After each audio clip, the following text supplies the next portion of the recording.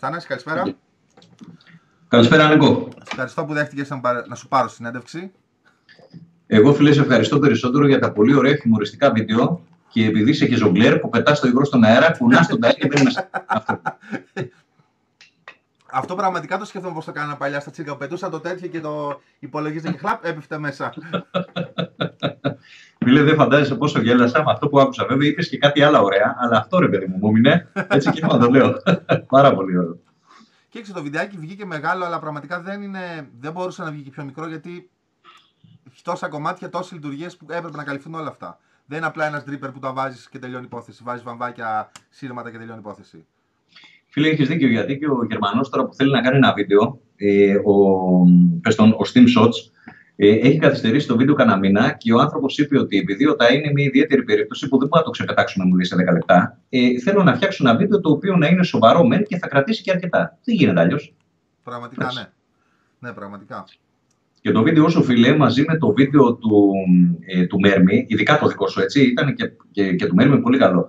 Αλλά εσένα, ρε παιδί μου, στην ουσία δεν ε, είπες μάλλον τα πάντα, ακριβώς δηλαδή ότι θα έλεγα κι εγώ. Δεν ξέχασες κάτι εκτός από ένα σημείο το οποίο. Α, ξέρεις τι ξέχασες, τώρα που το θυμήθηκα.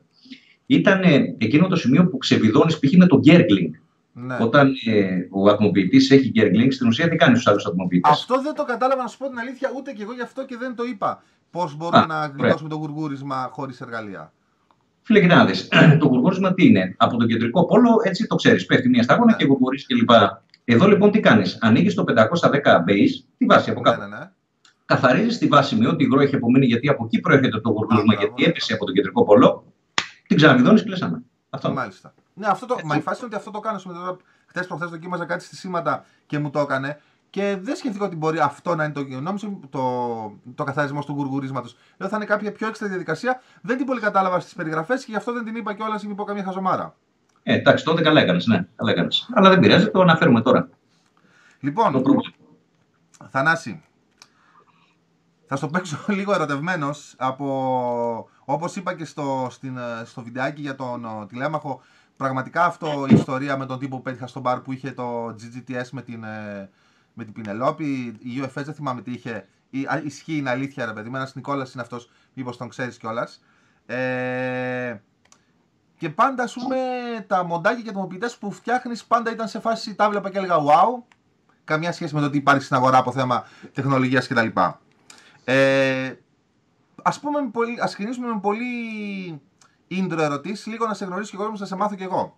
Μμ. Ε, Πώς ξεκίνησες και να. Ποια ήταν, ας πούμε, γιατί ξεκίνησες να φτιάξεις ατμοποιητέ και μοντάκια; Φίλε, αυτή την ιστορία την έχω πει αρκετές φορές, αλλά κάθε φορά που τη λέω μου αρέσει όλο και περισσότερο.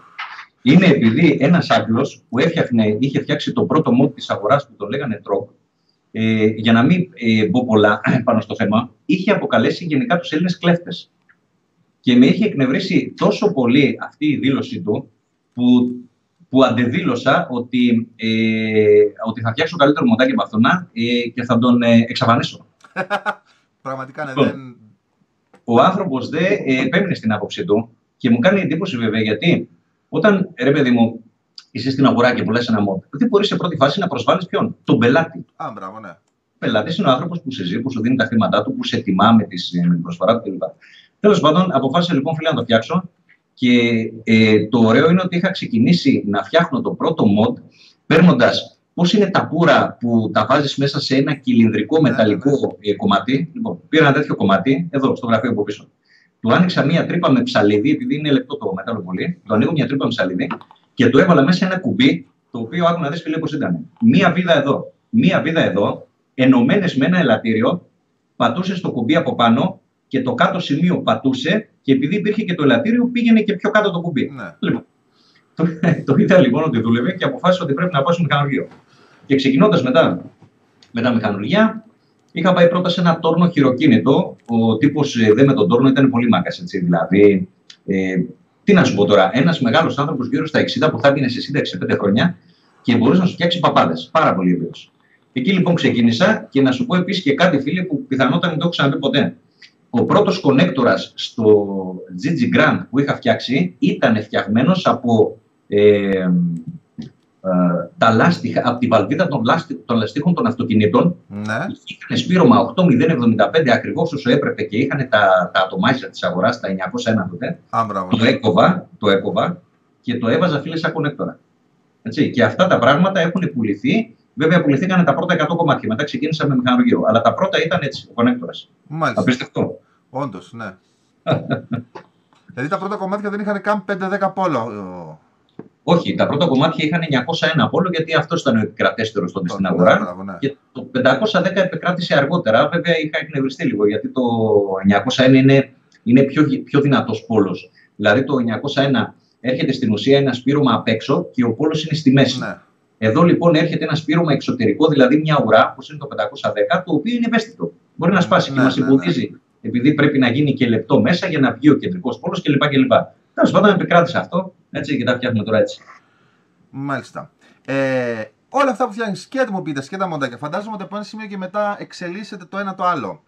Μμ. Ε, ιδέες και αυτά πόσο έρχονται, από πού τις αντιλήσει. Α πούμε, η έμπνευση να πεις ότι θα φτιάξω τώρα κάτι, το συμπρίλιο, να πούμε, ρε παιδί μου, θα βάλω το κουμπί στο πλάι και ότι θα βγει έτσι. Ξεκινάς και το τελικό αποτέλεσμα φτιάχνεται σύμφωνα με, την, ε, με, με αυτό που βολεύει, που ταιριάζει, ή λες ότι θέλω να το φτιάξω έτσι και το φέρνεις στα μέτρα σου ώστε να ταιριάζει και το κλείδωμα και το κούμπομα και το πώ θα κατασκευαστεί σύμφωνα με αυτό που έχεις εμφανισιακά στο μυαλό σου.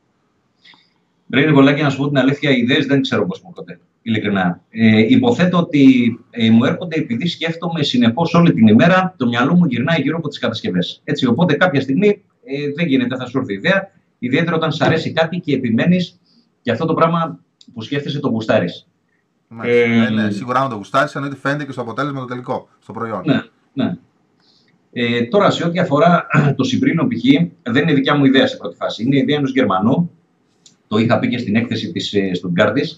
Ένας ε, Γερμανός, λοιπόν, ο οποίος λέγεται Τσε Τσάου και, ήταν, ε, και είναι φίλος βασικά στο GG Forum, ε, μου έστειλε ένα σχεδιάκι το οποίο ήταν, ε, ήτανε πολύ ρε παιδί μου ε, πρωτόγονο. Έτσι, μου είπε, αν βάζαμε, μου λέει, ένα tube μέσα, το brass tube που έχει το Συμπρίλιο, Ναι. και με ένα άλλο ε, κομμάτι, ας πούμε, σαν κουμπί, να το ακουμπάγαμε και να γίνεται επαφή. Και με το που μου, μου το είπε, αντελήφθη ρε παιδί μου σε πρώτη φάση τι εννοούσε ο άνθρωπος και πώς θα μπορούσα εγώ να το φτιάξω, να το κατασκευάσω. Ε, μετά βρήκα και το κλείδωμα, γιατί με το κλείδωμα έτσι είχε μια μεγάλη δυσκολία. Μου λέει δεν ξέρω πώς θα το κλειδώσω κλπ. Του λέω το πρόβλημα αυτό δεν πειράζει. Ε, του βάλαμε και ένα καπάκι, φίλε. Ε, η κατασκευή του κουμπιού είναι ε, μια κατασκευή που είναι πάρα πολύ δύσκολη. Πάρα πολύ δύσκολη. Δηλαδή, φαντάσου ότι ξεκινάω από ένα tube, το οποίο το tube ε, πρέπει να το φας έτσι και περιφερειακά, να αφήσεις ένα δαχτυλιδάκι με ένα χιλιοστό ένωση μεταξύ του δαχτυλιδιού και του κουμπιού, ε, κάτι το οποίο μπορεί να πάρεις στον τόρνο, τι να σου πω τώρα, στον αυτόματο και μισή ώρα να φτιάξεις το κουμπί. Μάλιστα. Ε, και αυτά στα λέω γιατί. Γιατί με ρώτησες εάν προσπαθώ να διαμορφώσω το mod ακριβώς όπως θέλω εγώ. Έτσι γίνεται πάντα. Βέβαια, κάποιες στιγμές με παίρνει ο μηχανικό και μου βάζει λίγο χέρι ε, και μου λέει: Άκου φιλαράκι, αυτό που θέλεις δεν γίνεται. Μα του λέω: Πώς δεν γίνεται, ρε παιδί μου, και τον βοηθάω και, εγώ, και λίγο από εδώ και λίγο από εκεί και το σκέφτεται και αυτός και στο τέλος το φτιάχνουμε. Κάποια στιγμή η κατασκευή βγαίνει βέβαια ακριβή, αλλά απ' την άλλη, δεν είμαστε ρε παιδί μου, δεν είμαι σε φάση του να βγάλω κάτι φτηνό ίσα ίσα για να βγάλω κάτι. Αυτά υπάρχουν. Θα Υπάρχουν. έρθω, θα έρθω και σε αυτό το θέμα της τιμής. Ε, Ναι. Άρα να φανταστώ αφιερώνεις και πολλή ώρα στο R&D, στο research και, research και development που λένε, στο πώς θα βγει το οτιδήποτε. Εφόσον Ωραία, είναι όλη μέρα. όλα μέρες, Όλη μέρα. Όλη μέρα. Φαντάσου δηλαδή ότι το βράδυ, αυτό που έχουμε συζητήσει έτσι με PM ε, και το, το λέμε για πλάκα, ε, είναι μια αλήθεια. Δηλαδή, πέφτω στο κρεβάτι το βράδυ και αν δεν σκεφτώ λιγάκι τον ατμοποιητή, τουλάχιστον ρε παιδί μου, 10 λεπτά με ένα τέταρτο, για να με πάρει ο ύπνος, να τον σκεφτώ λιγάκι πώς θα μπορούσε έτσι να διαμορφωθεί κλπ. Δεν μπορώ να κοιμηθώ. με το που σκέφτομαι αυτό, έτσι κοιμάμαι και την επόμενη μέρα ξανά πάλι. Ε, άρα σκοπεύεις να βγάλεις κάτι στο μέλλον, φαντάζομαι. Θα είναι κάτι καινούριο εφόσον το έχεις τόσο πολύ στο μυαλό σου ή θα είναι κάποια εξέλιξη από αυτή τη σειρά που έχεις ήδη; Σκέφτομαι λίγο το εξής. Επειδή ο Arm για μένα είναι ένας ατμοποιητής, ο Eagle, συγγνώμη, ένας ατμοποιητής ο οποίος τουλάχιστον, αν δεν κάνω λάθος, δεν υπάρχει στην αγορά κάτι παρόμοιο. Δεν λέω αν είναι καλός ή κακός, δεν υπάρχει κάτι παρόμοιο. Σκέφτομαι. Έτσι. Ε, σκέφτομαι λοιπόν να τον εξελίξω λίγο παραπάνω και να του δώσω αντών. Δηλαδή, πρώτα απ' όλα να του δώσουμε ένα τζαμάκι. Ωραία. Ναι. Ένα μαύρο, ένα κόκκινο, ένα πράσινο, αλλά τζάμι, όχι πλαστικό. Σε δεύτερη φάση, ε, σε πρώτη μάλλον φάση, ήδη φτιάξαμε τις καμπάνες. ναι, ναι, ναι. Είδα φωτογραφία το μεσημέρι, ναι. Μπράβο, ναι, και το βίντεο του Γιώργου. Ε, και σκέφτομαι να του αλλάξω και κάτι άλλο, ρε παιδί μου, το οποίο θα ήθελα να το κρατήσουμε για έκπληξη γιατί; Γιατί αν τελικά δουλέψει, σε πρώτη φάση πρέπει να κάνω δείγμα. Το να σου πω τώρα τι θέλω να φτιάξω και τελικά να μην δουλέψει δεν έχει και νόημα. αν ναι. δουλέψει, φιλέ, νομίζω ότι νομίζω, πώς να το πω, πρώτα απ' όλα θα είναι μια ωραία εφεύρεση η οποία θα εξυπηρετήσει τους πελάτες και θα, θα αλλάξει και τον τρόπο του αέρα. Έτσι, μόνο αυτό. Ας θα τα αφήσουμε εδώ. Ναι, όχι, όντως θα τα αφήσουμε πραγματικά για έκπληξη. Ε, βλέπω τι μόδες είναι πολλοί τα οποία βγάζουν πάνω bell caps και τέτοια. Δεν σκέφτεσαι κάτι. Ένα ενίο κομμάτι σαν bell cap, ένα γυάλινο, ένα. Αν, αν έχεις δει Steam Tuner στη δουλειά που κάνουν, να βγάλεις κάτι αντίστοιχο. Δηλαδή, ας πούμε, όσο και να αλλάξει το χρώμα στο τζαμάκι, πάλι το σχέδιο θα μείνει το ίδιο. Ενώ σου ναι. να κάνει κάτι τελείως διαφορετικό από πάνω. Και με την καμπάνα κιόλας αν ταιριάζει, γιατί για να βγει και πιο όμορφη και η καμπάνα μέσα το χάραγμά της και όλα αυτά. ώστε να είναι κάτι όλο γυάλινο. Βέβαια θα μου πεις μετά θα χαθεί το arm της υπόθεσης, αλλά ναι.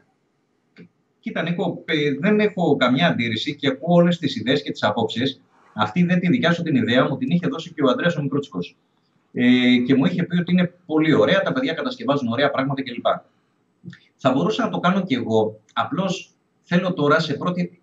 Θα δουλέψουμε τα αντών, όπως είπαμε. Ναι. Τώρα λοιπόν θα βγάλω τα τζαμάκια. Γιατί, Γιατί τα τζαμάκια, εδώ και κανένα δύο χρόνια, μου λένε όλοι, ρε εσύ, το πλαστικό είναι ωραίο, βγάλε τζάμι και θα το θέλαμε, λέω, ε, μου λέγανε και λίγο φημέ και όλα αυτά. Ωραία. Φτιάξαμε το φημέ το τζάμι, έχω φτιάξει και κόκκινα και κίτρινα. Να τα πάρει ο κόσμος σε πρώτη φάση να δει πώς είναι και πώς δείχνει ο Eagle. Αν, μπράβο, ναι και μετά θα φτιάξουμε διάφορα. Ναι, μπορεί να φτιάξουμε και αυτό το πράγμα. Γιατί όχι; Δεν, ε, δεν λέω όχι γενικότερα, ρε παιδί μου, σε κάτι το οποίο είναι ωραίο. Τώρα, αν μου πεις, ας πούμε, όπως κάποιος πελάτης κάποια στιγμή μου είχε πει: Ρε Θανάση, θα αγόραζα τον, ε, τον Eagle, αλλά δεν μου αρέσει το ότι γράφει GG. Θέλω τον αετό. Αυτό σου λέω τώρα. Μπορείς τον αετό να το βάλεις εδώ στα χωρίσμα, στο τζαμάκι πάνω, στο να φαίνεται εδώ στο χώρισμα, αν μπορείς να το χαράξεις. Δεν ξέρω ε, κατά πόσο εύκολο θα είναι. Κοίτα, στο τζαμάκι, επειδή είναι δύσκολο, για ένας λόγος ακόμα που έβαλα τον αετό στην καμπάνα ήταν και αυτός. Έτσι ώστε να βλέπεις και τον αετό μέσα από την καμπάνα. Μάλιστα. Και να γεμίσει, όπως είπε και ο, ο Γιώργος ο Χόντρο, ο ατμοποιητής. Να έχουμε λοιπόν τον αετό. Κάποια άλλη σκέψη ήταν να κάνω ένα παράθυρο και από την άλλη μεριά τον αετό.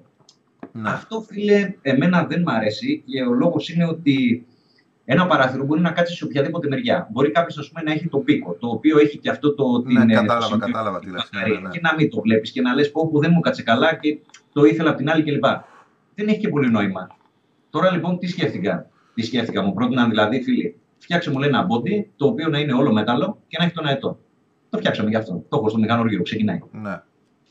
Ε, και αυτό που λες ήταν ωραίο, δηλαδή με σκάψιμο ή με ανάγλυφο αετός. Ε, όλα ρε παιδί μου θα έρθουν στην ώρα τους. Θέλω δηλαδή με όλες αυτές τις αλλαγές και με εσωτερικές που σκέφτομαι να του κάνω, να κάνω τον Eagle ένα ατμοποιητή ο οποίος θα είναι, θα είναι super.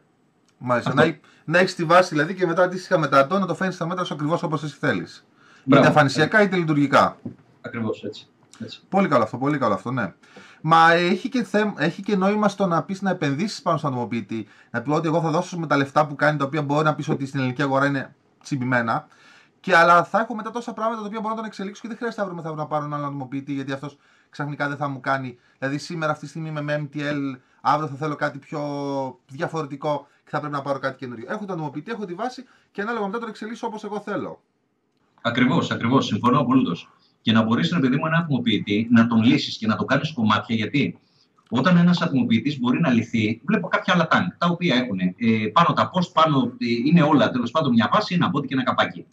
Αν δεν μπορείς να λύσεις ένα ατμοποιητή, υπάρχει και η άλλη παγίδα. Το ότι θέλεις να βγάλεις ένα ατόν και πρέπει να το δώσεις μαζί με κάτι άλλο και με κάτι άλλο ταυτόχρονα, μεγαλώνει η τιμή, ο πελάτης δεν θα το πάρει, δεν θα μπορεί να γευτεί αυτό που θα ήθελες εσύ να του, ε, να, να, να του παραδώσει. Και τελικά φτάνει σε σημείο να μην το φτιάξεις καθόλου γιατί είναι ακριβό.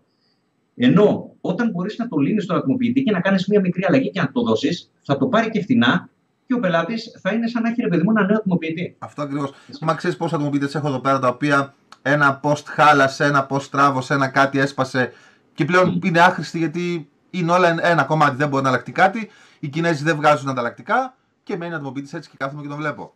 Για πούμε για κάτι το οποίο το βίδωσα λίγο παραπάνω και στράβωσε το post, είτε γιατί μου είπε από τα χέρια και στράβωσε κάτι και δεν μπορεί πλέον να ξανάρθει στο ίσιο του. Ε, ρε παιδί μου, εγώ καταλαβαίνω ότι πολλές φορές μπορεί να πέσει έξω ε, ένα μεγάλο ποσοστό της παραγωγής. Και ο λόγος, ξέρεις ποιος είναι, είναι ότι δεν υπάρχει το, το, το control. Έτσι, το, πώς το λέμε, ε, το, το control ποιότητας. Quality control. Ε, βλέπω για παράδειγμα το πρόβλημα που δημιουργήθηκε στον ε, ατμοποιητή του Αγραφιώτη. Έτσι. Το βρίσκω λογικό. Πολλές φορές μπορεί να γίνουν αυτά στα μηχανουργία.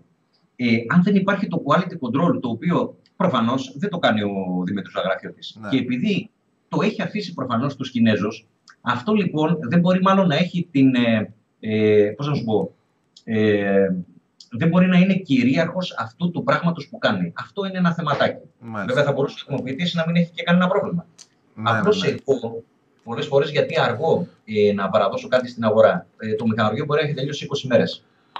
Ε, το να πάρεις τα κομμάτια, να τα ελέγξεις κλπ. Και, και να τα πάρεις ένα-ένα και να τα βιδώσεις. Δηλαδή, έφτασα σε σημείο, φίλε, επειδή υπήρχε ένα πρόβλημα στον ARM με τα βιδάκια σε ένα ποσοστό 20% της παραγωγής, αναγκάζομαι πλέον και ελέγχω κάθε κομμάτι, το βιδώνω με το άλλο, το ξεβιδώνω. Έχω βιδώσει 4.000 βιδάκια, όχι 2.000 κομμάτια. 8.000 βιδάκια, φίλε, 8.000 βιδάκια, για να δω αν έστω και ένα βιδάκι έχει πρόβλημα.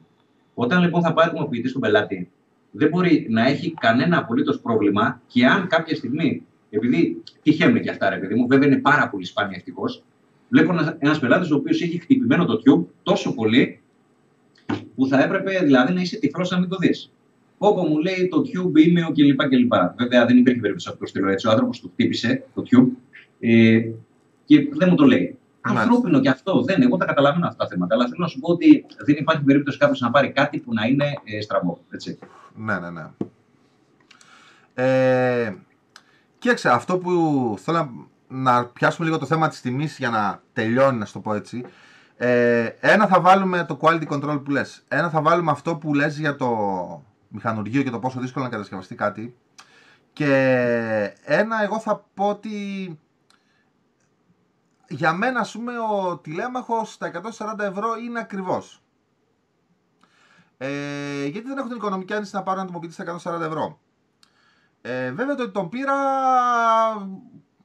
δικαιολογεί τα λεφτά του και δικαιολογεί την αγορά μου γιατί πραγματικά παίρνει εργαλείο. Αλλά θέλω να πω ότι ε, αυτό που έλεγα και στο βίντεο ότι όταν παίρνεις κάτι με ελληνική κατασκευή, ελληνικό quality control, ελληνικά υλικά, ε, ελληνική ποιότητα, κάπου η τιμή του είναι και normal. Και περισσότερο δικαιολογώ στον, σε, ένα τέτοιο, σε μια τέτοια κατασκευή με πάρα πολλά κομματάκια, με μέγεθος με, με, με, με, 140 ευρώ, παράσουμε σε κάτι τρίπερ που βλέπω τώρα οι οποίοι είναι ένα, ένα κομματάκι μέταλλο τόσο και έχουν πολύ, και, πολύ, πολύ πιο ακριβή. Δηλαδή που χου, έχω εδώ πέρα τον Soulless, είναι κλόνος, αλλά δεν είναι ένα πραγματάκι ψεύτικο που αυτό είναι πιο ακριβό από το τηλέμαχο. Και εδώ δεν δικαιολογώ για ποιο λόγο αυτό να κάνει 160 ευρώ. Στο τηλέμαχο θα το δικαιολογήσω. 160. Ναι, νομίζω κάπου σε 150-160 ευρώ έχει αυτό, αυτός εδώ πέρα καινούριο. Που είναι ένα, ένα τριπέρακι. Δεν, δεν έχει μέσα να λυθεί κάτι, δεν έχει δυσκολία να φτιαχτεί. Δεν, δεν, πραγματικά τίποτα. τίποτα. Αυτό βέβαια είναι κλόνος, δεν είναι αυθεντικός. Ε... Σε αυτό, φίλε, έχεις απόλυτο δίκιο. Δηλαδή, ε, εδώ τα δικαιολογόταν. Κάτσε και το ξέλισε για να κάνω το βίντεο που περίμενα ότι θα είναι αυτά τα κομμάτια. Όταν κάτσε και το ξέλισε για να κάνω το βίντεο, είναι σε φάση που τα λες και λες: Ναι, ε, υπάρχει λογική που έχει τόσα λεφτά, ρε παιδί μου, γιατί όλα αυτά πρέπει να φτιαχτούν στον τόνο. Πρέπει, πρέπει, πρέπει, χίλια δυο πρέπει. Είναι και η σκέψη όλα αυτά να ταιριάζουν, πρέπει να φτιαχτούν και σωστά, να ταιριάζουν να κουμπώνουν σωστά πάνω το ένα από το άλλο. Δεν είναι ένα ντέκ, ένα καπάκι το βάζεις και α, θα βάλουμε και δύο ring άμα δεν έχει βγει σωστά να σώσουν την ε, κατάσταση. Εδώ πέρα και λίγο να ξεφεύγει κάτι, έχεις διαρροές, δεν έχεις σωστή. χίλια δύο πράγματα.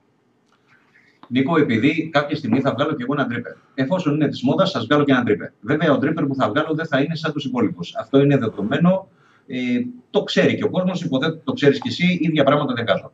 Ε, Αυτός λοιπόν ο τρίπερ που θα βγάλω, ε, σαφέστατα δεν θα έχει 140. Μάλιστα. Διότι δεν έχει τη δουλειά του τηλεμάχου. Θα έχει, ξέρω εγώ, 90. Και ο λόγος ο λόγος, ρε παιδί μου, που είναι ο τηλέμαχος τόσο ακριβώς, γιατί μερικοί λένε ότι είναι over-engineer. Έτσι. Αυτό που θεωρούν κάποιοι over-engineer ε, έχει πάντα κάποιο λόγο ύπαρξης. Δηλαδή, έχουμε ένα ατμοποιητή ο οποίος είναι μία βάση και έχει και δύο post και δύο βίδε. Ωραία. Ε, Μπορείς, ας πούμε, για παράδειγμα, σε αυτόν τον ατμοποιητή να του κλείσεις τα υγρά τελείως; Όχι. Για να κλείσεις όμως τα υγρά, θα πρέπει να φτιάξεις ένα άλλο σημείο, όπου, όπως είναι ο τηλέμαχος, ο Ίγκλ, να βιδώνεις την καμπάνα και να μπορείς να βγάλει τον deck. Για να γίνει όλο αυτό το πράγμα, εγώ δεν σου λέω για τη σκέψη και για τον χρόνο που έχω δαπάνησει. Αυτά δεν πληρώνονται. Εγώ δηλαδή σε κάθε κομμάτι βγάζω 20 ευρώ. Έτσι, το ποσό είναι αστείο. Ε, λέω λοιπόν ότι για να κάνεις όλα αυτά τα πράγματα, για να πετύχεις μάλλον μία λειτουργία, μπορεί να χρειαστείς τέσσερα κομμάτια. Ναι, ναι, ναι. Και ναι, ναι. Ο Virginia. Μα πώς θα την πετύχουμε, ρε, μεγάλη αυτή τη λειτουργία; Δεν γίνεται αλλιώς. Δηλαδή είναι σαν να λέμε γιατί το αυτοκίνητο, ο κινητήρας του αποτελείται από 80 κομμάτια. Ε, δεν είναι καλό, είναι over Μα κοίταξε, όλα αυτά τα high-end, αν σκεφτείς και πάρει όλου του ατομοποιητέ, όλοι αυτοί που θεωρητικά και αξίζουν τα λεφτά τους, δηλαδή δεν είναι μόνο τηλέμαχος. Α το πάρουμε και το γενικεύσουμε. Όλοι είναι over engineer και όλοι είναι, έρχονται με πάρα πολλά κομμάτια. Δηλαδή δεν γίνεται να έχεις και ποιότητα και τα λοιπά και να έχεις και απλά μια καμπάνα, ένα deck και να τελειώνει υπόθεση και κομμάτια τα βγάζουμε, τα καθαρίζουμε και τελειώνει υπόθεση. Αυτό το, αυτή η λειτουργία, αυτή η απόδοση θέλει και ένα over engineer και κατά ψέματα για να έχεις και αυτή την απόδοση. Αυτές τι ευκολίες. Εγώ, φίλε, ξέρεις με τι διαφωνώ. Διαφωνώ με το over engineer. Υπάρχει πολλές φορές. Υπάρχει και προσπαθεί κάποιος με 10 κομμάτια να πετύχει μια λειτουργία. Τι θα πρέπει λοιπόν, ρε παιδί μου, με όσο το δυνατόν λιγότερα κομμάτια να μπορέσεις να πετύχεις αυτό που θέλεις τη συγκεκριμένη στιγμή. Εγώ λοιπόν τι έκανα. Για να πετύχω π.χ. το να κλείνω τα υγρά, έφτιαξα στην ουσία ένα ακόμα κομμάτι. Το οποίο είναι το feeding base. Έτσι που κλείνει με το όριν και βγαίνει από κάτω το, το deck. Αν μπορούσα ε, να το φτιάξω. Εντάξει, δεν θα μπορούσα με μισό κομμάτι. Το ένα είναι το λιγότερο δυνατό. Θα μπορούσα να το φτιάξω με πέντε. Π.χ. βλέπω τον Καϊφούν, ας πούμε. Ο οποίος έχει τόσα κομμάτια, ή ο 4 ή ο 5, δεν θυμάμαι ποιος, που όταν ε, τα είχε ανοίξει ο Μπουρσάρντο και τα είχε αδειάσει μπροστά, τα κοιτούσα έτσι και λέω ρε παιδιά, γιατί όλα αυτά τα κομμάτια, τι, τι θέλει να κάνει ο άνθρωπος. Τελικά βέβαια έχει λιγότερες λειτουργίες από τον ARM με τα τριπλάσια κομμάτια. Μάλιστα. Αυτό είναι over-engineer, συμφωνώ. Over-engineer όμω στο, στο, στον Eagle, πέντε κομμάτια έχει ο κακομοίρη όλο και όλα και όλα. Έτσι. Και το 10, ας πούμε, έχει κάποια κομμάτια τα οποία ουσιαστικά είναι κομμάτια τα οποία υπάρχουν σε όλους τους ατμοποιητέ. Ένα insulator, δύο post και ένα housing και από κάτω για να τα συγκρατήσει. Υπάρχει ο Virginia εδώ. Όχι, ε, στο θέμα των πολλών κομματιών, αυτό που μου έλεγες ότι, να... το ότι πολλές φορές φαίνονται πολλά κομμάτια και τρομάζουν, ποτέ δεν είχα θέμα. Γιατί σου λέω ότι την έχω πατήσει πολλές φορές με αντιμοποιητές, οι οποίοι είναι ένα κομμάτι και κάτι χαλάει. Και πάντα αυτή την ευκολία το να πεις θα αλλάξω το οτιδήποτε γιατί το έχασα, το σπασα, το έκανα τώρα να είναι μεγάλη ευκολία. Δεν το συζητάμε. Ναι, ναι. Και, και επίσης προσπαθώ μιας και μιλάμε για το συγκεκριμένο θέμα, να υποστηρίζω ρε παιδί μου και όλες τις κατασκευές. Δηλαδή, έχω μπει σε φάση τώρα να φτιάξω το venting cap του GGTS. Το GGTS είναι το τρίτο κομμάτι που είχα φτιάξει μετά το Grand και το GGT. Και όμως φτιάχνω κομμάτια για να τα δώσω στους πελάτες. Γιατί; Γιατί ο πελάτης σου έχει δώσει κάποια λεφτά. Επειδή στα έδωσε δηλαδή προδεκαετία, ε, τον παραμερίζουμε αυτόν τον πελάτη και τον αναγκάζουμε να αγοράσει κάτι καινούριο. Όχι, έχουμε και αυτά. Μπορεί το ανθρώπου να του αρέσει, να το γουστάρει αφόρητα. Θα πρέπει δηλαδή να τον αφήσουμε στην άκρη και του πήραμε τα λεφτά. Άσε δε, που πιστεύω και το άλλο φίλε, το πολύ σημαντικό. Τον παλιό πελάτη πρέπει να το προσέξει περισσότερο. Ήδη σε έχει τιμήσει με, με τη συνδρομή του. Ε, ήδη έχει πει ό,τι έχει πει ε, στα, στα φόρουμ και ο καινούριος πελάτης θα, θα πρέπει να έρχεται σε δεύτερη μοίρα, όπως το λέω φίλε, σε δεύτερη μοίρα. Ε, δηλαδή, πρώτα θα κοιτάξουμε, λέω εγώ το σκεπτικό μου, την οικογένειά μας και μετά, αν μπορούμε, θα κοιτάξουμε και τον γειτόνα. Έτσι λειτουργεί ο κόσμος και έτσι πρέπει να λειτουργεί κατά Δεν μπορείς να κοιτάς, τα παιδιά της Αιθιοπίας όταν εδώ πεθαίνει ο γείτονά σου. Έτσι δεν είναι. Ναι. Είναι πράγματα. Εντάξει. Αυτό φίλε, να υποστηρίζουμε γενικά όλα τα προϊόντα. Και αυτό, έχει, αυτό έχει μια λογική. Αν σκεφτείτε ότι πούμε, εμένα η κύρια δουλειά μου τόσα χρόνια είναι σαν DJ. Ε, πάντα με βλέπω και στη νύχτα ότι θα, θα έχεις τα όπα όπα τον παλιό τον πελάτη, το γνωστό, και μετά mm. κάποιο καινούριο που ήρθε απλά για να πιει τυχαία από το κτλ. Θα τον κοιτάξεις αυτό, δεν λέω ότι θα τον πετάξεις και θα του δώσεις που λέει, ένα ποτό και ένα τέτοιο φιστίκια. Αλλά αυτό που λέει στον πελάτη, ο οποίος έχει υποστηρίξει σε διαφημίσει, έχει κάνει, σε έχει ράνει, αυτό που λέει στο σπίτι μας και μετά σου σε δεύτερη μοίρα και οι υπόλοιποι που, θα γίνουν και αυτοί οι πελάτες κάποτε. Ακριβώς, ακριβώς. Οι άνθρωποι, φίλοι, μακάρι να ήταν όλοι σαν τον Ερίκο Δινάν που έδωσε την περιουσία του για να ε, ασχοληθεί με τους άλλους. Έτσι, για να φτιάξει το Ερυθρό Σταυρό. Εμείς δεν είμαστε τέτοιοι άνθρωποι. Δυστυχώς εγώ είμαι, θα ήθελα να ήμουν. Δεν είμαι. Έχω και εγώ οικογένεια, θέλω να την κοιτάξω. Έτσι, και μετά θα κοιτάξω τη δουλειά και τους πελάτες και πάει λέγοντας. Οι καινούργοι δεν πελάτες. Έτσι δουλεύουν όλοι, δεν είσαι μόνος εσύ. Κακά τα ψέματα. Ε, τώρα που λέμε για τιμές. Πώς βλέπεις την αγορά της Ελλάδα, Γιατί βλέπω ότι δουλεύεις πάρα πολύ με εξωτερικό. Πώς βλέπεις την αγορά της Ελλάδος, ειδικά τώρα που έχουμε και κρίση. Όσο την πρόλαβες και λίγο προ-κρίσης. Βέβαια, προ-κρίση ακόμα θεωρώ ότι το άτιμος ήταν σε πολύ πρωταρχικά επίπεδα, τουλάχιστον στην Ελλάδα ώστε ο κόσμος να πει να ασχοληθεί να πάρει κάτι σε, σε τόσο high-end, σε τόσο εξελιγμένο. Όλοι θυμάμαι εγώ τουλάχιστον το Σεπτέμβριο του 2011 που άρχισε το άτμισμα. Όλοι για ένα τρίμηνο που ήταν της μόδας μέχρι τα Χριστούγεννα γινούσαμε ένα έγκο στυλό στο λαιμό τους. Μετά έφυγε, χαθήκαν όλοι και τώρα πρόσφατα ξαναγύρισε η όλη φάση και το άτμισμα άρχισε να ξαναπέει τα πάνω του. Ε, στα τόσα χρόνια πώς βλέπεις την αγορά της Ελλάδος; Πρέπει να σου πω κάτι. Εγώ την αγορά της Ελλάδος τη βλέπω να εξελίσσεται με ταχύτατους ρυθμούς και μιλάω ε, σε ό,τι αφορά στο δικό μου το προϊόν. Παλιότερα δηλαδή, πουλούσα... είμαστε, να σε διακόψω, είμαστε σαν τους Αμερικανούς σε φάση ε, που βλέπουν κάτι ότι είναι made in USA και τρελαίνονται να υποστηρίξουμε το σπίτι μας ή... Αυτό δεν υπάρχει και θα σου πω έτσι και ένα παράδειγμα και θα γελάσεις. Ε, σε πρώτη φάση, εγώ φίλε για τα δικά μου τα προϊόντα βλέπω ότι υπάρχει ε, μεγαλύτερη ζήτηση από ό,τι στο παρελθόν. Και ε, εν μέσω κρίσης θα έπρεπε λογικά αυτό να μην ισχύει. Ε, Μήπως επειδή έχω περισσότερους πολιτές, Μήπως επειδή οι πολιτές είναι καλύτεροι, Μήπως επειδή το προϊόν είναι καλύτερο. Δεν ξέρω, φίλε, τι να σου πω. Πάντως, εγώ είμαι πολύ ευχαριστημένος από την αγορά της Ελλάδας και ε, όσο περνάει ο καιρός, καλυτερεύει και περισσότερο. Έτσι, όταν λέμε περισσότερο, μην φανταστείς ότι ε, έδινα ξέρω εγώ 10 και τώρα δίνω 100. Α, έδινα όμως 10 και τώρα δίνω 20. Μάλιστα. Τα νούμερα είναι εντελώς τυχαία, έτσι. Ε, θέλω να πω ότι έχει, θα έλεγα, έχει σχεδόν διπλασιαστεί η, η αγορά. Πιθανότατα επειδή έχουν σταματήσει οι κλόνοι, επειδή τους έχω σταματήσει εγώ τους κλόνους. Δεν ξέρω τι μπορεί να φταίνει. Πάντως είμαι πολύ ευχαριστημένος γενικότερα. Ε, αυτό, φίλε, ο εθνικισμός λοιπόν ε, δεν υπάρχει εδώ στην Ελλάδα. Και δεν υπάρχει γιατί Μάλλον όχι, δεν θα σου πω γιατί δεν υπάρχει, γιατί δεν ξέρω, μπορούμε να το συζητήσουμε αργότερα και να το αναλύσουμε. Ε, ένα κλασικό παράδειγμα ήταν όταν μέσα στο φόρουμ το e-κάπνισμα, πριν από κάποια χρόνια, ε, κάποιος είδε το stealth και είπε το εξής, έγραψε μάλλον το εξής.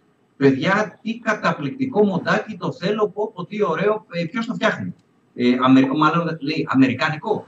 Ε, τρία ερωτηματικά. Ε, πετάγεται ένας, του λέει, Όχι, ρε, ο Θανάσης το φτιάχνει. Λέει, εδώ, δικό μας είναι.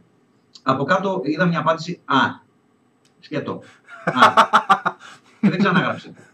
Λοιπόν, ε, εμείς όχι μόνο δεν υποστηρίζουμε τα δικά μας τα προϊόντα, φίλε, ε, τουλάχιστον στο παρελθόν, αλλά και τώρα. Δεν υπάρχει καμιά τρέλα του στυλ όπω ελληνικό. Μπορεί όμως αυτό να ξεκινάει, γιατί βλέπω τώρα κάποια post, ρε παιδιά, και ελληνικό προϊόν να το υποστηρίξουμε κλπ. Μπορεί να ξεκινάει αυτό. Παλιότερα, φίλε. Να πιάνει τον Έλληνα εν μέσω κρίση, στο φιλότιμο, ε. Ε, ναι. ναι, παλιά ήμασταν, ήμασταν λίγο φάση λαλάκι ο εισαγόμενος ότι έρχεται απ' έξω, α, τι ωραίο, αμερικάνικο κτλ. Και, και εδώ, ε, Ελλάδα τώρα. Και όμως ξέρεις, φίλε, τι, ναι, ξέρεις τι άλλο ισχύει; Δεν εμπιστευόμαστε γενικότερα ο Έλληνας τον Έλληνα. Δηλαδή, έχουν κάνει τόσα λάθη οι ξένοι σε ό,τι αφορά στο vaping, σε ό,τι αφορά στα σύρματα, στα φυτίλια, στις εκμεταλλώσεις. Ένα σωρό λάθη. Και τα βλέπω και βγαίνω πολλές φορές στα φόρουμ και του λέω, παιδιά, αυτά ε, θα έπρεπε να απαγορευτούν. Ε, πολύ κακό τα βγάζετε στην αγορά και έχω πει και άλλα διάφορα. Ε, φυσικά έχω βγει κακός. Γιατί δεν μπορείς εσύ, φίλε μου, Ελληνάκος, εδώ που κάθεσαι στη χώρα σου των ε, 9 εκατομμυρίων και μου αρέσει που μου τη λένε και Έλληνες, έτσι. Ε, να έρχεσαι και να ε, έχεις αντίρρηση σε αυτά που πλασάρουν οι μεγαλύτερες εταιρείες. Τι σημαίνει μεγάλη εταιρεία; Η μεγάλη εταιρεία και η γενικότερη εταιρεία ξεκίνησε από έναν άνθρωπο. Έτσι. Και ξέρω την ιστορία όλων. Ένας άνθρωπος την ξεκίνησε. Επειδή έτυχε να πουλήσει πολλά, ξαφνικά έγινε μεγάλη εταιρεία και δεν μπορούμε να αμφισβητήσουμε τα λεγόμενά του. Δεν τρελάθουμε τώρα. Έτσι. Ναι, ναι, ναι. Δηλαδή, σαν να πιάνεις τώρα μια συζήτηση με τον Bill Gates, ας πούμε, και δεν μπορείς να αμφισβητήσεις τον Bill Gates. Γιατί δεν μπορείς να το αμφισβητήσεις; Επειδή ε, ο άνθρωπος έχει μεγάλη εταιρεία και έχει πολλά λεφτά. Φυσικά και μπορείς. Και πιθανότατα ο άνθρωπος να έχει κάνει και πολλά λάθη και είτε τα παραδέχεται είτε όχι, και μπορείς να το βρεις και άλλα λάθη στην πορεία και πάει λέγοντας. Όχι, έχει κάνει λάθη. Δεν είναι ότι ο Bill Gates είναι λάθος, έχει κάνει, αλλά. Τέλος πάντων. Ναι. Αυτό που είπες με τους κλώνους. Ποια είναι η άποψή σου με τους κλώνους, πιστεύω θα συμφωνήσουμε σε αυτή την άποψη εν μέρει; Ναι. Θα έπρεπε να υπάρχουν. Πιστεύεις ότι κάνουν κακό; Οι κλώνοι σαφέστατα το μόνο που κάνουν είναι μόνο κακό. Και το γεγονός ότι εμείς οι modder κάποια στιγμή προσπαθήσαμε να το δούμε θετικά. Το στυλ, όσο περισσότεροι κλώνοι, τόσο μεγαλύτερη πέραση έχει το προϊόν. OK, okay, εντάξει, μπορεί να ισχύει και αυτό. Εδώ, όταν βλέπεις ένα εργοστάσιο να σε κλονάρει, σημαίνει ότι είσαι δυνατή εταιρεία, ότι αρέσει το προϊόν σου και ότι θέλουν και αυτοί να βγάλουν λεφτά. Δεν έχει σημασία αν είναι κλεμμένα, γιατί κλεμμένα λεφτά είναι. Σημασία όμως έχει, ρε φίλε, το εξής. Φτιάχνει κάποιος ανθρωπάκος ένα προϊόν. Έτσι. Ε, και μπαίνεις εσύ τώρα και κλέβει το προϊόν. Δηλαδή, να το πάμε έτσι σε μεγαλύτερη κλίμακα για να αντιληφθούμε τι γίνεται. Παίρνω εγώ τα Windows και τα αντιγράφω. Ωραία, ωραία. Αυτό πρώτα απ' όλα είναι παράνομο. Δύο, κοίτα από τον νόμο. Ε, δεύτερον, μπορώ να το κάνω; Όχι. Γιατί απαγορεύεται, Γιατί θα κλέψω στην ουσία τη δουλειά που έχει ρίξει ο Bill Gates, τα λεφτά που έχει πληρώσει τους υπαλλήλους για να αναπτύξουν το λογισμικό κλπ. Εγώ δηλαδή, όταν ε, βγαίνει ο κλόνος, θα πρέπει όλα αυτά να τα παρακάμψω και για ποιο λόγο να τα παρακάμψω. Δεν είναι δικό μου το προϊόν. Εγώ δεν το σκέφτηκα. Δεν υπάρχει νομοθεσία που για να υπάρχει νομοθεσία αντιλαμβάνει ότι είναι, είναι ε, γενικώς αποδεκτό ότι αυτό είναι παράνομο. Υπάρχει νομοθεσία. Πόσο δηλαδή πιο παράνομο μπορεί να γίνει. Έρχεται λοιπόν ο κλόνος ο οποίος βγαίνει και ε, η δικαιολογία των ανθρώπων οι οποίοι αγοράζουν κλόνους, γιατί πρόκειται περί δικαιολογίας, έτσι, είναι ότι ε, είναι φτηνός και μπορώ να τον δοκιμάσω. Τώρα όμως μπορείς να το δοκιμάσεις και στα μαγαζιά τον ίδιο. Γιατί δεν πας, Γιατί πας πάλι στους κλόνους; Γιατί η άλλη δικαιολογία δεν υπάρχουν ανταλλακτικά. Τώρα υπάρχουν και ανταλλακτικά. Γιατί ξαναπάς πάλι στους κλόνους; Επομένως, το θέμα είναι ρε παιδί μου οικονομικό. Το αντιλαμβάνομαι το αντιλαμβάνομαι όπως αντιλαμβάνομαι πολλές φορές και δικαιολογώ και ένα κλέφτη, ο οποίος πάει να σε κλέψει γιατί ο άνθρωπος δεν έχει να δώσει φαγητό στα παιδάκια του. Τα καταλαβαίνω όλα αυτά. Ε, είμαι συγκαταβατικός πολλές φορές και ελπίζω ότι όπου πρέπει αστηρό. Όμως, ε, είναι μια διαδικασία η οποία τι κάνει; Μειώνει τη δυνατότητα των modders, μειώνει τη δυνατότητα της εταιρείας του. Ο modder πιθανότατα κάποια στιγμή να κλείσει και θα αναγκαστείς να ασχοληθείς μόνο με τα κινέζικα προϊόντα ξεχνώντας δε και όλα αυτά που έχουμε προσφέρει στην ατμιστική κοινότητα και ότι όταν ατμίζεις αυτό, ας πούμε, το ατμίζεις επειδή εμείς προσπαθήσαμε και ακολούθησαν και οι υπόλοιποι. Εάν δεν υπήρχαν οι μόντε φίλοι και το ECF, είμαι βέβαιος ότι θα καπνίζαμε τα μικρά τα τσιγαράκια τα 901, κόβω το λαιμό μου, έτσι. Κόβω το λαιμό μου. Αν δεν είχαμε φτάσει μέχρι το έγκο, δηλαδή λίγο μεγαλύτερη μπαταρία. Τώρα θα μου πεις, γιατί είναι μεγάλη πρέπει να τιμήσουμε εσένα και να αγοράσουμε το προϊόν σου ε, και ε, να μην συνεχίσουμε να αγοράζουμε τα φθηνά προϊόντα. δεν έχω αντίρρηση. Τα φθηνά προϊόντα πλέον της Κίνας είναι πάρα πολύ ωραία. Πολύ ωραία. Θα συμφωνήσω μαζί σου. Θα να σου πω και εγώ την άποψή μου. Θα συμφωνώ ότι υπάρχει αγορά για όλα τα προϊόντα. Υπάρχει αγορά για το Fiat το Punto, υπάρχει αγορά και για τη Ferrari. Ε, το καθένα τιμά τα λεφτά του και ανάλογα αυτό που πληρώνεις, παίρνεις. Ε, Όντως, παιδί μου, γιατί να πάω να πάρω κλόνο τον τηλέμαχο, να μπορώ να πάρω τον Άρης ή τον Σάιρε, να θέλω κάτι, ας πούμε, MTL να έχω, ένα ατομοποιητή MTL.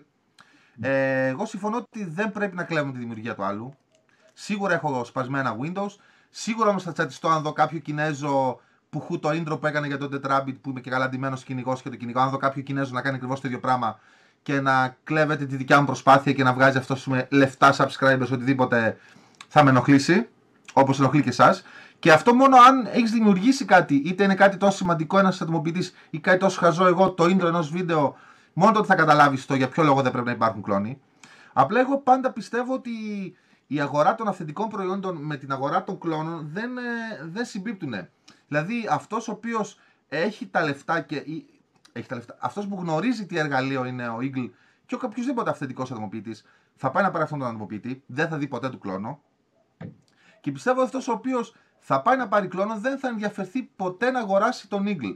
Είτε γιατί είναι τα λεφτά, είτε γιατί δεν θέλει να δει τόσα λεφτά για τοποποιητέ, γιατί αύριο μπορεί να το πάρει το ανυψάκι του να πέσει κάτω και να γίνει χίλια κομμάτια, είτε για το χίλιους δυο λόγους.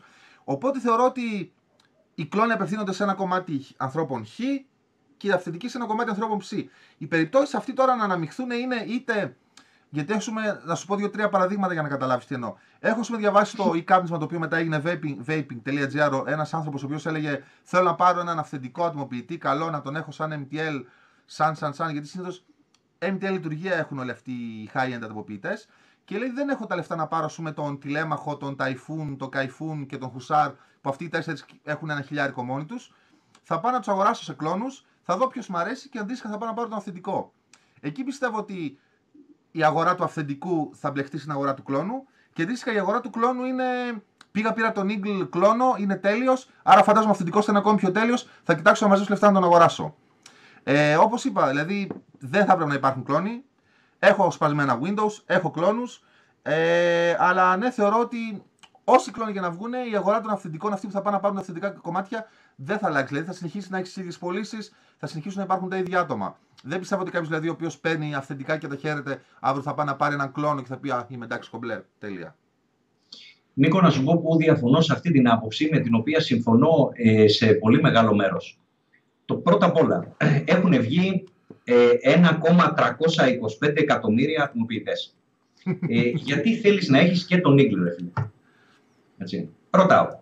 Ναι, γιατί θες να έχεις και τον Eagle. Κοίταξε. Για να το δοκιμάσεις κι αυτόν. Δηλαδή, να το που- δοκιμάσεις. Ωραία. Λοιπόν, να, να κάνω την επόμενη ερώτηση. Να σου πω τώρα Ε, το δικό μου το σκεπτικό. Να σου πω το δικό μου το σκεπτικό. Έστω ότι η οικονομική μου άνεση μου λέει να πάρω τον, ο, τον Ares ή τον Siren, αν θέλω να έχω κάτι σαν MTL. Κάτσε να κλείσουμε το pop-up. Τον Ares ή τον Siren, έχω έναν MTL και ξαφνικά βγαίνει ο Eagle. Ξέρω ότι ο Eagle, ρε παιδί μου, είναι φανταστικός ατομοποιητής. Δεν έχω την άνεση να δώσω 40 τα 140 ευρώ για να το δοκιμάσω. Είμαι στην Κομωτινή, δεν μπορώ να πάω σε κάποιο μαγαζί που τον έχει να το δοκιμάσω. Θα τον πάρω έναν κλόνο 15-20 ευρώ. Θα δω αν μ' αρέσει, θα πω ωραία, μ' αρέσει. Εφόσον μ' αρέσει ο κλόνος, ο αυθεντικός θα είναι ακόμη καλύτερος. Μαζεύω τα λεφτά ή έχω τα λεφτά, απλά δεν μπορώ να το δοκιμάσω και θα πάω να αγοράσω τον αυθεντικό. Βέβαια υπάρχει και το παίρνω, δοκιμάζω, αλλάζω, τον βαριέμαι στο μήνα, παίρνω, δοκιμάζω, τον αλλάζω. Αυτή, αυτός είναι ο λόγος που θα πας να πάρεις έναν κλόνο. Ναι. Εγώ από την άλλη, Νίκο, εάν ήμουν χρήστη, θα πήγαινα σε ένα μαγαζί και θα διάλεγα ένα ατμοποιητή ο οποίος θα με βόλευε. Μπορεί να ξεκινούσα κι εγώ από κινέζικα για να ε, δω τι ακριβώς μου προσφέρει ένας κινέζικος ατμοποιητή, ο οποίος είναι φτηνός. Εάν έβλεπα λοιπόν τον Νίκλ, θα έλεγα. Ε, σε πρώτη φάση ε, δεν θα δω ε, κάποια ρε παιδί μου τρελή διαφορά στο άτμισμα, γιατί πιστεύω ειλικρινά ότι ε, αυτό που ισχύει και που λένε πολλοί κατασκευαστές, ο δικός μου έχει γεύση, ατμίζει τρελά κλπ. Αυτά κατά την άποψή μου, φίλε, είναι πολύ τραβηγμένα. Εγώ λέω ότι η τεχνολογία είναι φυτίλη, σύρμα. Ε, τι βλέπεις λοιπόν σε ένα βίντεο; Σε ένα βίντεο βλέπεις τι δυνατότητες μου δίνει αυτός ο ατμοποιητή λίγο πιο πέρα από το άτμισμα; Το άτμισμά του θα είναι φυσιολογικό, ρε παιδί μου. Μπορεί να είναι λίγο καλύτερο, λίγο χειρότερο. Μου δίνει τη δυνατότητα π.χ. να κλείσω τα υγρά. Το ότι κλείνω τα υγρά τι, τι, σε τι με βολεύει; Με βολεύει στο ότι μπορώ να τα αφήσω εκεί και να μην σπρώξω στο τραπέζι και να μην πέσει και το καπάκι στέκεται εκεί και δεν χρειάζεται να τα αφήσω πουθενά και πάει λέγοντας. Έτσι, Ναι, διάφορα ναι, ναι, πράγματα. ναι, ναι. Με βολεύουν αυτά; Ωραία. Αν με βολεύουν αυτά λοιπόν, τότε θα, πάρω, ε, θα πάω σε ένα κατάστημα. Τώρα θα μου πεις: Δεν έχεις και τα τόσα καταστήματα ρεθανά για να μπορεί ο κόσμος να πηγαίνει να δοκιμάζει. Α υποθέσουμε σε πρώτη φάση ότι υπήρχαν τα καταστήματα. Θα πήγαινε κάποιος να το κάνει ή πάλι θα επέμενε στους κλόνους; Εγώ θα, πιστεύω ότι θα επέμενε στους κλόνους γιατί έχεις δίκιο ότι το κοινό των κλόνων ποτέ δεν θα έπαιρνε τον Άρμ, τον, τον Ίγκλο. Γιατί όμως αυτοί οι άνθρωποι να έχουν τη δυνατότητα να πάρουν τον Ίγκλο, γιατί ουσιαστικά ο κλόνος είναι ίδιο πράγμα. Δεν έχει σημασία αν τα μέταλλά του μπορεί να είναι ραδιενεργά, όπως ε, τις προάλλες που συζητούσαμε στο φόρουμ που μια κινέζικη εταιρεία πήγε και ψήκωσε την Φουκουσίμα. Έτσι, μπορείς όμως να τον ατμίσεις. Είναι ένα προς ένα. Όταν κάτι είναι ένα προς ένα, το να λέμε ότι ατμίζει διαφορετικά ο original από τον ε, κλόνο είναι και λίγο αστείο. Ναι, παρα- πραγματικά είναι πάρα πολύ αστείο αυτό το πράγμα. Ναι, το, το λέω και εγώ δηλαδή. Ε, αυτό που λέω ότι ας πούμε, δηλαδή, θα πάρω τον κλόνο του τηλέμαχο και εφόσον ο κλόνος ατμίζει ωραίο, αυθεντικός είναι ακόμη πιο καλύτερος. Δεν το εννοώ από θέμα ατμίσματο. Ενώ ότι. Ε, Α πούμε, αν δεις, έχω βιντεάκια το Skyline τον κλόνο σύγκριση με το αυθεντικό. Είναι ακριβώς ένα προς ένα και το λέω και εγώ στο βιντεάκι ότι τα παιδιά οι διαφορές που έχουν δεν είναι το ότι κάποια βίδα είναι λίγο πιο μικρή, πιο μεγάλη, δεν δίνουν, έχουν α- επίπτωση στην απόδοσή του. Ατμίζει ο αυθεντικός ίδια με το κλόνο. Απλά σου λέω ότι ένας ατμοποιητή έχει τόσα πολλά κομμάτια, θα. και θέλω να τον κρατήσω, θα πάω να πάρω τον αυθεντικό για να ξέρω ότι όλα αυτά τα κομμάτια ταιριάζουν ακριβώς όπως το έχεις εσύ στο μυαλό σου. Όχι όπως το κλωνοποίησε ο Κινέζος. Δηλαδή ότι στο χιλιοστό είναι ακριβώς έτσι. Δηλαδή μπορεί ο, το πινάκι του κλόνου να μην είναι 5 χιλιοστά, να είναι 4,5 και να μην παίρνω την τζούρα που είχες εσύ στο μυαλό σου να μου δώσεις, γιατί έτσι πιστεύεις σωστά. Μπορεί τα υγρά να μην κλείνουν 100% και όταν θα βάλω 50-50 να έχω διαρροή, γιατί ο, κλόνος δεν το- ο Κινέζος δεν το κλωνοποίησε σωστά. Αυτός είναι ο μόνος λόγος. Δηλαδή ότι κατασκευαστικά είναι αυτό που ήθελες να μου δώσεις εσύ, είναι σωστά κατασκευασμένο. Ε, το ένα προς ένα, ναι, πιστεύω ότι και εγώ ότι ο κλόνος ένα προς ένα με τον αυθεντικό ατμίζει πάνω κάτω σχεδόν τα ίδια. Δεν έχουν μεγάλη διαφορά. Εντελώς τα ίδια. Ορίστε. Εμένα ε, εντελώς τα ίδια. Γιατί το ένα προς ένα ξέρεις τι είναι; Είναι σαν να πάω εγώ στην Κίνα να στείλω αυτόν τον αντιποποιητή και να τους πω: Παιδιά, θέλω να μου φτιάξετε αυτόν τον αντιποποιητή. Όπως κάνουν αρκετές εταιρείες. Άλλες το κρύβουν, άλλες το δηλώνουν. Ε, τον στέλνουν λοιπόν στην Κίνα. Η Κίνα θα μου στείλει κάτι διαφορετικό από αυτό; Έχουν άλλα CNC εκεί; Όχι. Όχι, το Θα ίδιο. μου στείλει Α, αυτό; είναι το, ε, πιστεύω η, η- ο, ο, ο τρόπος που κλωνοποιείται. Γιατί άλλο να πεις θα πάρει ο Κινέζος, θα αγοράσει αυτόν τον αντιμοποιητή, θα κάτσει, θα τον ανοίξει, θα πάρει το πολύμετρο, θα το μετρήσει και θα τον κλωνοποιήσει. Και άλλος εσύ που έχεις τα αυθεντικά σχέδια τα οποία το CNC θα το βγάλει στα- με ακρίβεια 10 το χιλιοστού, ρε παιδί μου. Εντάξει, Εκεί εντάξει. λίγο εγώ το έχω ένα θέμα. Ότι δηλαδή βλέπω πολλούς ότι που χου, ε, διάβαζα τώρα στο vaping για τα απόγευμα για να περάσει η ώρα. Λέει παιδιά, πάρτε τον κλόνο του Χουσάρι, είναι ένα προς ένα κομπλέ. Απλά αλλάξτε το Tao Rings με τα O-ring του original του Kaifun του Light Plus, γιατί τα O-ring του κλόνου κάνουν διαρροές. Δηλαδή, εγώ τώρα Ναι. θα πάρω το χουσάρ χωρίς να έχω διαβάσει αυτό το post, ψάχνω διαρροή και θα λέω τι μαλακία, χουσάρ κάνει διαρροές. Ενώ αν πάρω τον αυθεντικό, είναι όλα σωστά φτιαγμένα και δεν θα μου δώσει διαρροές. Εκεί είναι η Ναι. διαφορά. Πιστεύω ότι το αποτέλεσμα του χουσάρ του κλόνου με του αυθεντικού, σαν γεύση σαν η ίδια, εκεί είναι μετά οι διαφορές που λες θα πάρω τον αυθεντικό για να έχω το σίγουρο το αποτέλεσμα.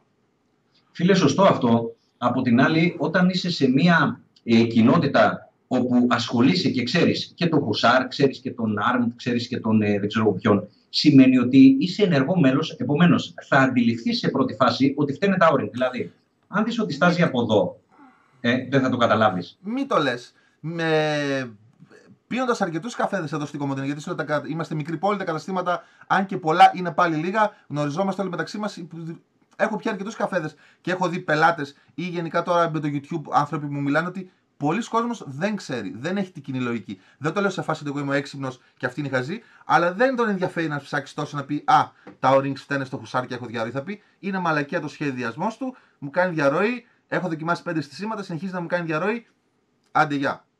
Και θα Ναι. κάτσω αύριο και θα πω: Μην πάρεις το, χου, μη πα... ας το χουσάρ. Α πούμε τον καϊφούν, τον, το καϊφούν λέω. Τον τηλέμαχο. Μην πάρεις τον τηλέμαχο, τον Άρη, τον Νίκλ, παιδιά, εμένα πολύ διαρροές. Και αυτός που θα το ακούσει θα πει: Α, κοίτα να δεις. Και εγώ που θα το πω δεν θα πω καν ότι ήταν κλόνος ή ότι δεν σκέφτηκα τα O-rings. Ξαφνικά έχει μια δυσφήμιση χωρίς να υπάρχει λόγος. Εκεί ας πούμε εμένα είναι το θέμα μου στους αυθεντικούς με τους original ότι να είναι η ποιότητα ίδια. Α είναι ένα προς ένα, να είναι και η ποιότητα ίδια. Δηλαδή τα O-rings, όλα, όλα, όλα, όλα, όλα, όλα, ώστε το αποτέλεσμα που θα πάρω εγώ να είναι αυτό που ήθελα να μου δώσει ο κατασκευαστής. Αυτό που ήθελα να μου δώσεις εσύ. Φίλε, αντιληπτό αυτό που λες. Αν πράγματι, εγώ μιλάω τώρα για ένα προς ένα. Ένα προς ένα δεν σημαίνει ένα προς 1,1 ή ένα προς 1,5, είναι ένα προς ένα. Αν πράγματι είναι ένα προς ένα, ο ατμοποιητής είναι ολόιδος. Ναι. Εάν τώρα οι Κινέζοι εννοείται ότι δεν έχουν κάνει τη σωστή δουλειά, εντάξει, αυτό είναι άλλο θέμα το οποίο ε, δεν μπορείς και να το ρυθμίσεις ή να το. Έτσι. Δεν, δεν μπορείς να το κουλαντρέσεις αυτό το πράγμα. Και ε, ε, πέφτει στην παγίδα όπως έπεσε ένας φίλος, μου έλεγε ένας ε, κολλητός ότι ένας φίλος του πήγε και πήρε τον ε, τηλέμαχο τον, ε, τον, ε, τον Άρμ. Έτσι, και τον πήρε σε κλόνο. Ε, ήταν στραβός το κεντρικός πόλος. Τώρα θα με ακούει, ας πούμε, και θα γελάει. Ε, πήγε στην Κίνα, δεν μπόρεσε να βγάλει άκρη. Τέλος πάντων, αναγκάστηκε και πήρε και έναν άλλον. Και πάλι κάτι συνέβη, ας πούμε, με τον κλόνο κλπ. κλπ. Δεν είχε ε, υποστήριξη και άρχισε να βάζει χέρι σε μένα, πρόσεξε τώρα, επειδή δεν είχα ανταλλακτικά για να υποστηρίξει τον κλώνο του. Δηλαδή, ε, βγήκα και ε, πήγα, πας για μαλλί και βγαίνεις και κουρεμένος. Φταίω εγώ, πρόσεξε τώρα, που δεν έχω ανταλλακτικά να υποστηρίξω τον κλώνο του. Απίστευτο. Εντάξει. Ναι, γιατί όχι. Γιατί όχι. εντάξει. Οκ. γιατί όχι. Ε, Τέλος. έχω κάνει μια λίστα με ερωτήσει, δεν θα σου πω ψέματα. Τη χαζεύω λίγο να, για, σαν, ε, σαν σημειώσεις για να μην ξεχάσω πράγματα που θα σε ρωτήσω. Μμμ. Ε, πάμε σε πιο συγκεκριμένα πράγματα. Δουλεύεις ζυρκόνιο, προωθείς πολύ ζυρκόνιο.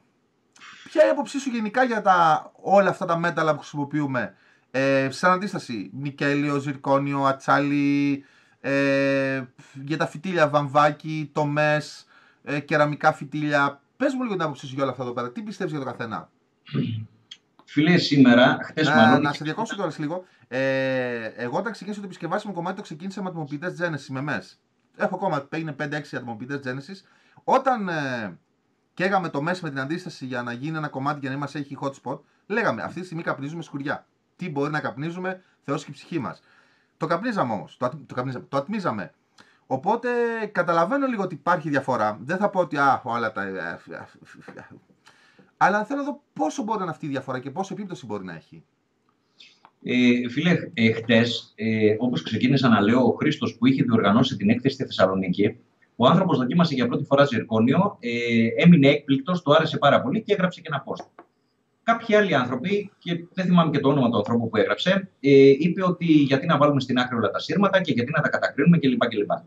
Και του γράφω από κάτω ότι την ιστορία των σύρματων, εμείς που είμαστε ε, ε, ε, στο άτμισμα εδώ και 9 χρόνια, από την αρχή στην ουσία του ατμίσματος, ξέρουμε ακριβώς πώς εφευρεθήκαν και πώς πλασαριστήκαν τα σύρματα στην αγορά. Λοιπόν, στην αρχή είχαμε ξεκινήσει με χρωμονικελίνη. Ωραία.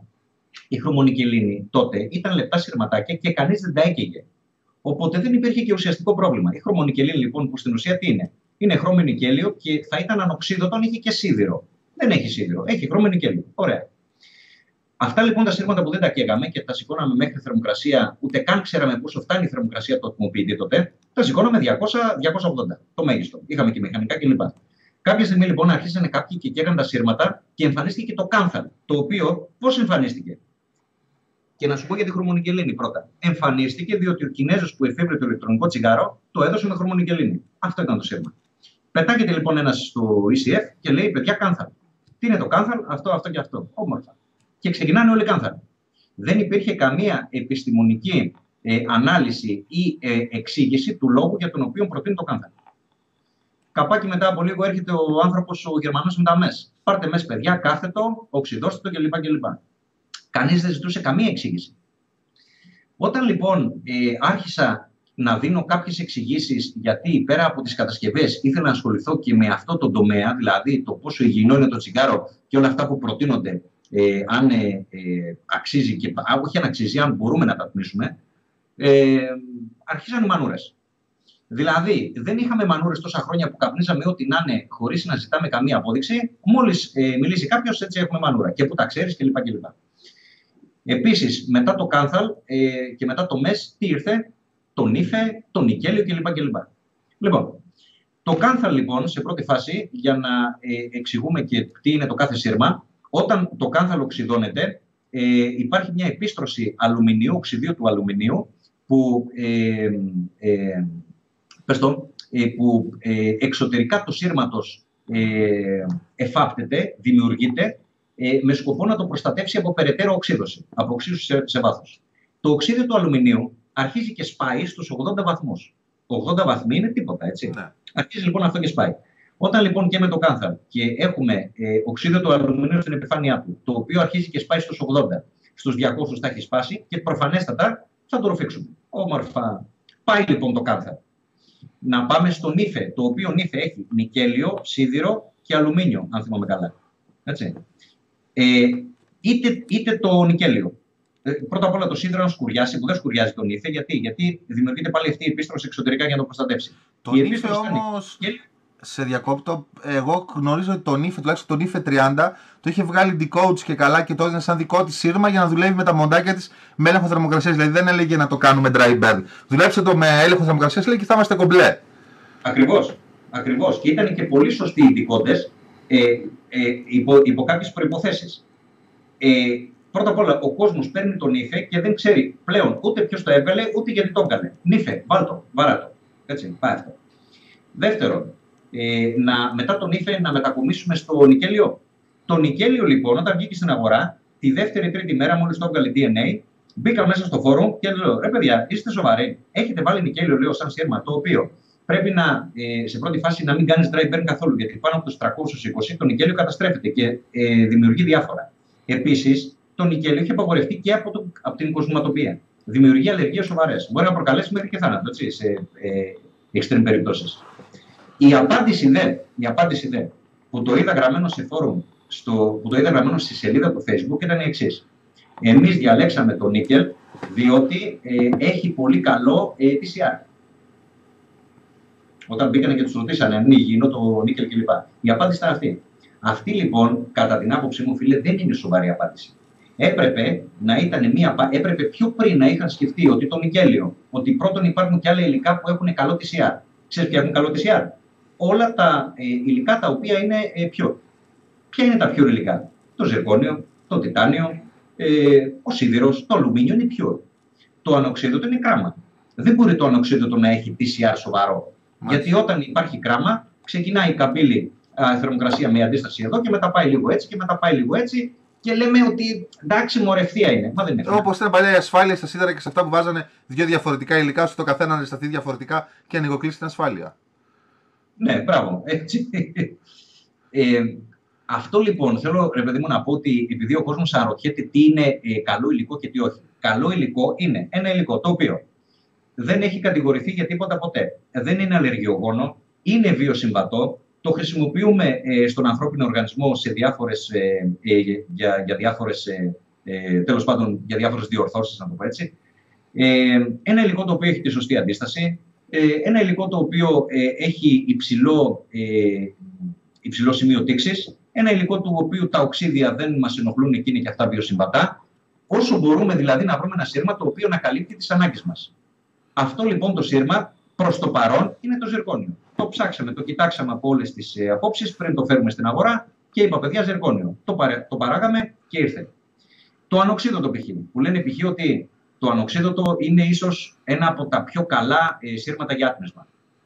Το ανοξίδωτο λοιπόν είναι για άτμισμα μέχρι τη φυσιολογική θερμοκρασία των 280. Άπαξ και το ανοξίδωτο το κάψεις, θα συμβούν τα εξής. Πρώτον, θα εκλείει, εκλείει εξασθενές χρώμιο. Έτσι, το οποίο είναι άκρος επικίνδυνο. Είναι δηλητήριο βασικά. Ναι. Δεύτερον, ακόμα και στη φυσιολογική θερμοκρασία, όταν ένα σύρμα είναι καινούριο, γιατί έλεγα τις προάλλες, ρε παιδιά, μην αλλάζετε τόσο συχνά τα σύρματα. Βάζεις ένα σύρμα λοιπόν από ανοξίδωτο. Μέχρι την έκτη φορά που θα θερμανθεί το ανοξίδωτο, εκλείει χρώμιο και νικέλιο. Και εκλείει πολύ περισσότερο μέχρι να σταθεροποιηθεί η. Ε, πες τον. Γιατί μου ξεχάσει και τα ελληνικά, ρε φίλε, τώρα με τα, τα αγγλικά και συνέχεια μέχρι να σταθεροποιηθεί η δομή του. Επομένως, κάθε φορά που αλλάζει σύρμα πρέπει να ξέρεις ότι χρώμιο και νικέλιο τις πρώτες έξι φορές πριν σταθεροποιηθεί ε, τα έχεις ε, εισπράξει. Έχουν μπει στο πνεύμα. Επομένως, το ανοξίδωτο θα πρέπει να το χρησιμοποιούμε όπως το σπίτι μας στις κατσαρόλες. Την κατσαρόλα την ε, φτιάξαμε έξι φορές φαγητό, μετά η κατσαρόλα είναι OK. Μπορεί να την κρατήσει 10 χρόνια. Εδώ λοιπόν, γιατί θα πρέπει κάθε μέρα να αλλάζουμε σύρμα, για να έχουμε ένα καινούριο σύρμα να το θερμαίνουμε και να ε, εισπράττουμε νικέλο και χρωμίο. Κατάλαβα. Έτσι. Είναι λοιπόν το ζυρκόνιο ένα υλικό το οποίο αποδεδειγμένα, και όταν λέω αποδεδειγμένα, δεν σκέφτηκα εγώ το ζυρκόνιο και είπα Α, ναι, παιδιά, βάλτε ζυρκόνιο. Υπάρχουν έρευνες και μελέτες. Και με ρωτάει ο κόσμος, πού είναι οι έρευνες και πού οι μελέτες; Ναι, παιδιά, λέω, ανοίξτε το Google να δείτε τι είναι το ζυρκόνιο. Εγώ θα σας πω.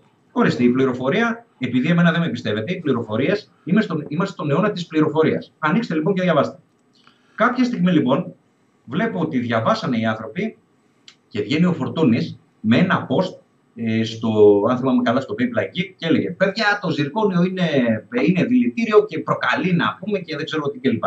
Και είχε το post ενός εργοστασίου που παρήγαγε ζυρκόνιο.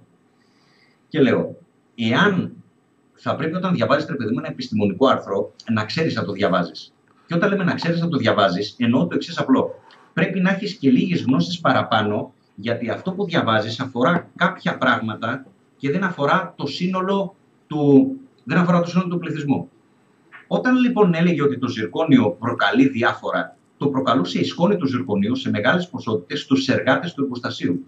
Αυτό δεν συμβαίνει μόνο με το ζυρκόνιο, συμβαίνει με οποιοδήποτε μέταλλο εσύ εισπνεύσεις ε, τη, τη σκόνη του μετάλλου. Έτσι. Και μερικά είναι και θανατηφόρα.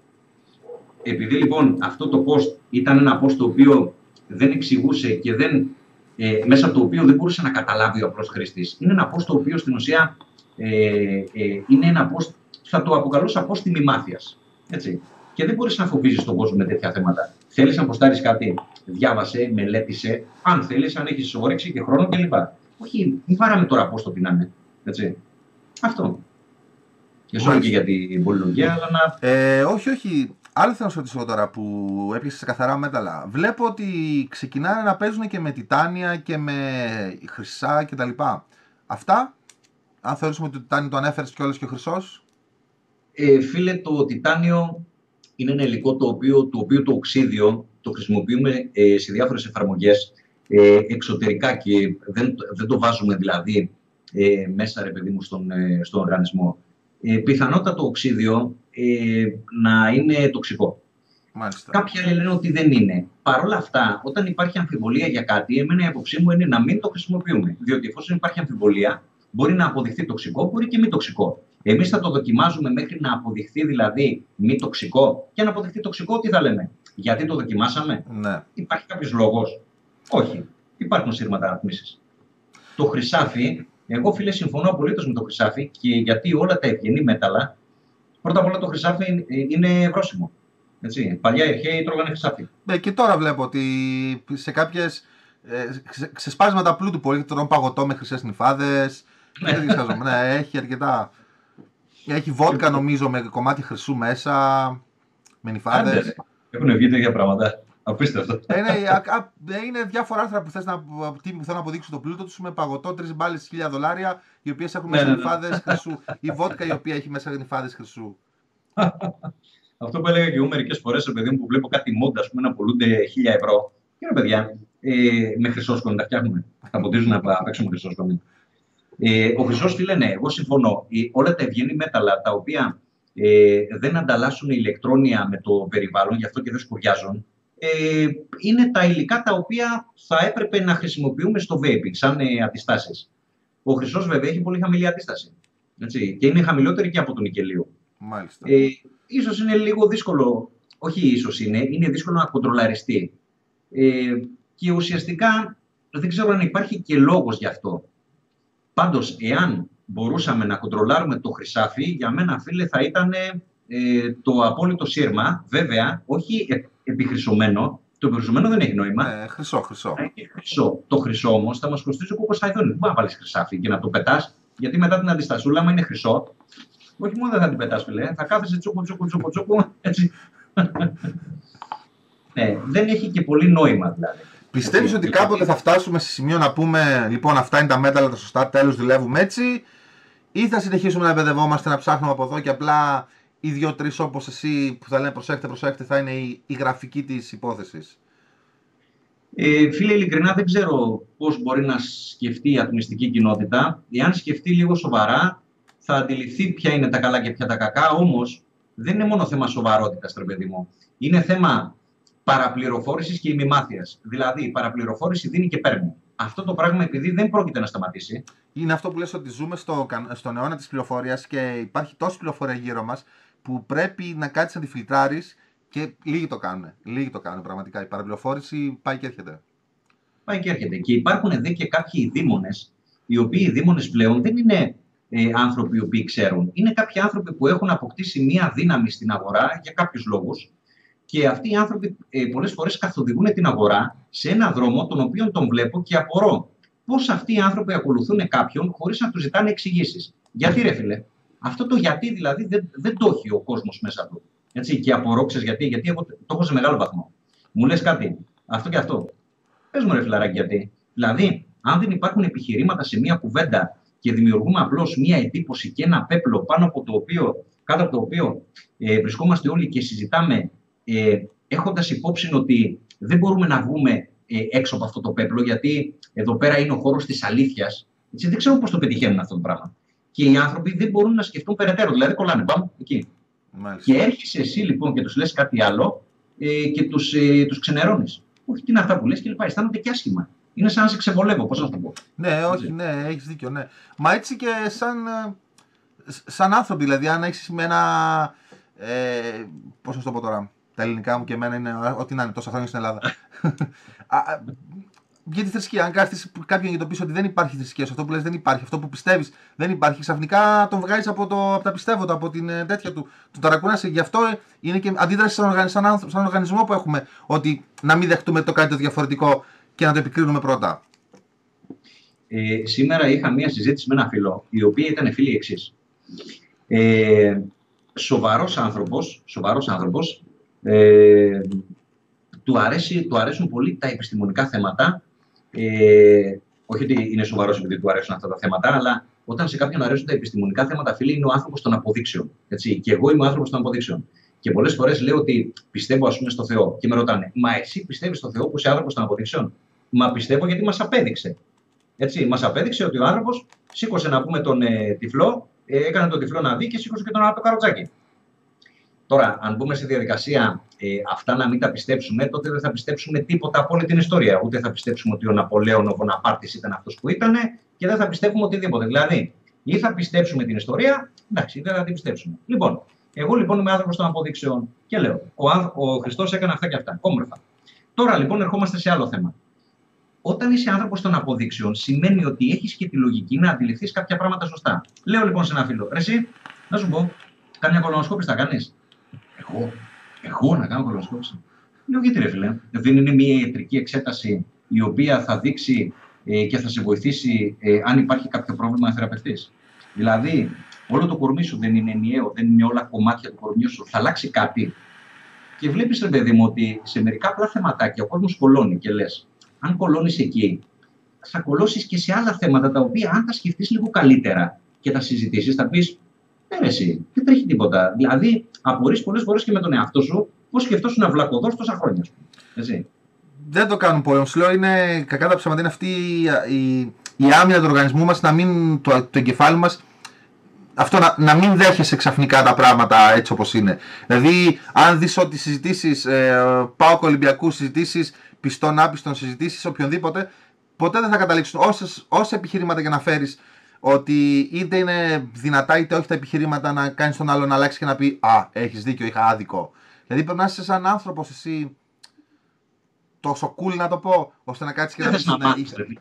ναι, Δεν είναι που δεν θες να μάθεις. Δεν θέλεις να μάθεις. δεν Εγώ, είναι- ας πούμε, κάνω, κάνω συζητήσεις πολλές φορές με τον Ανδρέα, τον μικρό τσικό, τον οποίο το θεωρώ έναν άνθρωπο ο οποίος είναι καταπληκτικός κύριος. Λοιπόν, άμα θέλει λοιπόν κάποιος να μάθει πέντε πράγματα στη ζωή του παραπάνω, αν θέλει να μάθει, θα τον πρότεινα να κάνει παρέα με τον Ανδρέα. λοιπόν, έχουμε συζητήσει πολλά θέματα. Έχουμε διαφωνήσει κάθετα και οριζόντια σε κάποια άλλα. Ε, μου έχει εξηγήσει κάποια πράγματα τα οποία εγώ θεωρούσα ω δεδομένο. Όταν λοιπόν ο άνθρωπος μου τα εξήγησε, έκατσα και τα σκέφτηκα και εκείνη τη στιγμή και στο σπίτι. Με συμπά και έχει δίκιο ο άνθρωπος. Δεν το Τελικά κάνουν. κάνει- Πολλοί δεν το κάνουν αυτό. Δεν το... Οι περισσότεροι δεν το κάνουν αυτό. Να κάτσει Μα να δεν είναι έ- έξυπνο αυτό να το κάνεις. Πάρα πολύ. Πάρα παιδιά. πολύ. Μα έτσι θα έπρεπε να, να πορευόμαστε σαν είδος. Αυτό, να, να, να αφισβητούν αυτά που πιστεύουμε για να πάμε και μπροστά σαν άνθρωποι. Αλλά πολλοί δεν το κάνουν. Λίγοι είναι που το κάνουν και φαίνεται κιόλας και στην καθημερινότητά μας. Λίγοι είναι αυτοί που μας πάνε και μπροστά. Πάντως έχει πλάκα όμως και η αντίδραση του κόσμου. Έτσι, με το που λες κάτι. Εντάξει, ε, δεν θέλεις να το δεχτείς, μην μιλάς. Αρχίζει. Μπαίνει ο άλλος μέσα. Τι είναι αυτά και εγώ και. και- δηλαδή μου κάνει και αυτό εντύπωση, έτσι. Εντάξει, έτσι. Ε, άλλη ερώτηση. Κάτι άμαθα για Στουτγκάρδη. Τι παίζεις με τη Στουτγκάρδη, θα παρουσιάσεις εκεί κάτι καινούριο; Ε, Νίκο, σκεφτόμουν μήπως έχω έτοιμο το Dripper, έτσι όπως τον σκέφτομαι, να τον παρουσιάσω. Ε, μάλλον όμως δεν θα είναι έτοιμος, στη, δεν θα είναι στην παραγωγή τέλος πάντων και πιθανότατα, αν τα καταφέρω και προλάβω, να έχω ένα ε, sample. Έτσι. Αν το έχω το sample θα το παρουσιάσω. Ε, Αν ε, δεν θα πιστεύω να έχει- χρειάζεται να είναι και έτοιμος για παραγωγή. Μπορείς απλά δείχνεις το sample και λες ότι στο τάδε καιρό θα είναι έτοιμο γι' αυτό, ώστε να δημιουργηθεί και το αντίστοιχο hype μέχρι να είναι έτοιμο για παραγωγή. ναι, σωστό και αυτό. Σωστό και αυτό, ναι. Εντάξει. Εγώ δεν είμαι και πολύ του hype, δηλαδή. Όχι, δεν είμαι πολύ, δεν είμαι πολύ ρε παιδί μου του, πώς να σου πω, του εμπορικού κομματιού. Δηλαδή δεν τα ξέρω πολύ καλά αυτά τα θέματα. Ε, κάποιοι άλλοι μου, μου λένε, ρε παιδί μου, άνθρωποι που με βοηθάνε, κάνε αυτό, εκείνο κλπ. Εντάξει, εγώ τους ακολουθώ τυφλά. Έτσι. Ξέρουν παραπάνω, το έχουν αποδείξει κιόλας και προσπαθώ να κάνω και εγώ ό,τι μπορώ. Εντάξει. Μάλιστα. Ε, αυτό που είπες τώρα για τα υλικά και σου είπα και για το χρυσό και για το τιτάνιο που θεωρητικά είναι καινούργια υλικά. Ε, ό,τι βγαίνει θα πρέπει να το ακολουθούμε τυφλά, δηλαδή να γινόμαστε οι beta testers ή θα πρέπει να περιμένουμε να αποδειχτεί το αν πρέπει δεν πρέπει, το αν είναι φιλικό προς τα εμάς, είτε θα είναι σύρμα, είτε θα είναι βαμβάκι, είτε θα είναι φυτίλιο, είτε οτιδήποτε.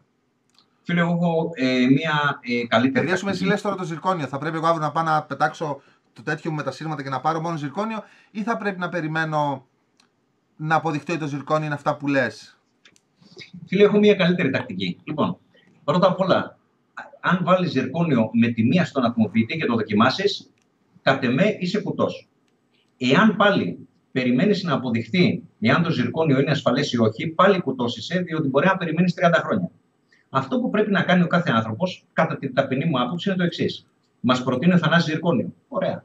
Μπαίνω μέσα λοιπόν στο ίντερνετ, εποχή της πληροφορίας, έτσι. Παλιά δεν ξέραμε πού να βρούμε μια πένσα. Τώρα μπαίνεις και βρεις τα πάντα όλα.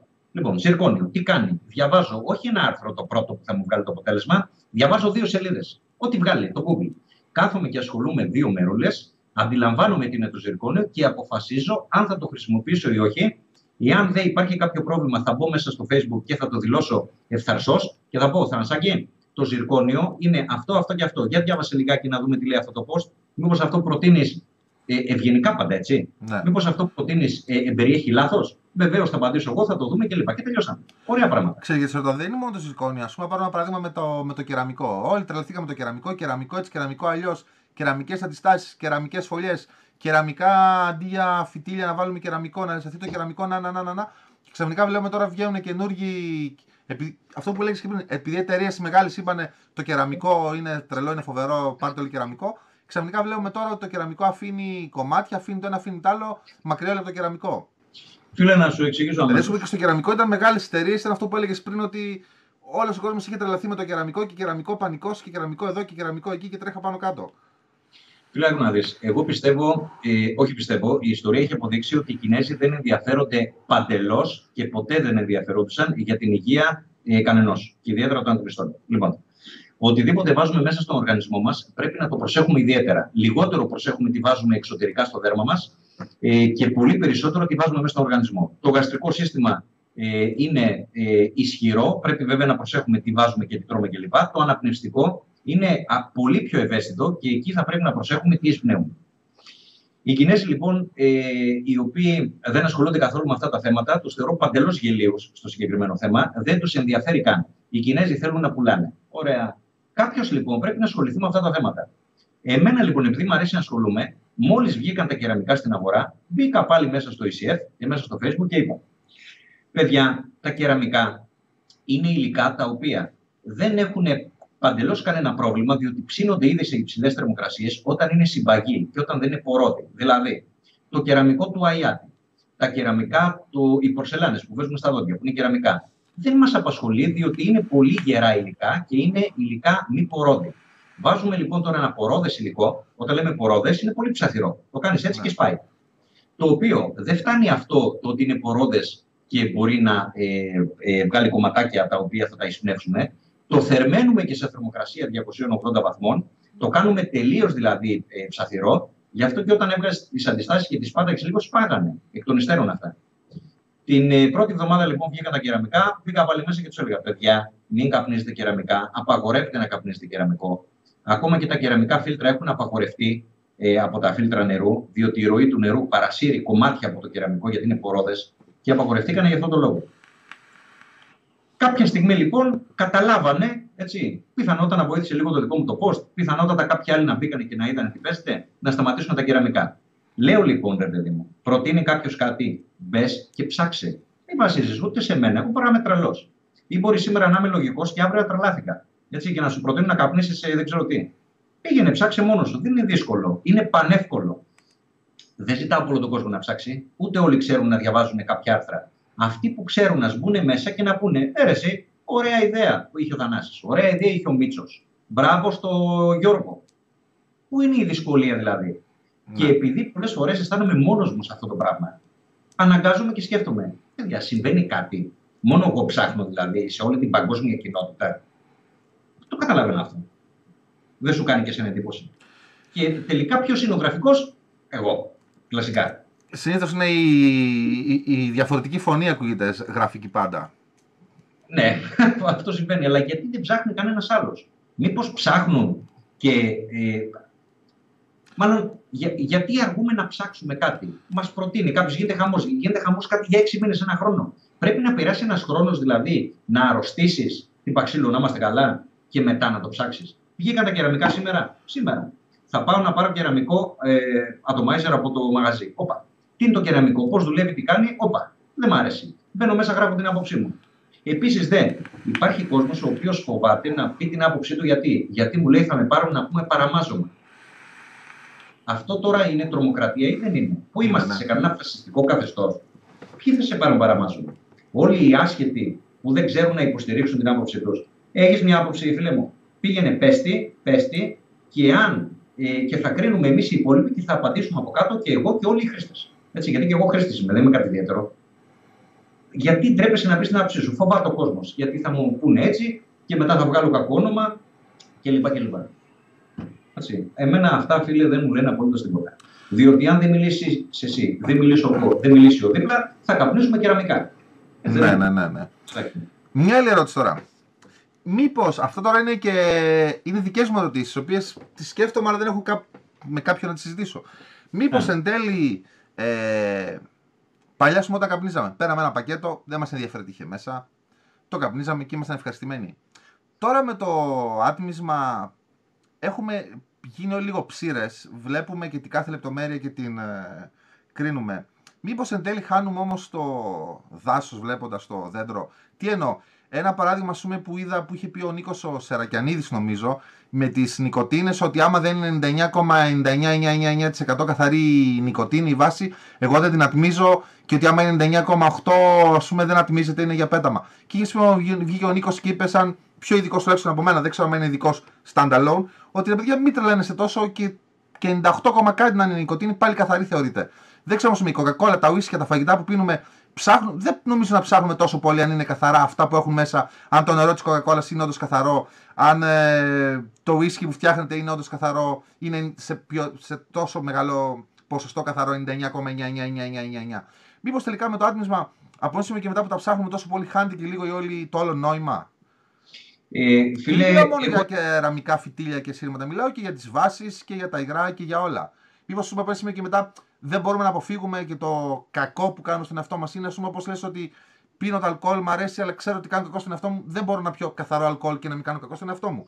Πίνω την κοκακόλα, μου αρέσει, δεν μπορώ να πιω καθαρή κοκακόλα, ξέρω ότι κάνω κακό στον εαυτό μου. Μήπως έτσι και το άτμισμα να επιλέγουμε ένα λιγότερο βλαβερό τρόπο να κάνουμε κακό στον εαυτό μας συγκριτικά με το τσιγάρο; Ε, Νίκο, να σου πω πού διαφωνώ σε αυτή την άποψη.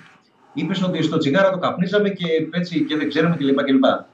Ε, και δεν μας ενδιαφέρει, δεν θυμάμαι κανένας να ψάξε. Σε διακόπτω και δεν μας ενδιαφέρει, δεν θυμάμαι κανένας να ψάξε και να είπε ότι ο καπνός του All Holborn είναι 99,7 ε, καθαρός, ενώ ο καπνός από τα Marlboro είναι 95% πάρτε All Holborn κλπ. Καπνίζαμε και η τρέλα. Ούτε μας ενδιαφέρει ούτε τίποτα. Ναι, ξέρεις γιατί. Γιατί τότε ξέραμε ότι δεν υπήρχε εναλλακτική. Ξέραμε ότι υπήρχε μόνο καπνός. Ο καπνός ξέραμε ότι ε, υπόκειται σε κατεργασίες και διεργασίες οι οποίες ε, είναι φοβερά επικίνδυνες. Γιατί έχω και τον ξαδερφό μου, ο οποίος ήταν καπνοπαραγωγός και ο οποίος μου έλεγε πώ γίνονταν τα καπνά και μπαίνανε μέσα με μάσκες για τα βενζίνια κλπ. κλπ στους φούρνου κλπ. Λοιπόν, τότε δεν υπήρχε επιλογή. θυμάμαι σε ξαναδιακόπτω, επειδή η περιοχή μου είναι, ήταν τώρα πλέον όχι τόσο πολύ. Όλοι σπέρανε καπνά. Θυμάμαι στο κάμπο όταν αντίζαν τα καπνά πριν κάποια χρόνια, δεν, ε, περνούσαμε από τον κεντρικό δρόμο με το αυτοκίνητο με κλειστά τα παράθυρα γιατί δεν μπορούσες να αναπνεύσεις. Και αυτό το πράγμα κατέληγε σε εμάς. Δεν υπάρχει περίπτωση να, να χανόταν αυτό να το γλίτωνες, όποια διαδικασία και να γινόταν. Αυτό το πράγμα κατέληγε σε σένα. Και πάλι ναι. όμως είμαστε σε μια φάση με κλειστά τα παράθυρα γιατί περνούσαμε με το αυτοκίνητο και βρώμα και ο τόπος δεν μπορούσε να σε. Άρα πήγαινες να πάρεις. ίσως αυτό το μύριζες στο δρόμο που πήγες να πάρεις τσιγάρα. Δεν σε ενοχλούσε. Τώρα, σου αντίστοιχα πιστεύω στο άτμισμα, θα τρελαινόμαστε. Θα, θα καίγαμε στην πυρά τον οποιοδήποτε ήταν αυτό βάση είτε σύρμα ή οτιδήποτε.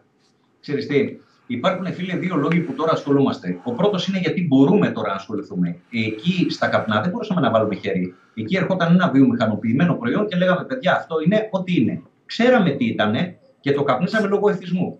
Όπως και οι ναρκωμανείς, έτσι και εμείς. Ήμασταν εθισμένοι και λέγαμε, παιδιά, προτιμώ να πεθάνω από το τσιγάρο παρά να το κόψω. Έτσι. εδώ λοιπόν υπάρχει ο εθισμός μεν, αλλά εδώ μπορείς να βάλεις χέρι. Βλέπεις ότι υπάρχουν άνθρωποι που κατασκευάζουν, μπορούν και κατασκευάζουν τσιγάρα πλέον ηλεκτρονικά. Ο Θανάσης, ο Τάδε, ο Μπίξ, ο Δίνα. Επομένως, μπορούμε να έχουμε και μια πιο φιλική, πιο προσωπική, πιο άμεση άποψη για όλα αυτά που καπνίζουμε και μπορούμε να τα βελτιώσουμε. Πιστεύω ότι και στο τσιγάρο, αν υπήρχε η δυνατότητα βελτίωσης, θα το κάναμε και εκεί. Τώρα λοιπόν εδώ, δεν χάνουμε την ουσία, δεν, χα... δεν βλέπουμε το δέντρο και χάνουμε το δάσος. Βλέπουμε το δάσος και δεν μας ενδιαφέρει το δεντράκι που έρχεται κάποιος να μας το πλασάρει. Βλέπουμε λοιπόν το δάσος και λέμε, εγώ έκοψα το τσιγάρο για ποιους λόγους, για λόγους υγείας. Α τους οικονομικούς λόγους. Κάποιοι το κόψανε και γι' αυτό.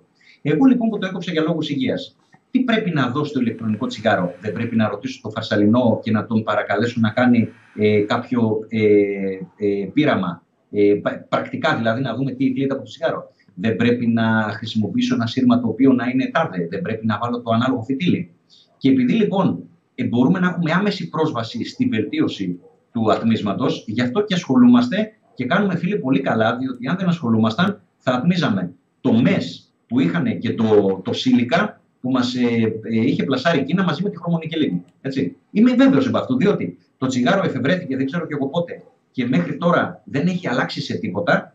Έτσι λοιπόν δεν θα άλλαζε και το ηλεκτρονικό τσιγάρο αν δεν βρίσκονταν κάποιοι άνθρωποι, το ECF, που μας μάζεψε στην ουσία όλους και ήταν ένα σημείο που ο καθένας έκανε τις δικές του προτάσεις και έβλεπες ότι έχεις πρόσβαση σε αυτό το χώρο. Μπορώ εγώ εγώ, εγώ, ο Θανασάκης, να το κάνω καλύτερο. Μπορώ. Μάλιστα. Έχει αυτό λοιπόν το τσιγάρο και έτσι. Καλά κάνουμε φίλοι, όσο περισσότερο τόσο καλύτερα για να μπορούμε να, να, να ζήσουμε φίλε ποιοτικά και περισσότερο. Αυτό. Δηλαδή, έχει νόημα και αν το ψήριζουμε τόσο πολύ εν τέλει. Ναι, γιατί το ψήρισμα, κοίτα να δεις τι θεωρούμε ψήρισμα πολλές φορές και κάτι που δεν είναι. Λέγαμε, ε, παίρνουμε το ΜΕΣ και το ΚΕΜΕ ό,τι και να κάνουμε, λέγανε κάποιοι και το υποστηρίζουν ακόμα, ό,τι και να κάνουμε θα είναι πάντα πιο υγιεινό από το τσιγάρο. Λοιπόν, πρώτον, δεν μας ενδιαφέρει κάτι πιο υγιεινό από το τσιγάρο, μας ενδιαφέρει κάτι που να είναι υγιεινό. Το πιο υγιεινό μπορεί να είναι 10%, 20%, δεν ήξερε κανείς. Είναι πιο υγιεινό. Ρωτάω εγώ τώρα. Το τσιγάρο σε σκοτώνει σε 30 χρόνια. 40, 40. σε όλη αυτή τη διάρκεια δεν έχεις ποιότητα ζωής, είναι έτσι ένας ε, αργός θάνατος. Το ηλεκτρονικό τσιγάρο που σε αναγκάζει και εισπνέεις ε, ε, μόρια, συγγνώμη, ε, μόρια ε, οξυδίων. Είσαι βέβαιος ότι αυτό το ηλεκτρονικό τσιγάρο το συγκεκριμένο δεν θα σε σκοτώσει μέσα σε δύο εβδομάδες; Λέω εγώ τώρα. Πώς έχεις βγάλει το αποτέλεσμα ότι είναι πιο υγιεινό; Εισπνέοντας ε, οξύδια και σκουριές, μπορεί αυτό το πράγμα σε ένα μήνα να σε έστειλε στο νοσοκομείο; Μπορεί αυτό το πράγμα να έχει επικαθίσει στους πνεύμονες, να μην το ξέρουν οι χρήστες του ΜΕΣ και κάποια στιγμή μετά από 5-10 χρόνια να εμφανιστεί κάτι και να απορούν γιατί μου εμφανίστηκε αυτό. Λέω εγώ τώρα. Δεν είμαι βέβαιος από αυτό. Δεν έχω κάνει επιστημονικά πειράματα. Δεν έχω ανοίξει κανένα ασθενή. Δεν είδα τα πνευμόνια του. Δεν είμαι σε κανένα χειρουργείο. Λέω όμως, γιατί να μπεις σε αυτή τη διαδικασία. Είσαι μπουινέα πίγκα, σου είσαι κρεματοσό. Έχεις κάποιο λόγο. Εσύ από το 2009, εγώ από το 2011, πιστεύεις ότι έχουν περάσει, έχει περάσει αρκετός καιρός ώστε να θεωρηθούμε αυτό που λες Γκουινέα Pig να πάμε πούμε, στο Φαρσαλίνο και να πούμε άνοιξε και δες τι γίνεται εδώ μέσα. Ή συνεχίζει να είναι πολύ νωρίς. Δηλαδή, εγώ θυμάμαι παλιά λέγανε ότι άντε δουλέψτε το μέσα, είναι πολύ νωρίς ακόμη για να δούμε τι αποτελέσματα θα έχει. Κάντε αυτό, είναι πολύ νωρίς ακόμα. Συνεχίστε το άλλο, είναι πολύ νωρίς ακόμα. Πλέον συνεχίζει να είναι πολύ νωρίς ή ας πούμε έχουμε κλείσει σχεδόν μια δεκαετία με το άτιμισμα. Οπότε μπορούμε πλέον να, αυτό που λέω, πάμε στο Φαρσαλίνο να του πούμε άνοιξε, δες τι έχει εδώ μέσα και πες μας ε, πλέον χωρίς εικασίες με, με, με αυτά παραδείγματα τι μπορεί να υπάρχει, τι να γίνεται; Ε, Νίκο, πιστεύω ότι ακόμα είναι νωρίς, διότι τα, αν θέλουμε να έχουμε ένα ασφαλές αποτέλεσμα επιστημονικό, θα πρέπει να περιμένουμε ε, πολλά χρόνια. Βέβαια, τα επιστημονικά αποτελέσματα δεν ε, μπορούν και δεν πρέπει να περιμένουν 30 χρόνια, διότι αν κάθε 30 χρόνια βγάζουμε ένα ασφαλές αποτέλεσμα, ε, τότε θα χρειαστούμε ε, χιλιετίες για να έτσι, μπορέσουμε να ζήσουμε σαν άνθρωποι. Είναι ασφαλές μεν σε πρώτη φάση, σε δεύτερη φάση, αναρωτιέμαι, είναι ασφαλές γιατί έχουν κάνει κάποιοι κάποιες εξετάσεις που κάποια στιγμή πρέπει να τις κάνω και εγώ για να δω τι συμβαίνει και έχουμε φτάσει σε ένα ασφαλές αποτέλεσμα. Έχουν γίνει αυτές οι εξετάσεις. Έχουμε δει κάποιους ανθρώπους που έχουν μια βελτίωση στην υγεία. Στην υγεία την αναπνευστική. Ωραία. Αυτό όμως που φαίνεται σαν βελτίωση σε πρώτη φάση θα συνεχίσει να παραμείνει, να παραμείνει βελτιωμένο και στο, στο μέλλον. Δεν θα πρέπει να γίνει μια εξέταση για να δούμε αν έχουμε βελτίωση σε σχέση με το τσιγάρο και με την πίσα, αλλά ε, μήπως αυτό το πράγμα έχει δημιουργήσει προσωρινή βελτίωση και στην επόμενη δεκαετία μας δημιουργήσει κάτι που δεν πάει ο νους μας τώρα γιατί έτσι έχει παραμείνει στους πνεύμονες. Τι μπορείς να το ξέρεις; Λέω όμως ότι γενικά έχουμε ένα ασφαλές εν μέρη αποτέλεσμα ε, και ότι προφανέστατα μέχρι στιγμής είναι καλύτερο, πολύ καλύτερο από το τσιγάρο ε, όταν ατμίζουμε φυσιολογικά. Και όταν λέω φυσιολογικά εννοώ ε, ε, το μπαμπάκι, ένα σοβαρό σύρμα ε, και όχι σκουριές, φίλε. Και μιας και μιλάμε για σκουριές, άκου να δεις. Υπάρχει κόσμος ο οποίος πέφτει στην εξής αντίφαση και έχει γέλιο.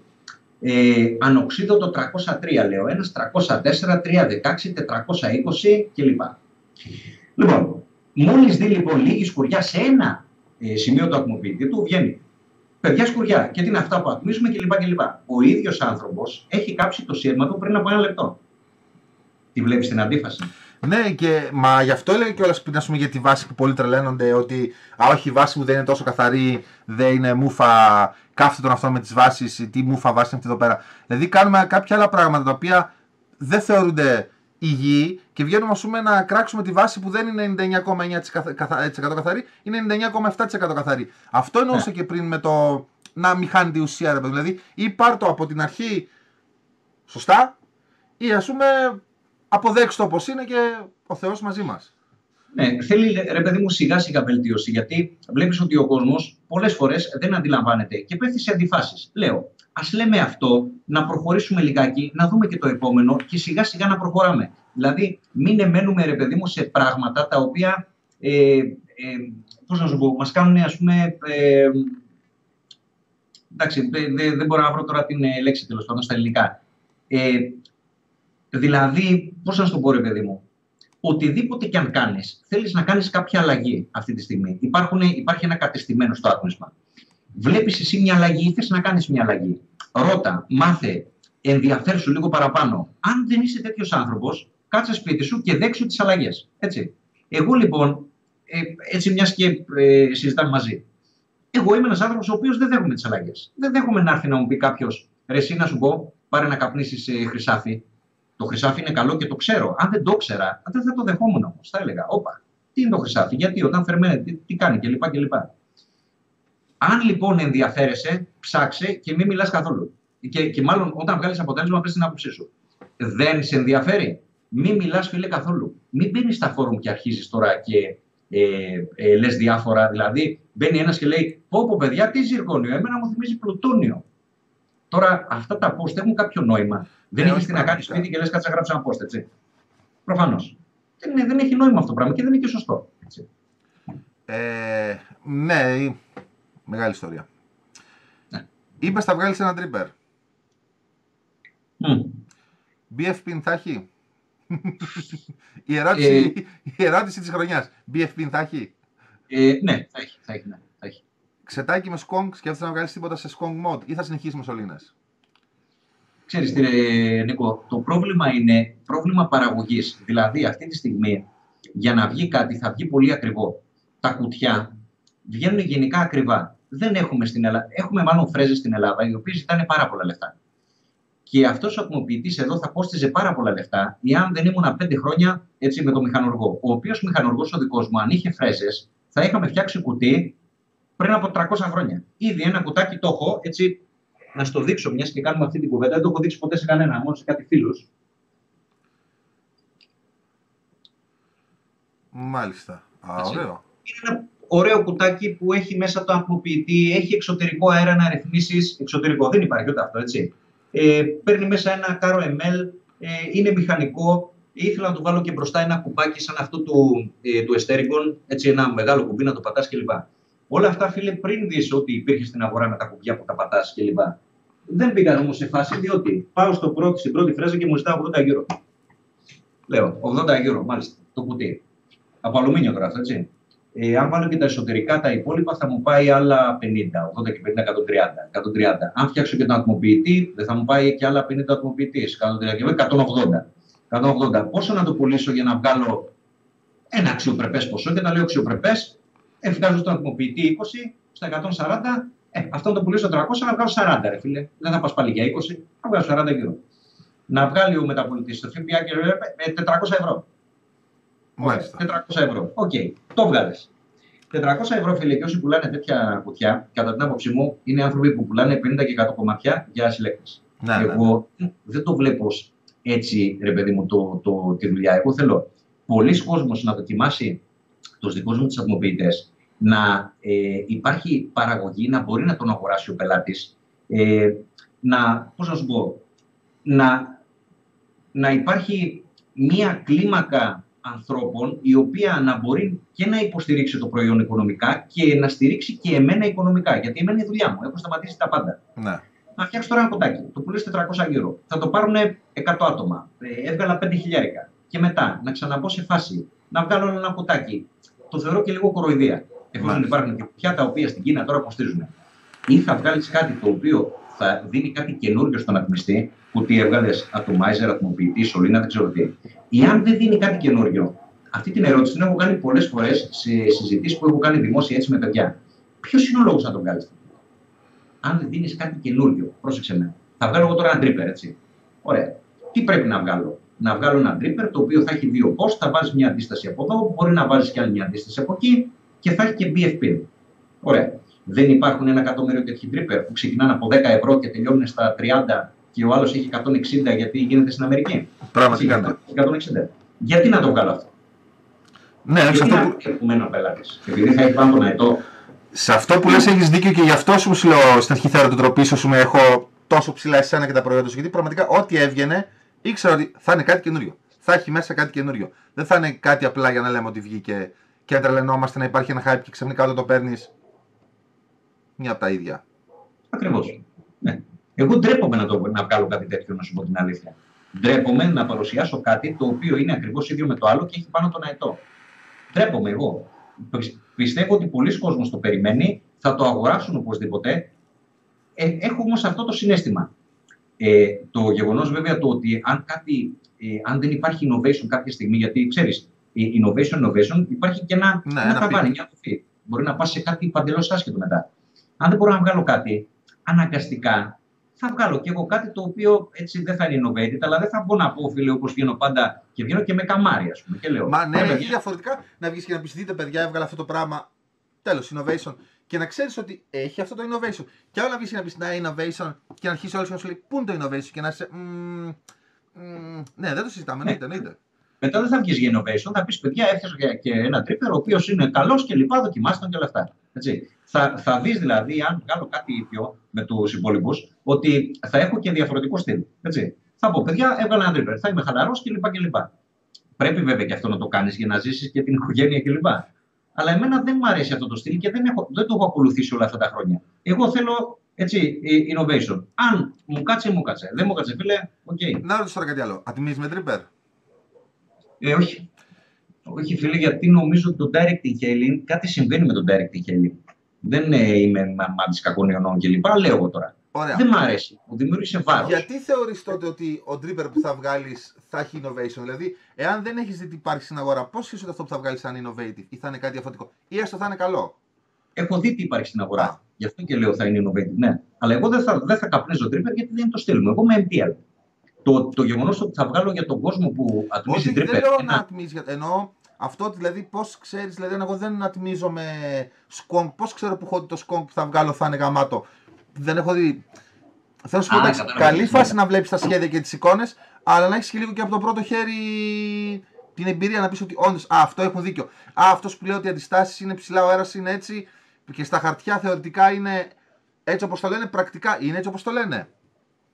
Ε, φίλε, κατάλαβα τι εννοείς. Δηλαδή, αν Κατάλαβα. εσύ πεις ότι θα Ε. βάλω εγώ τον αέρα ψηλά, γιατί βλέπω ότι διάβασα πέντε ατμοποιητέ που έχουν τον αέρα ψηλά και είδα δύο βίντεο αυτών των ατμοποιητών. Λένε ότι ο, wow, ο αέρας είναι ψηλά, θα τον βάλω και εγώ ψηλά γιατί wow. Πρακτικά όμως, αν βάλει ψηλά τον αέρα, είναι wow. Το έχεις δουλέψει αυτόν τον τρίπ να δει πάρει και εσύ ένα wow αποτέλεσμα. Νίκο, επειδή αντιλαμβάνομαι την ερώτηση, μου θυμίζεις τώρα τον, ε, έναν άνθρωπο ο οποίος έφτιαχνε μοντάκια και δεν άτμιζε. Ο οποίος ήταν ο Super T το 2010, ένα χρόνο μετά από μένα. Δεν άτμιζε ο τύπος. Και τα έδινε στη, μα- στη μάνα του, η οποία τα δοκίμαζε κλπ. Αυτό μου είχε κάνει εντύπωση στην αρχή και πίστευα ότι ένας άνθρωπος που δεν ατμίζει δεν μπορεί να φτάσει ε, να βγάλει ένα προϊόν το οποίο να αξίζει. Και όμως, φίλος Super T ήταν ο μοναδικός, κατά την άποψή μου, ανταγωνιστής εκείνη την περίοδο. Η αλήθεια είναι ότι στεναχωρήθηκα όταν έφυγε, γιατί ε, έμεινε ένα κενό, ρε παιδί μου, αισθανόμουν λίγο μόνος μου. Δηλαδή δεν υπήρχε ένας άνθρωπος ο οποίος να βγάλει κάτι και να πω, ε, πω, πω τι έβγαλε να πούμε το, σκ- ο σκύλος, ε, πρέπει να φτιάξω κάτι καλύτερο. Έχασα δηλαδή αυτό το συνέστημα, έτσι, το οποίο μου άρεσε. Ε, και όμως, φίλε, έβγαζε πολύ ωραία μοντάκια.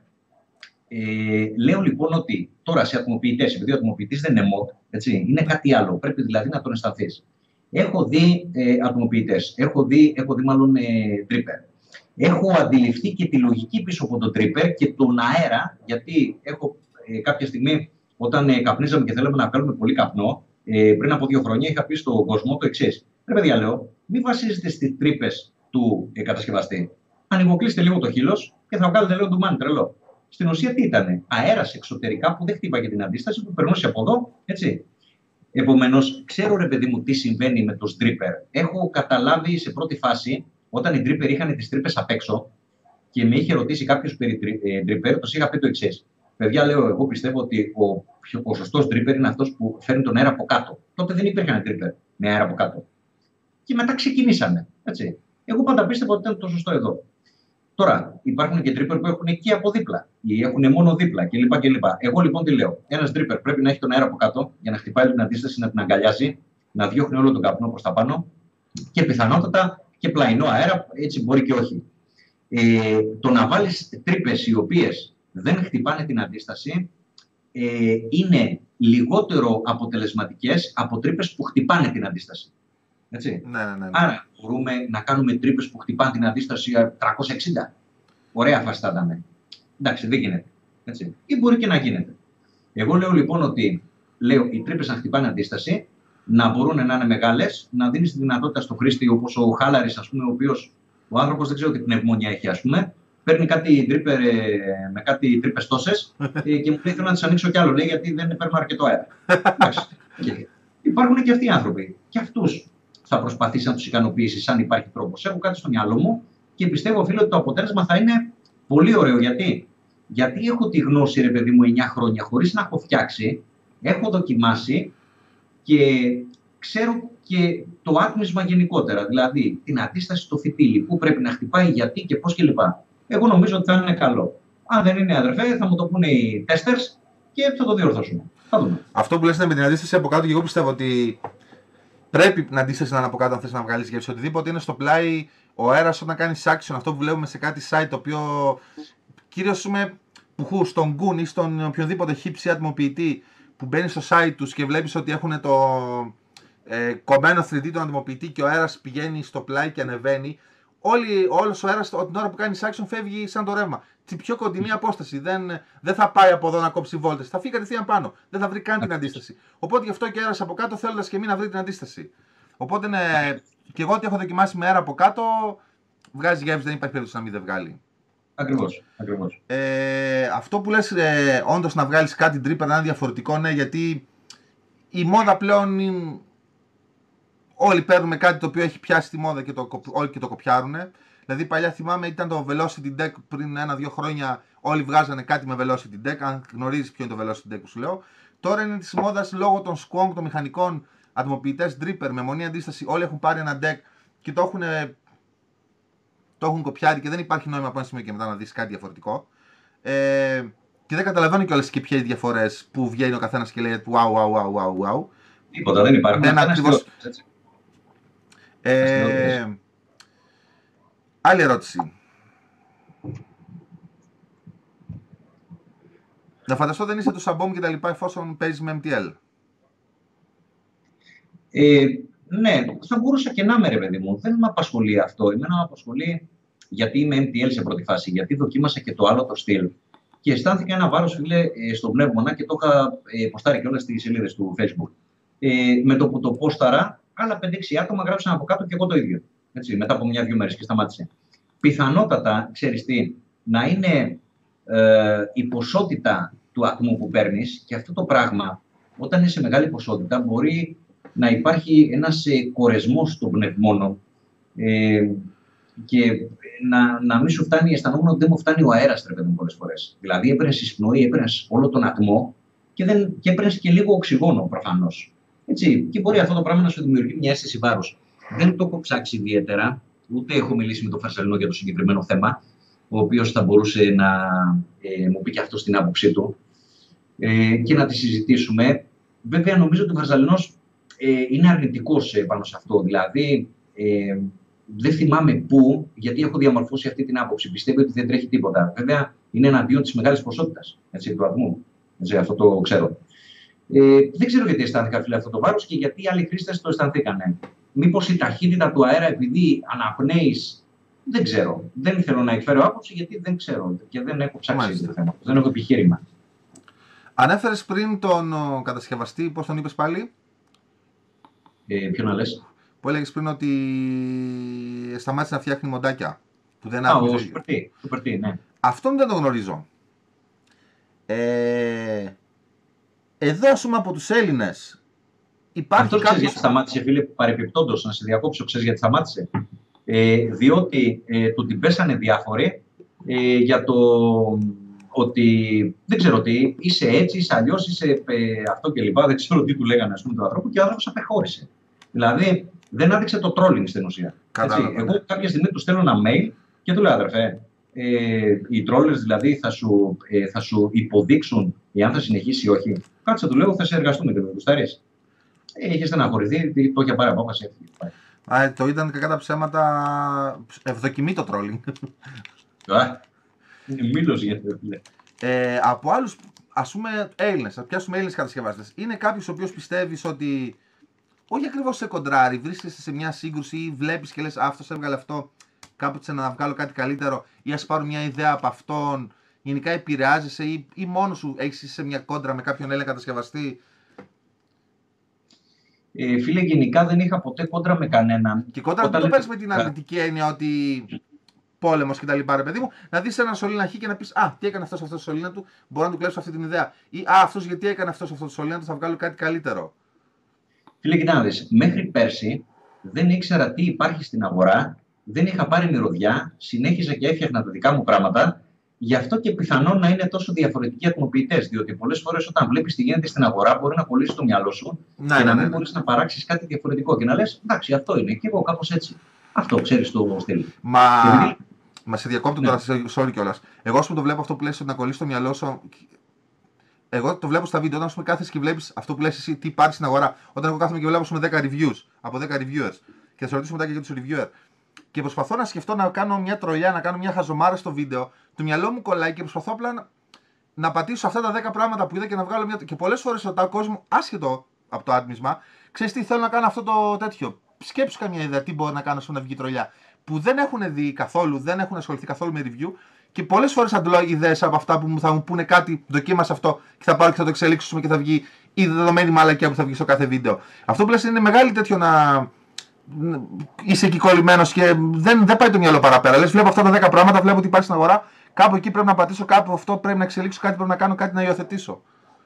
Έτσι, ακριβώς σου λέει. Και επειδή έτσι λειτουργούσα όλα αυτά τα χρόνια, τον τελευταίο χρόνο έχω βγει λιγάκι έξω και έχω γνωρίσει και τι, τα παιδιά του vaping, όλοι αυτοί τέλος πάντων που ε, ασχολούνται με το vaping ε, και που κάνουν και κάποια βιντεάκια κλπ. Έχω δει atomizer αλωνών και όλα αυτά. Τελικά, φίλε, έχω καταλήξει στο εξής συμπέρασμα. Ε, τι θα πρέπει να κάνει κάποιος; Ε, θα πρέπει να ασχολείται με το vaping χωρίς να ξέρει τι γίνεται τριγύρω καθόλου, διότι αυτό τον τελευταίο χρόνο έχω πέσει λιγάκι σε innovation και πιθανότατα να ε, οφείλεται σε αυτό το πράγμα, στο ότι βγαίνουν κάποια πράγματα τα οποία, ε, στο ότι μαθαίνω ας πούμε τι ε, φτιάχνει ο κόσμος. Από την άλλη, βλέπω όμως και το εξής. Από όλα αυτά τα πράγματα που φτιάχνουν οι άνθρωποι, δεν υπάρχει ε, κάτι το οποίο να μου κινήσει το ενδιαφέρον και να πω Ρε γαμώτο, κοίτα τι έφτιαξε αυτός. Μαγιά. Μαγιά, ωραίο, πονηρό. Δεν έχω μπει σαν... Δεν έχω αισθανθεί έτσι, να στο πω αλλιώς. Ξέρεις, μόνο πότε αισθάνθηκα όταν βλέπω κάτι εξωτερικά. Δηλαδή, βλέπω ένα σκάλισμα τρελό που δεν μπορώ να το φτιάξω και λέω, κοιτά να δεις τρεγάμωτο. Όχι innovation στην ουσία. Ναι, ναι, ναι. Κάτι ναι. decoration που δεν μπορώ να το φτιάξω και θα ήθελα να το φτιάξω και λέω, κοιτά να δεις τρεγάμωτο. Δεν μπορώ. Δεν μπορώ, θα ήθελα. Κάποιες στιγμές σκέφτομαι να πάω και στην Κίνα κλπ. κλπ. Ε, εκεί που το σκέφτομαι, εκεί το ξαναπορρίπτω γιατί είναι το μπλέξιμο της αρκούδα με την Κίνα. Τώρα δεν είναι. Έτσι, μια φορά επιχείρησα και τα κεραμικά που έφερνα από Κίνα παλιά, ε, την- η πρώτη παρτίδα ήταν καλή, η δεύτερη ήρθε με φουσκάλες, τα ξαναέστειλα πίσω. Η κούραση, φίλε, κούραση, κούραση. Ενώ εδώ στο μηχανουργείο, ξέρεις τι γίνεται. Ε, βγαίνει στραβό το καπάκι, τηλέφωνο. Ε, Θανάση, ρε, εσύ το καπάκι είναι στραβό. Ε, πόσα κομμάτια είναι στραβά, ε, 50, 50. Τα, τα βάζω, έλα μεθαύριο τα πάρεις. Αυτά είναι, φίλε, ωραία πράγματα. Ναι, δεν το συζητάμε. Υπάρχει ευκολία, ναι. Εννοείται. Περιμένεις τώρα στην Κίνα να σου φτιάξεις 50 καπάκια. Καλά. εντάξει. Ναι, κοίταξε, ε, είναι τ- τα συν και τα πλήν της κάθε επιλογής. Στην Κίνα θα πάρεις πολλά κομμάτια πολύ φθηνά, αλλά θα έχεις και αυτό το... Και αυτό το Υπάρχει ζόρι. τρόπος Το, να- ότι- το ναι. οτιδήποτε και να γίνει, το σέρβις τους θα είναι... Ναι, και δεν μπορώ να δουλέψω έτσι, ρε παιδί μου. Δηλαδή, μου χαλάει τη μέρα αυτό το πράγμα και με αποσπά από αυτό που θέλω να κάνω. Ενώ τώρα τα έχω δώσει όλα σε άλλους. Εγώ ασχολούμαι με το κομμάτι τη- των εφευρέσεων, τέλος πάντων, να το πούμε έτσι. Και έχω ε, δύο ανθρώπους οι οποίοι ασχολούνται με τα υπόλοιπα πακεταρίσματα, διδώματα, κόλπα κλπ. Ό,τι δεν μπορούν, πηγαίνω και τους βοηθάω. Ε, και έχω ε, πει στον Πάτρικ που είναι ο reseller, είναι distributor, ότι όποιος καινούριος πολιτής έρχεται, του λέω Πάτρικ, πάρτονα. Δεν, δεν θέλω καθόλου, καθόλου. Δηλαδή, να έχω καθαρό μυαλό να σκέφτομαι μόνο αυτό που θέλω να σκέφτομαι, γι' αυτό και δεν ανοίγω και μαγαζί. Μάλιστα. Άμα ανοίξω μαγαζί, καταστράφηκα. Τι να ανοίξω, θα είμαι από το πρωί στο μαγαζί μέχρι το βράδυ και τελειώσαμε. Τελειώσαμε, φίλε. Ό,τι βλέπεις, δεν θα ξαναβγάλω τίποτα. Πραγματικά, Έτσι. ναι, όντως, όντως. Ναι. Με reviewer, ασχολείσαι, βλέπεις Έλληνες ξένους, προτιμάς, βλέπεις κάποιο συγκεκριμένο... Ε, φίλε, κοιτά να δεις, από reviewer ε, θα έλεγα ότι μου αρέσει ο Μπουσάρτο, ο οποίος ουσιαστικά δεν είναι reviewer, ρε παιδί μου, ο άνθρωπος είναι περισσότερο showman, έτσι. Καλή ώρα που είσαι εσύ, που, που έκανες ένα ωραίο βίντεο. Έτσι. Αυτά μου αρέσουν, δηλαδή να δείχνεις τον ατμοποιητή, έτσι να λες και το αστιάκι στη μέση, να γουστάρει και ο πελάτης κλπ. ο θεατής. Ε, ο Μπουσάρτο βέβαια είναι ένας άνθρωπος ο οποίος για κάποιους λόγους, ας πούμε, ενώ τους ε, έχω μάθει από άλλους ότι πηγαίνει και τους ρωτάει όταν κάτι δεν πηγαίνει καλά και στέλνει μήνυμα και λέει ρε παιδιά εδώ πέρα συμβαίνει κάτι και το απαντάνε. Με μένα ο άνθρωπος δεν το κάνει ας πούμε και βγάζει βίντεο τα οποία θα μπορούσαν να είναι πολύ καλύτερα. Έτσι. Μάλιστα. Οκ, εντάξει, μ' αρέσει όμως, μ' αρέσει. Ναι. Ε... Ε, άλλος ξένος φίλε είναι ο Phil Good, ο οποίος είναι και μεγάλος υποστηρικτής των GG. Και μάλιστα, επειδή, γιατί τον θεωρώ φίλε σοβαρό, άκου να πεις τώρα, ο Phil Good. Ο Phil Good λοιπόν το στέλνω τον Eagle. Περιμένω review, περνάνε δύο εβδομάδες, περνάνε τρεις εβδομάδες.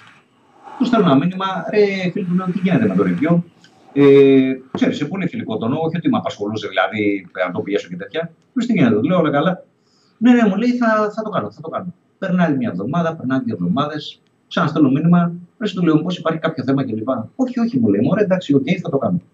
Λοιπόν, κάποια στιγμή βγαίνει, βγάζω και ένα βίντεο όπου έβαζα τον μπαμπάκι, αφού έφτιαχνα το σύρμα, το έβαζα μετά τον μπαμπάκι εκ των υστέρων. Του στέλνω λοιπόν το, το βίντεο, του λέω ρε, εσύ να σου πω, δεν και αυτό το βιντεάκι, αν θέλεις να το συμπεριλάβεις μέσα στο review σου σαν ε, δυνατότητα.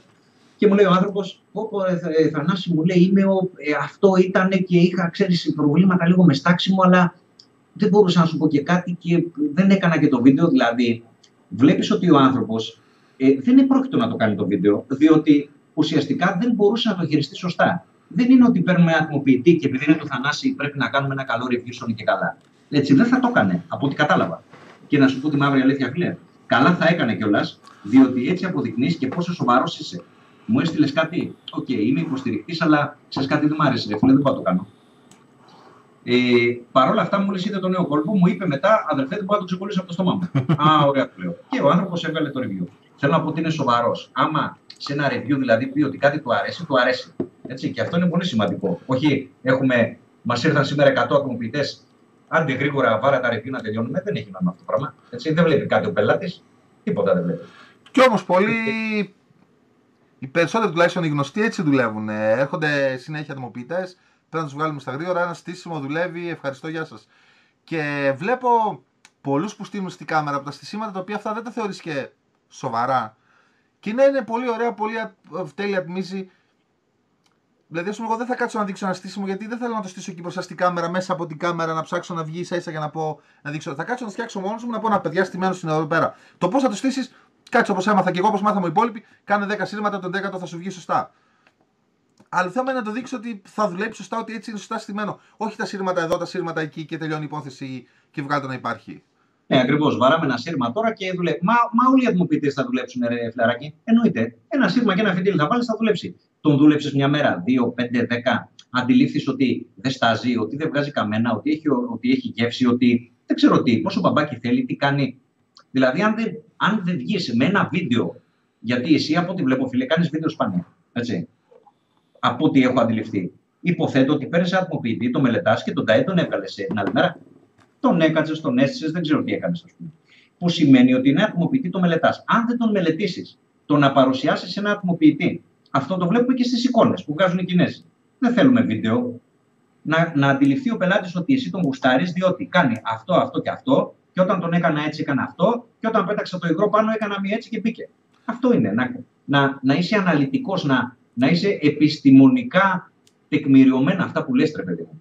Έτσι. Μα ναι, δηλαδή το, εγώ το βλέπω αυτό που λες ότι δεν θα κάτσω να φτιάξω ένα στήσιμο τον έβαλα, δούλεψε, πρέπει να βγάλουμε το βίντεο γιατί από πίσω περιμένουν 50 δημοποιητές.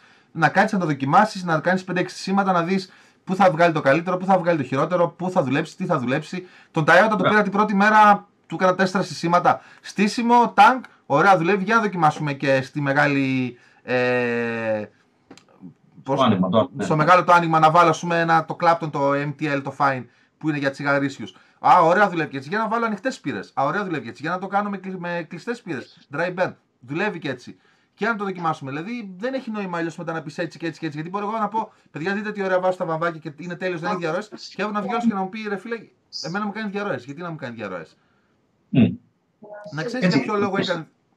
Να μπορείς και εσύ, ρε παιδί μου, σαν reviewer, γιατί εμένα πριν κάνει το review, ε, μου έστειλες PM, με ρώτησες, Ρε Θανάση, αυτό τι κάνει, ε, μήπως θα το κάνουμε έτσι; Και θυμάμαι ότι είχαμε μια ε, συζήτηση η οποία ήταν ε, εκτενής. Ρώτησες γιατί; Παίρνεις ένα μηχάνημα στα χέρια σου. Εγώ το ξέρω γιατί το έφτιαξα. Εσύ πώς θα το ξέρεις, αν δει τα δικιά σου. Έχει κάποιες απορίες, λογικό δεν είναι. 2000 years later. Λοιπόν, ε, λέγαμε πριν για τους reviewer.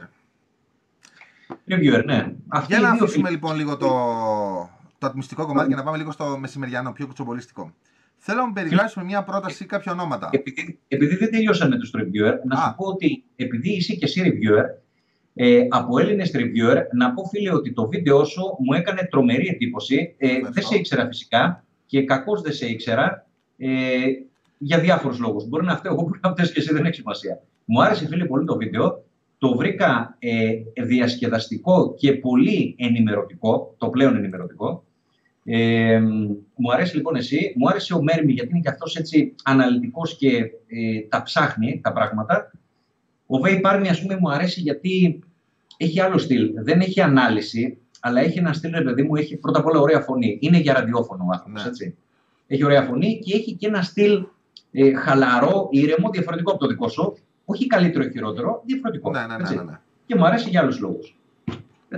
Ε, αυτά. Και από ξένους φίλε, δεν μπορώ να βρω κάποιον άλλον. Απλώς δεν μου αρέσουν ρε παιδί μου τα reviews στυλ ε, ε, rippers. Δηλαδή, παιδιά πάρτε θα γίνει χαμός, είναι το καλύτερο και το κούβο και το ράμπο κάθε δύο δευτερόλεπτα. Έτσι. Αυτό το βίντεο, αυτό το βίντεο, να σε ρωτήσω τώρα εσένα ρε παιδί μου, σαν, σαν Έλληνα, σαν άνθρωπο, έτσι. Τι σου πρόσφερε ένα τέτοιο βίντεο; Τι, τι κατάλαβες δηλαδή για το άτμισμα; Τι; Ναι, πραγματικά τίποτα. Και είναι αυτό που έλεγε ότι από ένα σημείο και μετά ότι θα βγάλει 2-3-5 βίντεο στο 10ο-11ο θα φανεί ότι δεν είναι κάτι σοβαρό, δεν είναι κάτι ουσιώδες που να δίνει σημασία. Και όμως, φίλε, ο Rip Drippers, μόλις μπήκα και είδα ότι έχει ένα εκατομμύριο followers. Είναι ο μεγαλύτερος στον κόσμο, ναι. Έτσι. Που αυτό το εκατομμύριο δεν μπορείς να πεις ότι είναι άνθρωποι κουτί. Έτσι. Δεν μπορεί να είναι ένα εκατομμύριο βλάκες με το Rip Drippers. Υπάρχουν και άνθρωποι μέσα που είναι σοβαροί για ποιο λόγο, ρε παιδί μου, αναρωτιέμαι μερικές φορές τους αρέσει αυτό. Δηλαδή, θέλεις να ενημερωθείς, μήπως έχεις πάρει λάθος δρόμο και θέλεις απλά να διασκεδάσεις, γιατί δεν βλέπεις ένα βίντεο με ματώνα. Μήπως, ας πούμε, βλέπουμε το Rip Trippers για να διασκεδάσουμε και βλέπουμε μετά και τον έναν Hipsy Z με τον οποίο θα ενημερωθούμε από εκεί πραγματικά; Ε, μπορεί, μπορεί και το reviewing είναι και λίγο και διασκέδαση. Μπορεί.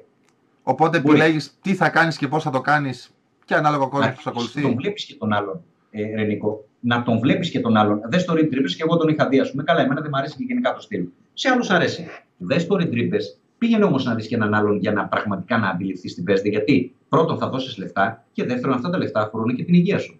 Δεν πας τώρα και ε, βλέπεις ε, show. Έτσι. Είπαμε, και ο Μπουσάρντο είναι καλός, είναι showman ο άνθρωπος, ωραία τα λέει, έτσι κλπ. Αλλά εάν δεν είχα και αποτέλεσμα από τον Μπουσάρντο, δεν θα τον έβλεπα, ρε φίλε. Έτσι. Ναι, ναι, ναι. Έτσι, καθαρά. Όχι, και εγώ θεωρώ το Μπουσάρντο πάρα πολύ αναλυτικά τα βίντεο του. Ειδικά σου σε μοντάκια και σε αυτά που θα τα βάλεις ε, στα oscilloscopes όλα αυτά εδώ πέρα είναι πραγματικά απίστευτος άνθρωπος. Ναι, ναι. Είναι καλός, εντάξει. Κάποια πράγματα ρε παιδί μου τα χάνει, χάνει τη λεπτομέρεια. Το έχω προσέξει βέβαια, επειδή έχω προσωπική εμπειρία από αυτό. Ε, θέλω να πω ότι θα μπορούσε να πει πολλά πράγματα. Πήγε για τον ARM, έτσι, που έκανε review. Εντάξει, δεν, Ίσως έχουμε και διαφορετικό στυλ, ρε παιδί μου. Πρώτα απ' όλα μπορεί να βιάζεται, μπορεί να έχει πολλά μόρ, μπορεί, μπορεί. Εγώ ε, απόρρισα γιατί δεν είπε ε, πολλά πράγματα, δεν είπε, πολλά, πολλά, ένας, ένα, ένα κάρο. Και λέω, έχει νόημα αυτό το πράγμα, δηλαδή να το δίνω σε έναν άνθρωπο ε, για το showman, αλλά που δεν θα ήθελα εγώ να γίνει έτσι το review, θα ήθελα κάτι παραπάνω. Αποφάσισα λοιπόν ότι δεν θα το στείλω το Νίγκλ. Έτσι, δεν το κάνω με κανένα τρελό σκοπό, ας πούμε, το στείλει, έχουμε τσακωθεί κλπ. κλπ. Ε, πιστεύω ότι δεν θα, δεν θα τον αναδείξει. Ok, okay, αυτό. Ναι, μετά είναι αυτό, εσύ σαν κατασκευαστής, αυτό που λες, αν σε βολεύει αυτό, θα το στείλεις. Αν όχι, θα βρεις κάποιον ναι. άλλον ο οποίος σε βολεύει. Ναι. Λοιπόν, ας αφήσουμε λίγο το ατμιστικό κομμάτι και το σοβαρό και ας περάσουμε λίγο σε πιο μεσημεριανή ζώνη. Ναι. Θέλω να θα σου λέω ονόματα και θέλω να μου τους περιγράφεις με μια πρόταση. Λοιπόν, okay. Παπακώστας. Κώστας. Παπακώστας.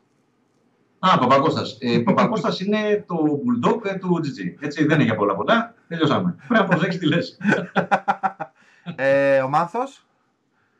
Ε, ο Μάνθος, φίλε, είναι ο επιστήμονας administrator, του οποίου του αρέσει να ασχολείται με τη λεπτομέρεια και να βλέπει γιατί δουλεύει έτσι και πώς δουλεύει το συγκεκριμένο.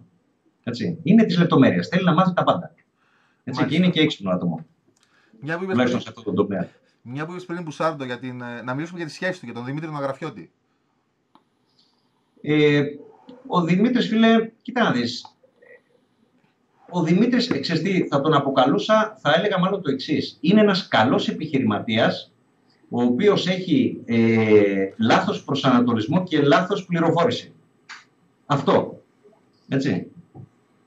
Δηλαδή θα ήθελε πιθανότατα να κάνει αυτό που έχει στο μυαλό του και μάλλον δεν τα καταφέρνει γιατί, ε, γιατί χρησιμοποιεί δρόμους οι οποίοι δεν είναι αυτοί που θα ήθελε και ο ίδιος. Μάλιστα. Αυτό. Για τον Μπουσάρντο μου είπες ή θες να μου ξαναπείς; Φίλε, για τον Μπουσάρντο πιστεύω ότι σου λέω ένας καλός τριβίωρο, ο οποίος να το πω αλλιώς, θα μπορούσε να είναι και καλύτερος εάν έδινε περισσότερη βάση στη λεπτομέρεια. Αυτό. Και όμως, εγώ θεωρώ ότι ο Μπουσάρντο, δηλαδή, όταν κάθε και φτιάχνει τα βίντεο του όλα είναι πάνω, είναι εκεί της ώρας, ίσως και παραπάνω. Δεν θεωρώ ότι δεν δίνει λεπτο, βάση στη λεπτομέρεια. Εκτός αν τόσο πια τα γεμίζει με. Ξέρεις τι, μπορεί να έχω δει τα δικά μου εγώ για τους δικούς μου ακουπητέ και να έχω φτάσει σε αυτό το συμπέρασμα, γιατί δεν έχω δει άλλα. Για τους δικούς μου βλέπω. Μάλιστα. Σε μένα δεν έχει. Μπορεί να, τύχει, να έτυχε. Μάλιστα. Δεν ξέρω για ποιο λόγο, δεν ξέρω. Δεν ξέρω, αν δεν ξέρω θα πατούσα. Ο Βασίλης ο Λαζάρου. Ε, ο Λαζάρου, φίλε, ε, θα έλεγα ότι είναι ε, καλό παιδί μεν, ε, με κάποιες κακές επιρροές δε. Έτσι, αυτό. Έτσι, αυτό. Φουρτούνης. Ε, Φορτούνης. Ε, Φορτούνης ε, στο, επ- στον επόμενο. Ίσμο γκουρού; Ο Βασίλης. Ο Βασίλης λοιπόν, ε, φίλε για τον Βασίλη, κοίταξε να δεις. Ε, θα ήθελα, έχω μάλλον να πω διάφορα, γιατί ήμασταν και πέντε χρόνια συνεργάτες, έτσι. Ε, δεν θα ήθελα όμως να αναφερθώ ιδιαίτερα, γιατί εντάξει, θα στεναχωρηθεί και κόσμος και δεν έχει και νόημα. Μάλιστα. Έτσι. Ο Κώστας ο Θασίδης, ο Vape Like Geek. Ο Vape Like Geek, φίλε, είναι ένας άνθρωπος ο οποίος ε, θέλει να ανέβει γρήγορα και κάνει κάποια λάθη στην πορεία από την, ε, απ' την βιασύνη. του. Μάλιστα.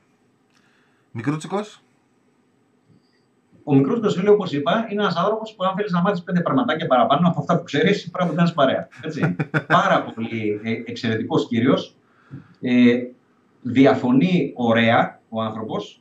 Ε, συζητάει τα πάντα ε, και είναι ε, γενικά γνώστης.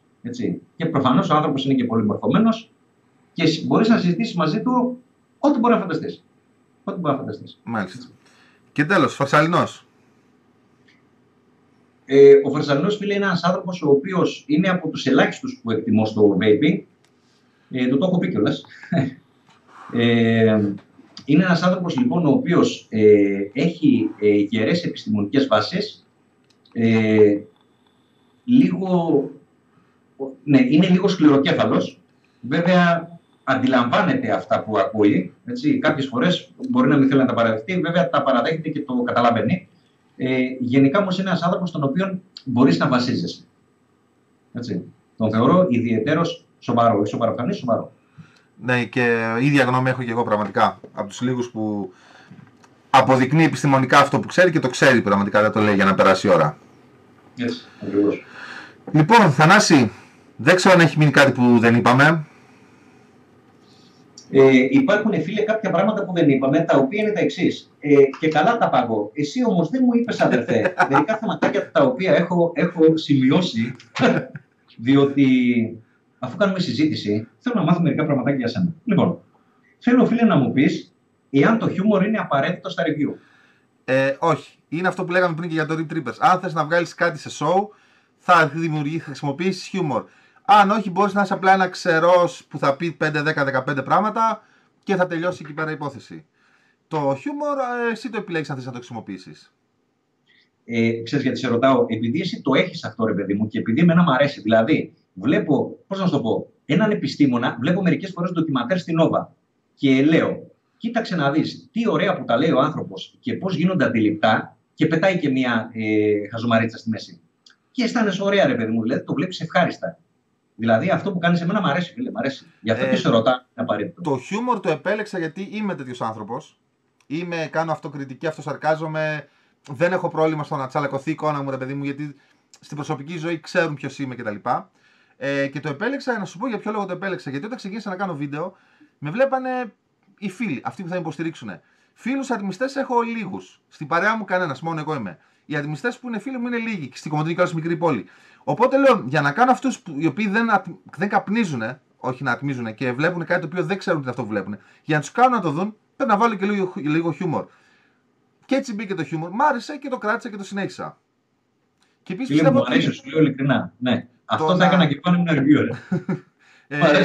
Ε, Επίσης, από όσο και μετά είδα ότι το να το γυρίσω σε review όπως του Θασίτη, όπως του Λαζάρου που είναι πιο σοβαρά, δεν θα μπορούσα να τους χτυπήσω ή να τους κοντράρω γιατί έχουν το know-how, είναι χρόνια στο επάγγελμα, ε, έχουν περισσότερο εξοπλισμό από μένα. Οπότε λέω λίγο να διαφοροποιηθώ και να κάνω, και να κάνω κάτι που μου αρέσει. Γιατί στην ουσία τα βίντεο τα κάνω γιατί μου αρέσουν.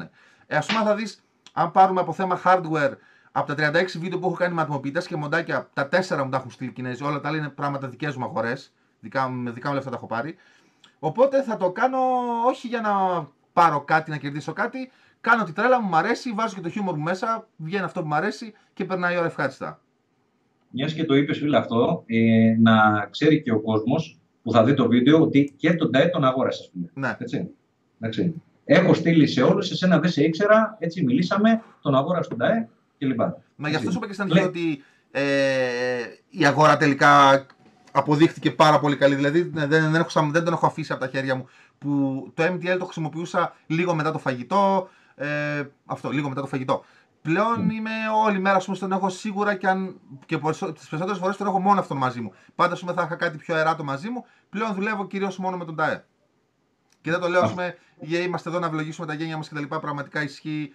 Και κάποιος ο οποίος δεν με ξέρει και θα το, θα το πει, θα πει Α, εντάξει, τώρα επειδή είμαστε και τα λέμε μαζί σε κολακεύω. Αλλά αυτοί που με ξέρουν, ε, ξέρουν ότι λέω αλήθεια. Κλαράκι, πολύ με χαροποιεί αυτό που λες. Γι' αυτό θα πω στην επόμενη δύσκολη ερώτηση. Τι προσόντα πρέπει να έχει ένας reviewer. Προσόντα. Πρέπει να γνωρίζεις αυτό που δείχνεις. Το άτμισμα, το, τους ατμοποιητές κτλ. Να έχεις γνώση. Και μετά να το αγαπάς. Να αγαπάς και το άτμισμα, να αγαπάς το χόμπι του ατμίσματος και να αγαπάς το να κάνεις αυτό το βίντεο. Μην το κάνεις γιατί πρέπει να το κάνω, όχι να κάνω βίντεο ή τώρα τι είναι αυτό που δείχνω ή τι θα πω. Δηλαδή, αν θα δεις, δεν έχω κάνει βίντεο για μηχανικά, για σωλήνες κλπ. Γιατί δεν είναι της αρμοδιότητάς μου, δεν έχω ασχοληθεί ποτέ. Πράγματα που έχω, δεν έχω ασχοληθεί, δεν τα έχω κάνει βίντεο απλά για να πω ότι τα έχω κάνει βίντεο. Έχω απορρίψει προσφορέ να κάνω πράγματα βίντεο τα οποία δεν ήξερα να τα κάνω. Λέω τι να πω, τι να δείξω. Και όσο και να κάτσω και να διαβάσω και να ανάνω, δεν θα είναι αυτό που θα πω σωστό. Οπότε να πιστεύω ότι πρέπει να έχεις γνώση για αυτό που δείχνεις και να έχεις και αγάπη και μεράκι για να το κάνεις. Αδερφέ, συμφωνούμε απολύτως. Εσύ πιστεύεις δε ότι ένα reviewer θα έπρεπε να πληρώνεται; Πώς το, το έχεις σκεφτεί αυτό ποτέ, Δηλαδή, αν δεν το έχεις σκεφτεί, μην μου απαντήσεις, γιατί είναι λίγο πολύπλοκο. Κοίταξε να πληρώνεται. Θα ήταν καλό να πληρώνεσαι γιατί δίνεις χρόνο από τη ζωή σου. Ε, το θέμα είναι όμως η πληρωμή να γίνεται με τέτοιο τρόπο ώστε να μην, να, ώστε να μην χάνει την αντικειμενικότητά σου. Να μην με πληρώσει εμένα τώρα η iJoy για να πω ένα καλό λόγο για τον δημοποιητή, να με πληρώσει σε φάση θέλουμε να κάνεις αυτό, πώς πας, ας πούμε, στον ηλεκτρολόγο και του λες: Θέλω να αλλάξεις μια λάμπα, θα σε πληρώσω σε αυτό το στυλ θα σε πληρώσουμε για να κάνεις τη δουλειά σου review το προϊόν μας, αλλά να μην μέσα σε αυτή την πληρωμή υπάρχει το χάσιμο της αντικειμενικότητας. Σου δίνουμε τα λεφτά γιατί σε reviewer κάνεις μια δουλειά, αλλά δεν περιμένουμε επειδή σου δώσαμε τα λεφτά να πεις ότι είναι ωραίος ατομοποιητή μας ή να παρακάμψεις τα δύο-τρία λατώματά του. Θα ήταν καλό να πληρώνεται. Ε, Επίσης, ένα, ένα είδος πληρωμής είναι ότι σου μένει όλος αυτός ο εξοπλισμός που σου στέλνουν. Σου μένουν τα υγρά. Θα μου πεις βέβαια με αυτά τα υγρά δεν μπορείς να πληρώσεις τη ΔΕΗ. Αλλά ναι, δεν είμαι αντίθετος στο να πληρώνεσαι. Αλλά όπως είπα πάντα, να μην χάνετε αντικειμενικότητα. Δηλαδή, βλέπω πολλά βίντεο και από ένας και από ξένους, ρε παιδί μου. Πάσα τώρα το hardware που θα, που θα πούνε. Βλέπω, ας πούμε, υγρά παρουσιάσεις έχουν 5 υγρά, 5 διαφορετικά προφίλ, όλα τέλεια, όλα ωραία, όλα καλά. Και από πίσω, ας πούμε, δίνουν και 10 υγρά κλήρωση. Δηλαδή, βλέπεις ότι κάπου εκεί πέρα δεν υπάρχει αντικειμενικότητα. Δεν γίνεται να δοκιμάσεις ένα καπνικό, ένα γλυκό, ένα φρουτένιο, να σ' αρέσουν και τα τρία και ξαφνικά σου να τα δίνεις και όλα αυτά για κλήρωση έξτρα, ρε παιδί μου. Βλέπεις ότι εκεί πέρα κάπου κάτι έχει παιχτεί κάτω από το τραπέζι. Έτσι, ναι, ακριβώς. Συμβαίνει δηλαδή κάτι επόμενο το οποίο σε κάνει να αναρωτιέσαι τι νόημα είχε το review και γιατί εν τέλει έγινε. Ας πούμε. Πραγματικά, ναι, ναι. ναι. Καταλαβαίνετε, ναι. Μάλιστα. Ε, φίλε, πιστεύεις ότι. Ε, εσύ υποθέτω ότι το έκανες, δεν ξέρω βέβαια, απλώς να μου απαντήσεις. Το βίντεο ενός κατασκευαστή, πριν κάνεις ένα review, πρέπει να το βλέπουν οι reviewers; Αν έχει κάνει ο κατασκευαστής βίντεο πρέπει να το βλέπεις πριν βγάλεις το δικό σου; Σίγουρα. Αν υπάρχει, βεβαίως. Να τα βλέπω, ναι, δεν το συζητάμε. Αν υπάρχει. Λίγοι το κάνουν. Κινέζοι κανένας. Ε, ναι, γιατί πρέπει να. Αυτό το βιδάκι που είναι εδώ πέρα, δηλαδή αν το βάλω, αν δεν το βάλω. Ποιο ποιος ο λόγος ύπαρξης αυτή της βίδας, αυτού το ring. Εννοείται ότι πρέπει να το βλέπεις. Έτσι. Α, ε, εκεί λοιπόν είναι η διαφωνία μου, ρε παιδί μου, π.χ. με τον Μπουσάρτο. Προφανώς δεν, έχει δει, δεν βλέπει τα βίντεο των ε, κατασκευαστών, τουλάχιστον τα δικά μου. Και λέω, πώς γίνεται να πάρεις ένα μηχάνημα και δεν έχεις δει το βίντεο για να αντιληφθείς τι παίζεται ε, βγάζοντας π.χ. τη βάση. Και κάνεις και πολύ καλά ε, που τα βλέπεις. Αν δεν το δεις, δηλαδή, πώς θα καταλάβεις αυτό που έχεις στο μυαλό του ο κατασκευαστής; Ναι, αν δεν το δείξεις. Πραγματικά, πραγματικά, ναι. Μα παίζει μεγάλο ρόλο να, να πάρεις σαν αποτέλεσμα αυτό που σου έλεγα και στην αρχή για τους κλόνους, παιδί μου, ότι 1 προς 1,1 προς 1,5 αυτό που θέλει να σου δώσει ο κατασκευαστής. Το λέω και στα review που κάνουμε τα υγρά που θεωρητικά είναι υποκειμενικά. Βάλτε παιδιά τις βάσεις, βάλτε τις αναλογίες που πρέπει, ώστε, αφήστε το τις ημέρες που πρέπει, ώστε να πάρετε αυτό που θέλει να σου δώσει ο κατασκευαστής. Ε, αυτό το έφτιαξε είτε είναι ένα ατμοποιητή είτε είναι υγρό είτε μοντάκι, γιατί θέλει να δώσει ένα μια σχή εμπειρία. Και με αυτή τη χή εμπειρία να δικαιολογήσει και εσύ την αγορά σου. Σου πει αυτός ότι ξέρεις αυτό το πράγμα κάνει τόσα λεφτά, αλλά δεν στη σου δίνει. Εάν το πάρεις τώρα και σαν review δεν το δείξει σωστά, ώστε ο κόσμος να μην το δει σωστά, ποιο το νόημα να πας να το πάρεις. Ακριβώς, ακριβώς. Γι' αυτό και λέω ρε παιδί μου ότι πρέπει να είναι και το review υπεύθυνο, γιατί ας υποθέσουμε, πάω τώρα στην προηγούμενη ερώτηση. Αν κάποιος ε, reviewer πληρώνεται, πρέπει να είναι φίλε και πολύ υπεύθυνος, διότι αν ναι. δώσεις αρνητική κριτική, θα πρέπει να είναι πολύ υπεύθυνη. Γιατί, γιατί από πίσω ο άλλος ο άνθρωπος έχει ε, δαπανίσει χρόνο και πάρα πολλά λεφτά για να φτιάξει αυτή την κατασκευή και πρέπει να είσαι προσεκτικός. Όχι σε αυτά που θα πεις, να, μάλλον σε αυτά που θα πεις, αλλά να βασίζονται και να είναι τεκμηριωμένα. Άμπρα, δηλαδή, δηλαδή, αν εσύ πεις σαν Θανάση Νίκο, πάρε 50 ευρώ, πάρε 100 ευρώ, όσα λεφτά, σε πληρώνει για τη δουλειά σου, όχι για να μου πεις καλά λόγια για το ΤΑΕ, σε πληρώνει για να κάνεις τη δουλειά σου και να μου παρουσιάσεις το ΤΑΕ, πρέπει μετά και εγώ να, να, να τιμήσω τα λεφτά που πήρα. Μη σου δείξω ένα βιντεάκι 5 λεπτά, μπαμ, μπαμ, μπαμ, από εδώ είναι το τριπτύπ, από εδώ παίρνει γρά, από εδώ κλείνει ο αέρα. Τα λέμε παιδιά στο επόμενο βίντεο, γεια σας. Ακριβώς, ακριβώς. Ε, φίλε, άλλη ερώτηση σου ε, review έχω προσέξει ότι τις εικόνες ε, κάθε πότε ας πούμε. Κοίταξε, ε, δεν μένω στο δικό μου σπίτι όπως είπα, μένω πλέον με τους γονείς μου για εδώ και λίγο καιρό. Δεν έχω την άνεση να έχω ένα γραφείο και όποτε μου κάθεται να κάθομαι σε αυτό το γραφείο και να κάνω το review μου. Οπότε είναι πολλοί παράγοντες που πρέπει να, να ευθυγραμμιστούν ώστε να μπορέσω να κάνω το βίντεο. Από το να μην γαβγίζω τα σκυλιά μου γιατί είναι τρελαμένα, μέχρι το να μην υπάρχει φασαρία στο σπίτι, μέχρι το να βρω εγώ χρόνο να κάτσω να το κάνω και όλο αυτό, ο χρόνος που θα βρω να είναι συμπέφτει με, τους, με τα υπόλοιπα προαπαιτούμενα. Και επίσης, επειδή όπως σου είπα, πολλά πράγματα που κάνω review είναι δικά μου, πρέπει να υπάρχει κάτι να δείξω. Δηλαδή να υποθέσω, ας πούμε, μια φορά 10 εταιρείες, 10 ατμοποιητέ και 5 μοντάκια και κάθονται εδώ πέρα και εγώ απλά ξύνομαι δεν έχω χρόνο να τα δείξω. Αυτά που έχω τα έχω δείξει. Δεν δείχνω κάτι άλλο γιατί δεν έχω να δείξω.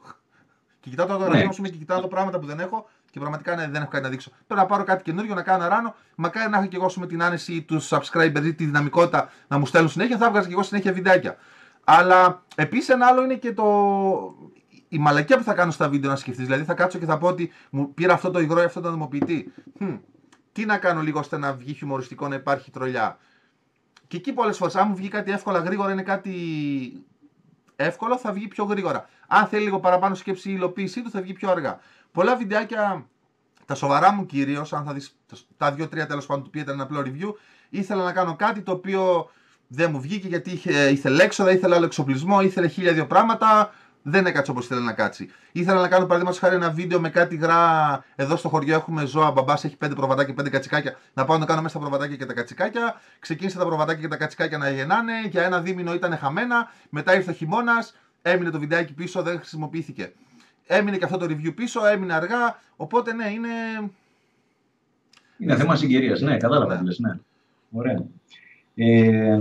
Δηλαδή, αν είχα πράγμα και αν τα βιντεάκια βγαίνανε απλά, θα βγαίνανε και πιο γρήγορα τα βίντεο. Αλλά επειδή είναι και λίγο πιο ιδιαίτερα, θέλει και λίγο χρόνο για να κάτσεις να τα βγάλεις.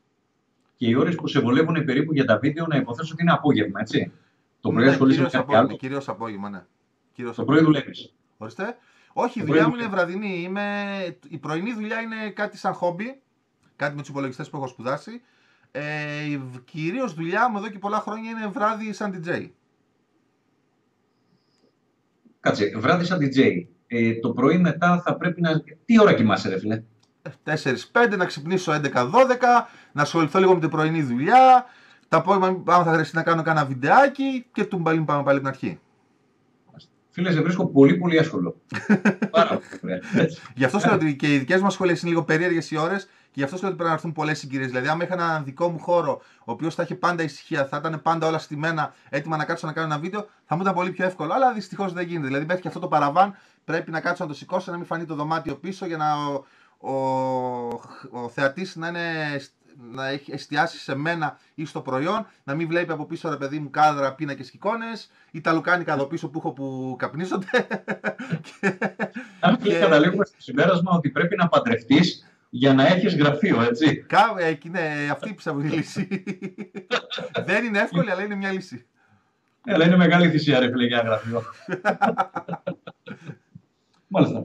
Ε, και, και, και από το 11, έτσι. Ναι, από το 11. 11. Δηλαδή ξεκίνησες με τα εγώ τότε είχαν βγει αυτά. Α, ή όχι; Ναι, είχε έρθει ένα. Ήθελα λίγο να. Δεν ήθελα να κόψω το κάμνισμα, μου αρέσει το κάμνισμα. Ήθελα λίγο να το ελαττώσω, λίγο κάτι διαφορετικό. Δεν ξέρω, επειδή κιόλας βράδυ πολλές ώρες ε, έκανα και τρία πακέτα την ημέρα. Δύο πακέτα στη δουλειά και ένα πακέτο όλη την ημέρα. Ήρθε ένας αδερφό μου από Αθήνα με ένα έγκοσι. Ήπιαμε και ένα καφέ. Ευτυχώς έκατσε αυτό σε μένα διήμερο, τρίμερο εδώ πέρα το φιλοξενήσαμε. Το δούλεψα πολύ το έγκοσέ και έτσι το πήρα. Το θέμα είναι τώρα ποιο είναι ότι έκανα ένα βιντεάκι που λέω τι, τι τύπο σύρμα να χρησιμοποιήσω, στα πόσα βάτ κτλ. Πολλοί τώρα πάνε από κάτω και σχολιάζουν ότι βρίζω τον κόσμο, ακούγομαι σαν τσατισμένος κτλ. Μπορεί να ακούγομαι σαν τσατισμένος και να βρίζω τον κόσμο, αλλά δεν το κάνω από, από θέμα ότι εγώ είμαι έξυπνος και εσείς είστε χαζοί. Εγώ, όταν πήρα το έγκοσε, το πήρα στο ξάδερφό μου, ήταν εδώ πέρα τρεις μέρες, το δούλεψα τρεις μέρες, είδα ότι με καλύπτει σαν τσιγάρο. Δεν είναι τσιρότο, δεν είναι αναπνεώμενο, δεν είναι νικορέτ χαζομάρα. Ε, και καθόμουν ένα μήνα, μετρημένο ένα μήνα, μπορεί να είναι 27 μέρες, μπορεί να ήταν 35, αλλά ήταν ένας μήνας, όλη μέρα στο e στο ECF, στο ίντερνετ, για να δω τι ακριβώς είναι αυτό που θα πάρω, πώς δουλεύει, ποιο κομμάτι να διαλέξω, ποιο μοντέλο να διαλέξω ώστε να ταιριάζει καλύτερα σε μένα και μετά πήγα και το αγόρασα. Πολλοί δεν το κάνουν αυτό. Πάνε σε ένα μαγαζί, παίρνουν αντιστάσεις, τις βάζουν πάνω και τις κοιτάνε και λένε τώρα τι είναι αυτό το πράγμα που πήρα. Ε... Αλλά ναι, με ένα Ego ξεκίνησα. Κάνα χρόνο δούλευα με Ego, Ego DAF, Ego W, Ego χαζομάρες. Μετά το γύρισα σε επισκευάσιμους με MES. Ήμουν σχεδόν κοντά δύο χρόνια δούλευα έτσι. Και μετά βαβάκι και σύρμα. Αυτό που είπες ότι στα βίντεο σου, επειδή εγώ το βίντεο που έχω δει ήταν με τον ΤΑΕ, δεν έχω δει άλλα βίντεο, αλλά μιας και ανέφερες ότι φαίνεσαι θυμωμένος στα βίντεο, θα δω κάποιο βίντεο να δω τι είναι. Όχι, είναι ένα συγκεκριμένο βίντεο και καλά στα πόσα βάτα τμίζω, το οποίο έβλεπα αρκετά πώ στο Facebook που λέγανε πήρα αυτό το σύρμα, το δουλεύω στα 30 βατ και μου είναι ψόφιο. Ή πήρα αυτό το καρουλάκι με τα σύρματα, έχει μέσα διάφορα σύρματα στα πόσα βατ το δουλεύω. Δηλαδή είναι και λίγο κοινή λογική. Όταν βάζεις ένα φαγητό στο φούρνο και το βάζεις σε 150 βαθμούς, ε, και βλέπεις ότι δεν ψήνεται, ανεβάζεις τους βαθμούς. Αν το βάλεις στους 200 και βλέπεις ότι το, κες, το κες, κατεβάζεις τους βαθμούς. Όταν παίρνεις ένα μάξι και θες να πας με 50 και δεν σου ταχύτητα δεν σε παίρνει, αλλάζει ταχύτητα. Τώρα το μοντάκι, όλα αυτά που είναι μεταβλητά, δεν είναι fix ότι παίρνεις ένα ρεύμα και τελειώνει η υπόθεση. Δηλαδή έχεις μοντάκι με μεταβλητή τάση, γι' αυτό είναι μεταβλητή. Βάλει το σύρμα πάνω και ανεβοκατέβασε την μέχρι να βρεις αυτό που σου αρέσει. Το πήρες καμένο, αλλάξε το βαμβάκι. Είναι ψόφιο, ανέβασε τα βατ. Και πολλοί είναι αυτοί που ρωτάνε και πά τι, πώ, τι και γιατί. Δηλαδή Βάλει και λίγο κοινή λογική. Είναι αυτό που λες, ψάξε λίγο στο Ιντερνετ. Δες τι γίνεται. Φύσε μέσα στην πληροφορία. Υπάρχουν τόσα, τόσοι reviewers, τόσα βίντεο, τόσα forum μέσα στο Facebook κτλ. Και πολλοί καταλήγουν αυτό που με στεναχωρεί εν τέλει είναι να δίνουν τζάμπα λεφτά να παίρνουν πράγματα τα οποία εν τέλει δεν τους καλύπτουν ή τους είναι περιτά ή δεν είναι του στυλ τους. Δηλαδή, όλο θα πάρει με το Fused Clapton και θα πει: Το έχω τώρα, αυτό έχω ένα ατμοποιητή τσιγαρίσιο, πού θα το βάλω εδώ μέσα. Γιατί δεν έψαξες ναι. να δεις αν χωράει εκεί μέσα, αν μπορεί να το υποστηρίξει αυτός το ατμοποιητή σου ή αν είσαι του τσιγαρίσιου και αυτό το σύγχρονο είναι για καθαρά πνευμονικές. Ε, το πήρες επειδή είδες 5 handshakes στο Facebook. Γιατί πάρα πολλοί βλέπω, και ειδικά αυτοί που δεν ξέρουν, ότι επηρεάζονται από τα handshake. Θα δουν handshake κάτι, Α, θα πάω να πάρω και εγώ γιατί το έκανε αυτός handshake. Ή γιατί το βλέπω σε 5 handshake στο Facebook. Άρα πρέπει να είναι καλό. Ναι. Το πρόβλημα, Νίκο, επειδή είναι υπαρκτό ε, και το έχω αντιμετωπίσει πολλές φορές, ε, αναρωτιέμαι γιατί κάποιος χρήστης, κάποιος άνθρωπος γενικότερα δεν αντιλαμβάνεται, δεν έχει την κοινή λογική να αντιληφθεί. Κατέληξα ναι, λοιπόν στο συμπέρασμα. Κοίτα όμως, κατέληξα φίλε στο, στο εξής συμπέρασμα. Οι άνθρωποι που ρωτάνε διάφορα πράγματα ε, μέσα στις σελίδες του Facebook κάνουν πάρα πολύ καλά. Διότι η ερώτηση που δεν έγινε είναι η ερώτηση που θα έπρεπε να έχει κάνει. Έτσι, και είναι ντροπή να μην την κάνεις. Ε, με ρωτάνε πράγματα τα οποία εγώ μπορεί να τα θεωρώ απλά. Και κάποιες φορές αναρωτιέμαι, ρε παιδί μου, γιατί δεν το σκέφτηκε αυτό; Λέω όμως από την άλλη και τον δικαιολογώ πλήρως, φαντάσου εμάς να μπούμε μέσα σε μία αυτοκινητοβιομηχανία και να αρχίσουμε να ρωτάμε τι είναι αυτό και να μας απαντήσει κάποιος. Ρε, εσύ το έκανε δεν ξέρεις. Εγώ τους αντιλαμβάνομαι αυτούς τους ανθρώπους διότι μπαίνουν σε έναν κόσμο άσχετο. Και λένε, παιδιά, τι γίνεται εδώ; Εμείς έχουμε καταλάβει πλήρως τι συμβαίνει, έτσι. Μπαμπάκι, φιτίλι, ευάτο, όμ κλπ. Φαντάσου τώρα εσύ να ξεκινάς ατμισμό και να βλέπεις αυτό. τι είναι αυτό, ρε παιδιά; Τι έχει μέσα, πώς δουλεύει; Φαντάσου ότι παλιά πιστεύαμε ότι τα ατομάζια των Κινέζων είχαν μέσα ηλεκτρονικό. Έτσι, μέχρι που κάποια στιγμή τα ανοίξαμε και καταλάβουν τι παίζεται. Εγώ τις καταλαβαίνω, τα καταλαβαίνω αυτά τα παιδιά. Δεν απαιτώ από κανένα φίλο κοινή λογική σε αυτά τα θέματα. Ε, από την άλλη, ξέρεις τι μου αρέσει αυτό που λες εσύ. Βλέπω ένα hand check, όπου ωραίο είναι το πήρα και δεν ξέρω τίποτα, φίλε. Έτσι, Μα... Και προσπαθώ τώρα έτσι, και προσπαθώ να βγάλω άκρη. Αν τη βγάλω την άκρη ρωτώντας, πάει καλά. Προσπαθώ να βγάλω άκρη. Και αν κάτι δεν μου αρέσει χωρίς να έχω ρωτήσει τίποτα, δεν ξέρω αν υπάρχουν αυτοί οι άνθρωποι, βγαίνω και λέω: Πω, παιδιά, αυτό είναι ε, κοροϊδία. Μα δεν το χειρίστηκες, δεν ξέρεις πώς δουλεύει. Δηλαδή, πήρα την Porsche, έχει κόφτη, ας πούμε, και λέω: Καλά, παιδιά, τι, μέχρι 180 τι να θα την πετάω. Ε, μάθε όμως και για τον κόφτη να δεις τι παίζει. Μα όχι, πολλοί το δουλεύουν έτσι. Δηλαδή, το βλέπω και από προσωπικά βιώματα. Θέλω από τη μία να γλιτώσω τον κόσμο τις περιττές αγορές. Δηλαδή, εγώ, σαν ε, όταν ξεκίνησα το άτμισμα και έμενα πούμε, εδώ στην Κομωτινή που δεν υπήρχε η δυνατότητα είτε από άλλους χρήστες είτε από καταστήματα, έβλεπα πούμε, στο φόρουμ που έβγαινε ένας και έλεγε Παιδιά, ο Καϊφούν απίστευτος. Άντε να βρεις τώρα τρόπο να αγοράσεις το Καϊφούν. Μέχρι να πάρεις το Καϊφούν, έβγαινε ο Καϊφούν 2 και ο ίδιος χρήστης έλεγε: Παιδιά, ποιος Καϊφούν ένα, λέει. Ο Καϊφούν 2 απίστευτος. Καϊφούν 3 απίστευτος, ποιος Καϊφούν 2, Καϊφούν 4 απίστευτος, ποιος Καϊφούν 3. Και λέει: Κάτσε, τι γίνεται τώρα, γιατί έχω χάσει την μπάλα. Και ξαφνικά βρισκόμαστε με 4 Καϊφούν και όλοι ήταν ίδιοι. Ναι. Ή ας πούμε πήγαινα, έπαιρνα αυτό το οποίο το έβλεπα και λέω: Τι, τι τώρα, γιατί γίνεται, ρε παιδί μου, τι. Αυτό θέλω λίγο να τους γλιτώσω, ειδικά στους νέους ατμιστές. Δηλαδή, βλέπω στου στα μάγαζα πολλοί νέοι ατμιστές που έρχονται που λένε Εμένα ο φίλος με έχει αυτό και σκάνε με ένα μηχανικό σωλήνα και ένα μοντάκι και θέλω να πάρω ένα ίδιο να ξεκινήσω το άτμισμα. Ρώτα όμως τι είναι αυτό το πράγμα. Γιατί, δηλαδή, είναι αυτό που ζούμε μέσα στην πληροφορία. Δεν είναι κάπου κρυμμένα αυτά, δεν είναι απόκριφα βιβλία, δεν δουλεύουν με μαγεία κτλ. Ρώτα πώς δουλεύει, τι δουλεύει και γιατί δουλεύει και μετά πήγαινε αγόρασε αυτό που θα πας να πάρεις. Μην παίρνεις το coil, το staggered fused clapton, έρχεσαι σπίτι, και λες τώρα γιατί το πήρα. Πήγε και το πήρες από ένα μαγαζάτρο. Ο μαγαζάτρο θέλει να το πουλήσει. Καλά έκανε και το πούλησε. Ρώτα τον, αδερφέ, αυτό τι το κάνω, πού το βάζω, πώς το δουλεύω. Έχω αυτό, ταιριάζει. Πάντως, φίλε, δεν υπάρχει γενικότερα ε, πολύ καλή ενημέρωση και από τα μαγαζιά. Όχι, διότι καμία, καμία ενημέρωση.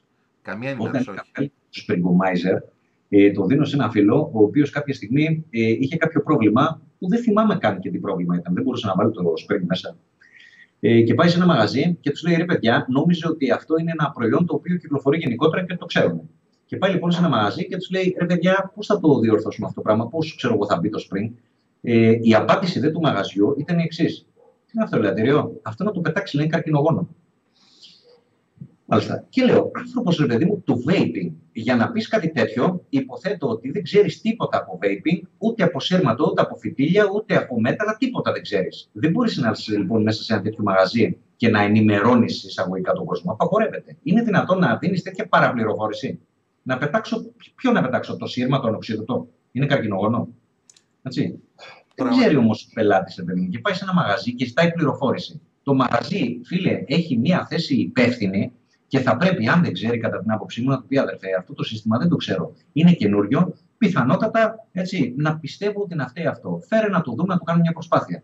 Απαντήσεις τους στείλουν καρκινογόνος, δηλαδή είναι παντελώς αστείες, έτσι. Ε, δεν ενημερώνουν και πολλοί απλά ανοίγουν γιατί τα βλέπουν σαν ξεπέτα. Θυμάμαι, σου λέω τότε το 11 που τυχαία εγώ ξεκίνησα, γιατί είναι της μόδας και το βλέπα παντού. Σου λέω ήρθε ένας αδερφός μου το έγκωσε, αυτός το ξεκίνησε σαν μόδα, αυτός το σταμάτησε στο μήνα πάνω, εγώ το συνέχισα το άτμισμα. Ε, Είδα το στην. στην... Ορίστε. Για το σταμάτησε. Ναι, αυτό το μήνα πάνω το σταμάτησε. Ναι, συνεχίζει κανονικά καπνίζει. Ναι, ναι, ναι, ναι. Μα τότε έβλεπα εσύ ότι, ας πούμε, μες στη νύχτα άσπης που δουλεύω, όλοι γυρνούσαμε ένα έγκοσε στο λαιμό κρεμασμένο. Όλοι. Ε, μπάρμαν, καφετζίδες, αφεντικά, DJ, γιατί τότε ήταν της μόδας το άτμισμα. Μέχρι τα Χριστούγεννα, το Σεπτέμβριο μέχρι τα Χριστούγεννα, όλοι τα παρατήσανε. Και μπορώ να λέω και πολλά τα Χριστούγεννα. Ήμασταν από τα 100 άτομα οι 5 το συνεχίσαμε.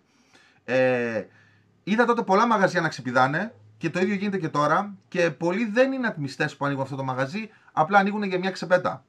Θυμάμαι τότε κατέβηκα Θεσσαλονίκη μετά τα Χριστούγεννα το 11 να για βόλτα και λέω εφόσον βρέθηκα Θεσσαλονίκη και έχει πολλά καταστήματα, να έρθω να πάρω και κάτι διαφορετικό να δοκιμάσω να έχω.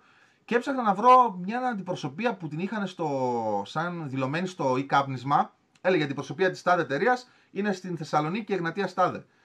Και πήγα τώρα με το κινητό, έχω ανοίξει το GPS, φτάνω Εγνατία Στάδε και δεν βλέπω κάποιο μαγαζί και αντιπροσωπεία κιόλας μεγάλο μαγαζί. Μπαίνω μέσα στο e-κάπνισμα, παίρνω τηλέφωνο και βλέπω μέσα από το μαγαζί μου μιλάει υπάλληλος και μου λέει: Ναι, λέει, εδώ είμαστε. Λέει: Άλλη σε βλέπω, μπες μέσα. Ξέρεις τι κατάστημα ήταν αυτό; Πουλούσε ε, ε, καροτσάκια. Ε, ε, ε Έλα, ρε φίλε. Πώς το λένε, νάρθικε, ε, πατερίτσες, αναπηρικά μαξίδια. Τέτοιο. Και απλά είχε ένα χαρτόκουτο, ένα τέτοιο χαρτόκουτο. Είχε ένα χαρτόκουτο που μέσα είχε πεταμένα χήμα υγρά ατομοποιητέ. Και μου λέει να λέει, διάλεξε, λέει, πάρω όποιο θέλεις. Που το έβγαλε εκεί πέρα πάνω στο, στην, στο γραφείο. Αληθινή ιστορία και πάρε, μου λέει, διάλεξε όποιο θέλεις. Αυτό το μαγαζί ήταν δηλωμένο σαν την αντιπροσωπεία της Ελίφ, της Κόραλ, δεν θυμάμαι ποιες ήταν τότε, ρε παιδί μου. Έτσι με στο ικάμισμα έχουμε αυτή την αντιπροσωπεία και πήγα εγώ να πάρω πράγματα και. Τώρα αυτός με τι να με ενημερώσει εμένα. Τυχαία πήγε, πήρε αυτή την κούτα με τα πράγματα, το δήλωσε και καλά στην αντιπροσωπεία. Α, μια αρπαχτή θα κάνω, μια ξεπάτε γιατί να βγάλουμε από εδώ και 100 ευρώ. Θέλω τώρα ε, Ευκαιριακές πωλήσεις, ναι. Ευκαιριακές πωλήσεις. Μου θυμίζει τα μαγαζιά τα οποία έχουν τα πάντα μέσα έτσι, και δεν μπορεί κανείς να συνημερώσει για τίποτα στην Το θέμα είναι τώρα, εγώ σαν καπνιστής πήγαινα σε αυτό το κατάστημα να ξεκινήσω το άτομο, θα μου έδινε ό,τι να είναι, θα έπαιρνα ό,τι να είναι, θα πήγαινα σπίτι ό,τι να είναι. Προφανώς θα πετούσα τα λεφτά μου άδικα γιατί δεν θα με κάλυπτε αυτό που πήρα. Και θα έφτανα μετά να ρωτάω στο Facebook, παιδιά, αυτό το πήρα, τι το κάνω. Ρώτα πριν το πάρεις, τι είναι αυτό που πήρες. Εκεί που πήγες, σου γεμίσει το μάτι, ξέρει αυτός να σου απαντήσει. Είναι αυτό Μα ναι. γι' αυτό έχουν σταματήσει ειρηνικό το άτμισμα. Γιατί πήραν ό,τι να είναι, χωρίς να ρωτήσουν, δεν τους άρεσε. Και μιλάω τώρα και από προσωπικές εμπειρίες, έτσι. Δεν μου άρεσε, μου λέει, δεν με κάλυψε κλπ. Του λέω, τι άτμισε.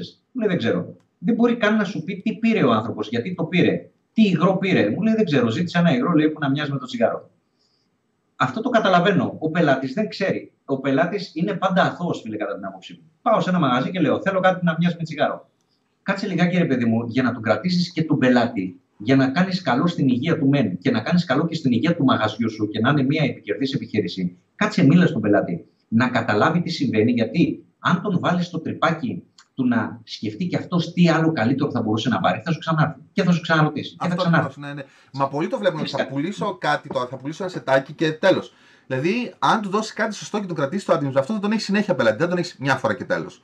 Ακριβώς. Και πολλοί δεν το βλέπουν. Δηλαδή, βλέπω πολλούς γνωστούς που λένε Α, θυμίζει, ναι, λέει και εγώ λέει, δοκίμασα πριν ένα χρόνο ή πριν τρεις μήνες και δεν μ' άρεσε. Μου δείχνουν κάτι σετάκια καμία σχέση με το προφίλ τους. Και του λέω, Έλα, κάτσε εδώ πέρα, του βγάζω με 10 διαφορετικά πράγματα και του λέω, Ξεκίνα και δοκίμαζε. Μ' άρεσε αυτό, ωραία, αφού σ' άρεσε αυτό, πήγαινε, πάρε εκείνο, ρε παιδί μου. Το θέμα είναι ότι αυτοί πήγαν σε ένα μαγαζί, τα πήρανε και δεν τους είπε κάποιος κάτι, πάρε αυτό που σου αρέσει, δοκίμασε, κάνε ράνε. Ναι, θέλω ένα σετάκι, έλα πάρε αυτό γιατί αυτό εκείνη τη στιγμή πουλάει αυτό, μου έχει μείνει στο πρέπει να το πουλήσω. Και ευχαριστώ, τα λέμε, γεια σας, καλό βράδυ. Όχι, φίλε, δεν έχει νόημα. Δεν θα μείνει κανένας ατμιστής με αυτές τις διαδικασίες. Γι' αυτό και βλέπω τώρα ότι τα μαγαζιά έχουν ιδιαίτερο χώρο. Ξέρεις, έχει αλλάξει πολύ το άτμισμα και τα μαγαζιά. Έχουν ιδιαίτερο χώρο, έχουν τα πιπάκια τους, τα υγρά τους, τους ατμοποιητές. Πάρε δοκίμασε αυτό, ε, δοκίμασε εκείνο, κοίταξε να δεις αυτό δουλεύει έτσι και θα προτίμα να πάρεις εκείνο. Ε, αρχίζει η αγορά δηλαδή, ρε παιδί μου, και γίνεται πιο επαγγελματική, έτσι, πιο ναι, σοβαρή. Ναι, ναι, ναι.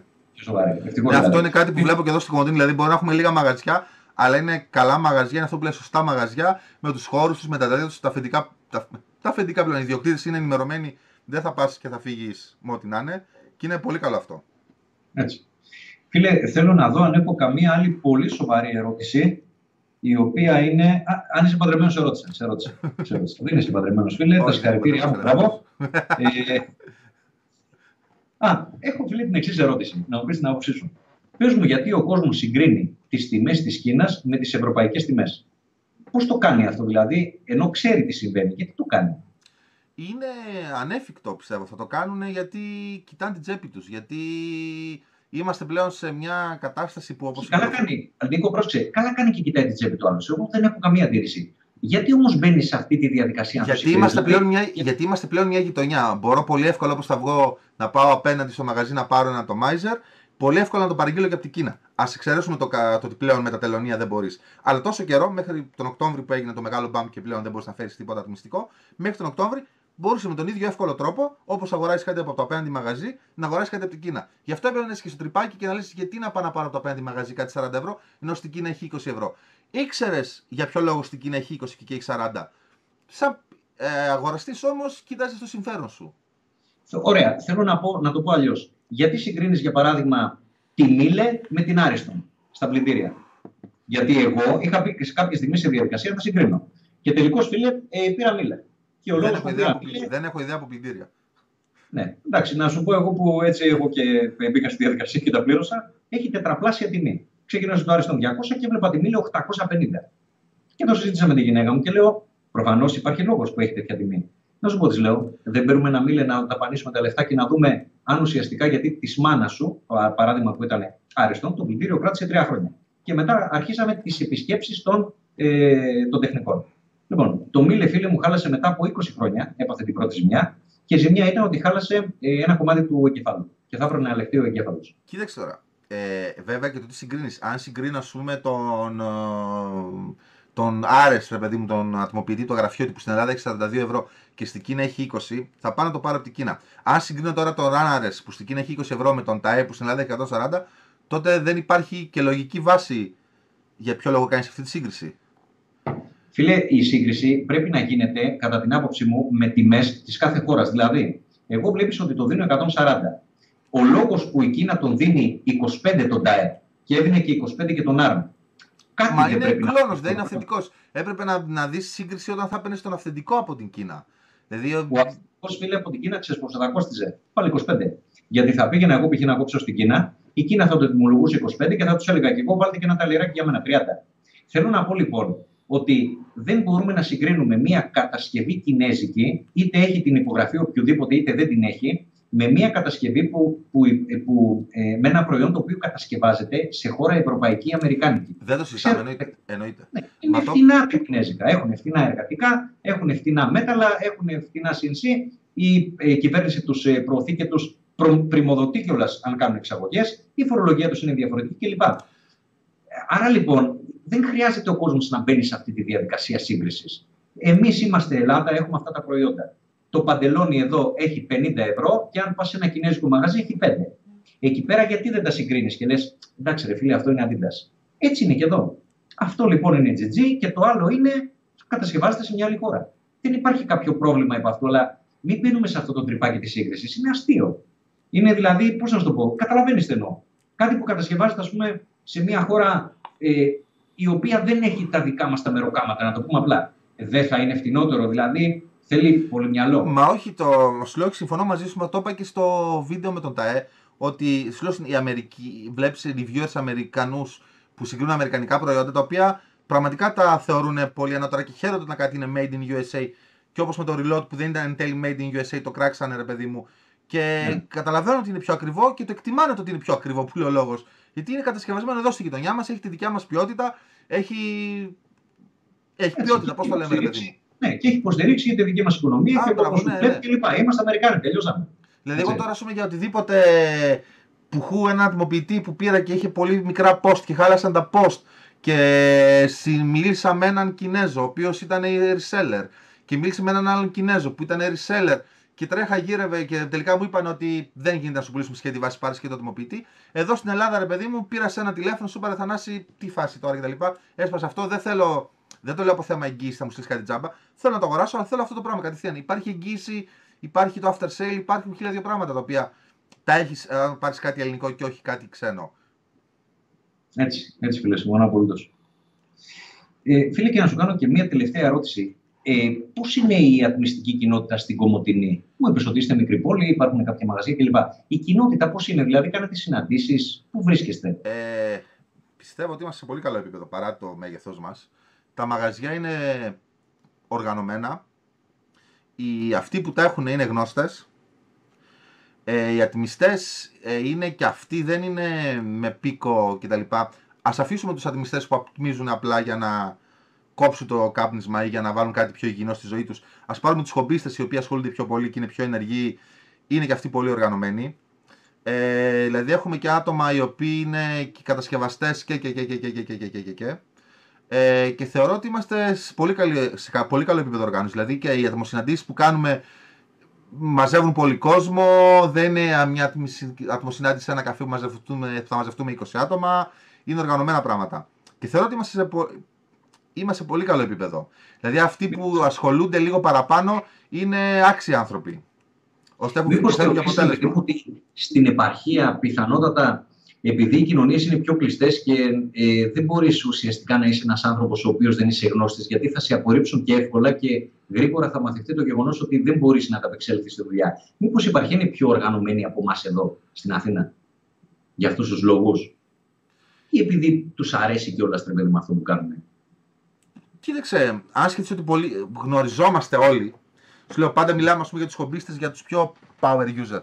Αν σκεφτείς ότι ας πούμε, είμαστε λίγοι, γνωριζόμαστε όλοι, ε, μπορούμε και πιο εύκολα να οργανωθούμε, μπορούμε πιο εύκολα να εμπιστευτεί ο ένας τον άλλον, μπορεί πιο εύκολα να βγει αποτέλεσμα.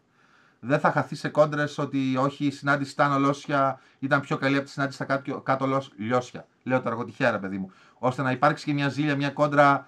Στην ουσία τα λιώσια, θια- λιώσια θα, συν, θα ενωθούν και θα κάνουν μια γαμάτη συνάντηση που θα, που θα έχει νόημα. Ναι. Ε, αλλά όχι, η επαρχία πάντα έχει το πρόβλημα της... Ε, του, όχι του εξοπλισμού που εδώ κόλλησα με τη λέξη. Τι, τι θες να πεις, Μ, της ενημέρωσης, μήπως; όχι, όχι, όχι, όχι, το, της πολυπικιλότητας, το να... Ναι. Το, ας πούμε το ότι δεν έχω τον ΤΑΕ κάπου εδώ πέρα σε κάποιο μαγαζί να πάω να το δοκιμάσω. Κατάλαβα τι λες. Ναι, ναι, εντάξει, ναι. Αυτό φίλε είναι μια αλήθεια και το σκεφτόμουν και εγώ κάποια στιγμή, ρε παιδί μου, να μπορέσω έτσι να έχω πολιτές. Αλλά το πρόβλημα, ξέρεις ποιο είναι, ότι δεν ξέρεις ποιοι είναι οι άνθρωποι οι οποίοι θα κάνουν σωστά τη δουλειά σου. Ναι. Αυτό είναι ένα σοβαρό πρόβλημα. Και επειδή, ε, βέβαια, θα μου πεις, γιατί δεν ρωτάς, θα μπορούσα να ρωτήσω για παράδειγμα εσένα. Ε, Απλώς η Κομωτινή είναι ένα σημείο το οποίο έτσι παρεμπιπτόντως, ε, αν και το έχουμε πει να το πούμε και live, ο πατέρας μου έτυχε να πάρει μετάθεση Αθήνα. Η πρώτη του μετάθεση ήταν Κομωτινή. Έτσι, Μάλιστα. θα ήμασταν πάνω τώρα και θα τα λέγαμε παρέα.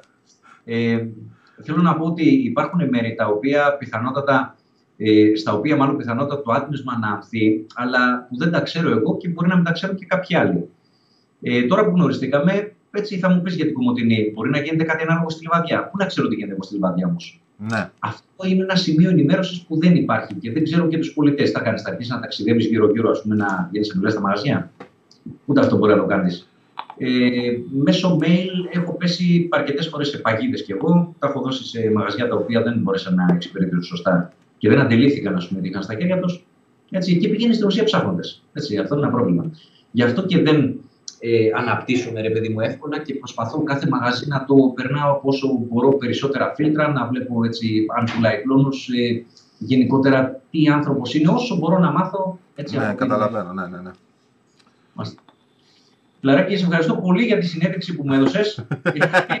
Εγώ ευχαριστώ. Εγώ ευχαριστώ που το δέχτηκες και τα πάμε. Και εγώ χάρηκα Νίκο πάρα πολύ. Ε. Έτσι, νομίζω ότι κάναμε κάτι διαφορετικό αυτή τη φορά. Δεν ήταν μόνο ερωτοαπαντήσεις. Ε, Μα ναι, Προς συνέντευξη. κοίταξε, η Εξόμενο. συζήτηση ήταν απλή φιλική συζήτηση, ρε παιδί μου, το οποίο υπό, υπόθηκαν κάποια πράγματα. Έτσι, εμένα και εμένα αυτό το στυλ της συζήτησης μου αρέσει. Ε, ελπίζω ότι δεν ε, προσβάλαμε κανέναν. Είπαμε κάποιες προσωπικές απόψεις και επειδή οι προσωπικές απόψεις, φίλε, είναι αυτό ακριβώς που λέμε προσωπικές, ε, θα έλεγα ότι θα μπορούσε κάποιος να τις ε, λάβει υπόψη του, να τις επεξεργαστεί και ή να τις κάνει δικές του ή να τις απορρίψει. Έτσι, δεν χρειάζεται να τα βάζουμε με κανέναν. Ούτε ένας reviewer είναι ο μάγκας ο τρελός ο οποίος θα αναδείξει κάτι, ούτε ο κατασκευαστής ο τεράστιος μάγκας ο οποίος έφτιαξε το super atomizer. Ε, όλοι, όλα είναι μια προσωπική άποψη. Συμφωνείς; Ναι, και συμφωνώ και βλέπω πολύ συχνά οπαδισμούς, οι οποίοι θεωρώ ότι δεν χωρούν στο άτμισμα. Δηλαδή, είτε οπαδισμούς σε κατασκευαστές, είτε σε reviewer, είτε, είτε σε χίλια δυο, που λες ότι για ποιο λόγο, ρε παιδί μου. Δεν, Ξέρεις τι, δεν ρε φίλε, βγάζει ο άνθρωπος ψωμί αυτό το μάλλον- παιδί. Όσο και παπαγαλάκι να είσαι, δεν υπάρχει νόημα για τόσο οπαδισμό. Που πόσο μάλλον ένας απλός χρήστης να είναι τόσο πορωμένος και να. Υποθέτω, ρε, Νίκο, ότι είναι το γεγονός ότι ο άνθρωπος θέλει να ανήκει σε μια ομάδα ανθρώπων. Ναι. Δεν θέλει να είναι μόνος του. Έτσι δημιουργούμε μια ομάδα σιγά-σιγά. Εμένα μου αρέσει αυτό που όπου τι ωραία και εμένα μου αρέσει αυτό. Όπου να μια ομάδα από δύο άτομα. Έρχεται και ο τρίτος και τελικά κάναμε ομάδα. Ε, Ναι, πολλά και πράγματα αρχίζουμε- είναι στη φύση μας και πρέπει να έρθουμε αντίθετα στη φύση μας. Ακριβώς, ακριβώς συμφωνώ πολύ. Νίκο μου, ειλικρινά χάρηκα για την ε, συζήτηση. Παρομοίως. Πολύ ευχαριστική κατά την άποψή μου. Περάσαμε ευχάριστα ένα δύο ώρακι. Πόσο πέρασε, ναι; Τι δύο ώρακι παραπάνω; Τρεις ώρες; Ε, ναι. να δω ποιος θα δει βίντεο τριών ώρων. Αυτό αυτό θα είναι εκεί πέρα γιατί και όποιος ημερακλή. Ευχαριστώ και πάλι, Νικό. Και εγώ ευχαριστώ, Θανάση μου. Ε, ελπίζω να τα ξαναπούμε. Δυστυχώς δεν είμαι κοντά για να τα πούμε και live. Αν τύχει ποτέ και με βγάλει ο δρόμος μου Αθήνα, εννοείται θα το κάνουμε. Α πούμε, ένα άλλο κακό της επαρχία είναι ότι δεν μπορείς να είσαι συνέχεια με αυτούς τους ανθρώπους κοντά. Mm. Δηλαδή, και το άλλο της επαρχία είναι ότι για μας λίγο είστε superstar. Δηλαδή, wow, μίλησα με τον Ιμαίο Live που τόσα χρόνια, ας πούμε, δεν, μπο... δεν θα σε πετύχω ποτέ σε καμία συνάντηση εδώ της Κομωτινής. Δεν θα σε πετύχω σε κάποιο ατμομάγαζο. Ε, θα σε βλέπω πάντα μέσα από τα βίντεο και έχεις την ψευδέστηση της τηλεόρασης και ξαφνικά βλέπεις είσαι live με έναν superstar. Wow. Ε, αυτό, φίλε, επειδή το έχω σκεφτεί επανειλημμένω, υπάρχει π.χ. κόσμος ο οποίος μου μιλάει στο πληθυντικό. Επίσης, δε, ε, ε, έχει, έχεις μια δύναμη, ε, μιλάω για μένα, για σένα και γενικότερα όποιος βγαίνει στο γυαλί σε εικόνα. Έχεις μια δύναμη την οποία δεν την ξέρεις σε πρώτη φάση και δεν την καταλαβαίνεις. Και επειδή αισθάνεσαι φυσιολογικός όπως αισθανόσουν πάντα, αν κατά λάθος δεν την ακούσεις και νομίζεις ότι είναι κάποιος, ε, και βλέπεις ότι έχεις μια αντιμετώπιση από τον κόσμο διαφορετική από αυτή που είχες παλιότερα και αναρωτιέσαι γιατί. Και μετά, βέβαια, αντιλαμβάνεσαι ότι. Έτσι, να, να σου δώσω ένα παράδειγμα. Είδα και εγώ τον Μπρουσάρντο, έτσι, ο οποίος είδε και αυτό σε μένα. Και είχαμε στην ουσία την ίδια αντιμετώπιση ότι επιτέλους μου λέει ο Μπρουσάρντο, μόλις με είδα, βλέπω τον κατασκευαστή, τον έτσι, τον μπήξ, τον δείξει κλπ. Εγώ αισθάνθηκα αντίστοιχα. Και εγώ ρε, του λέω πώ σε βλέπω να κάνεις τριβία, ας πούμε, τόσα χρόνια κλπ. Και, και αγκαλέ και φιλιά. Ε, είναι μία αίσθηση η οποία είναι, την καταλαβαίνω, είναι ανθρώπινη, είναι ωραία αίσθηση. Εμένα μου αρέσει. Ε, και ίσως είναι και καλύτερη φίλε από το να βλέπεις κάποιον κάθε μέρα, γιατί υπάρχει και αυτή η τριβή και μπορεί να δημιουργηθεί και κόντρα από κουταμάρες και μικροπαρεξηγήσεις. Γιατί η ανθρώπινη επαφή έχει και δυστυχώς και αυτό το κακό.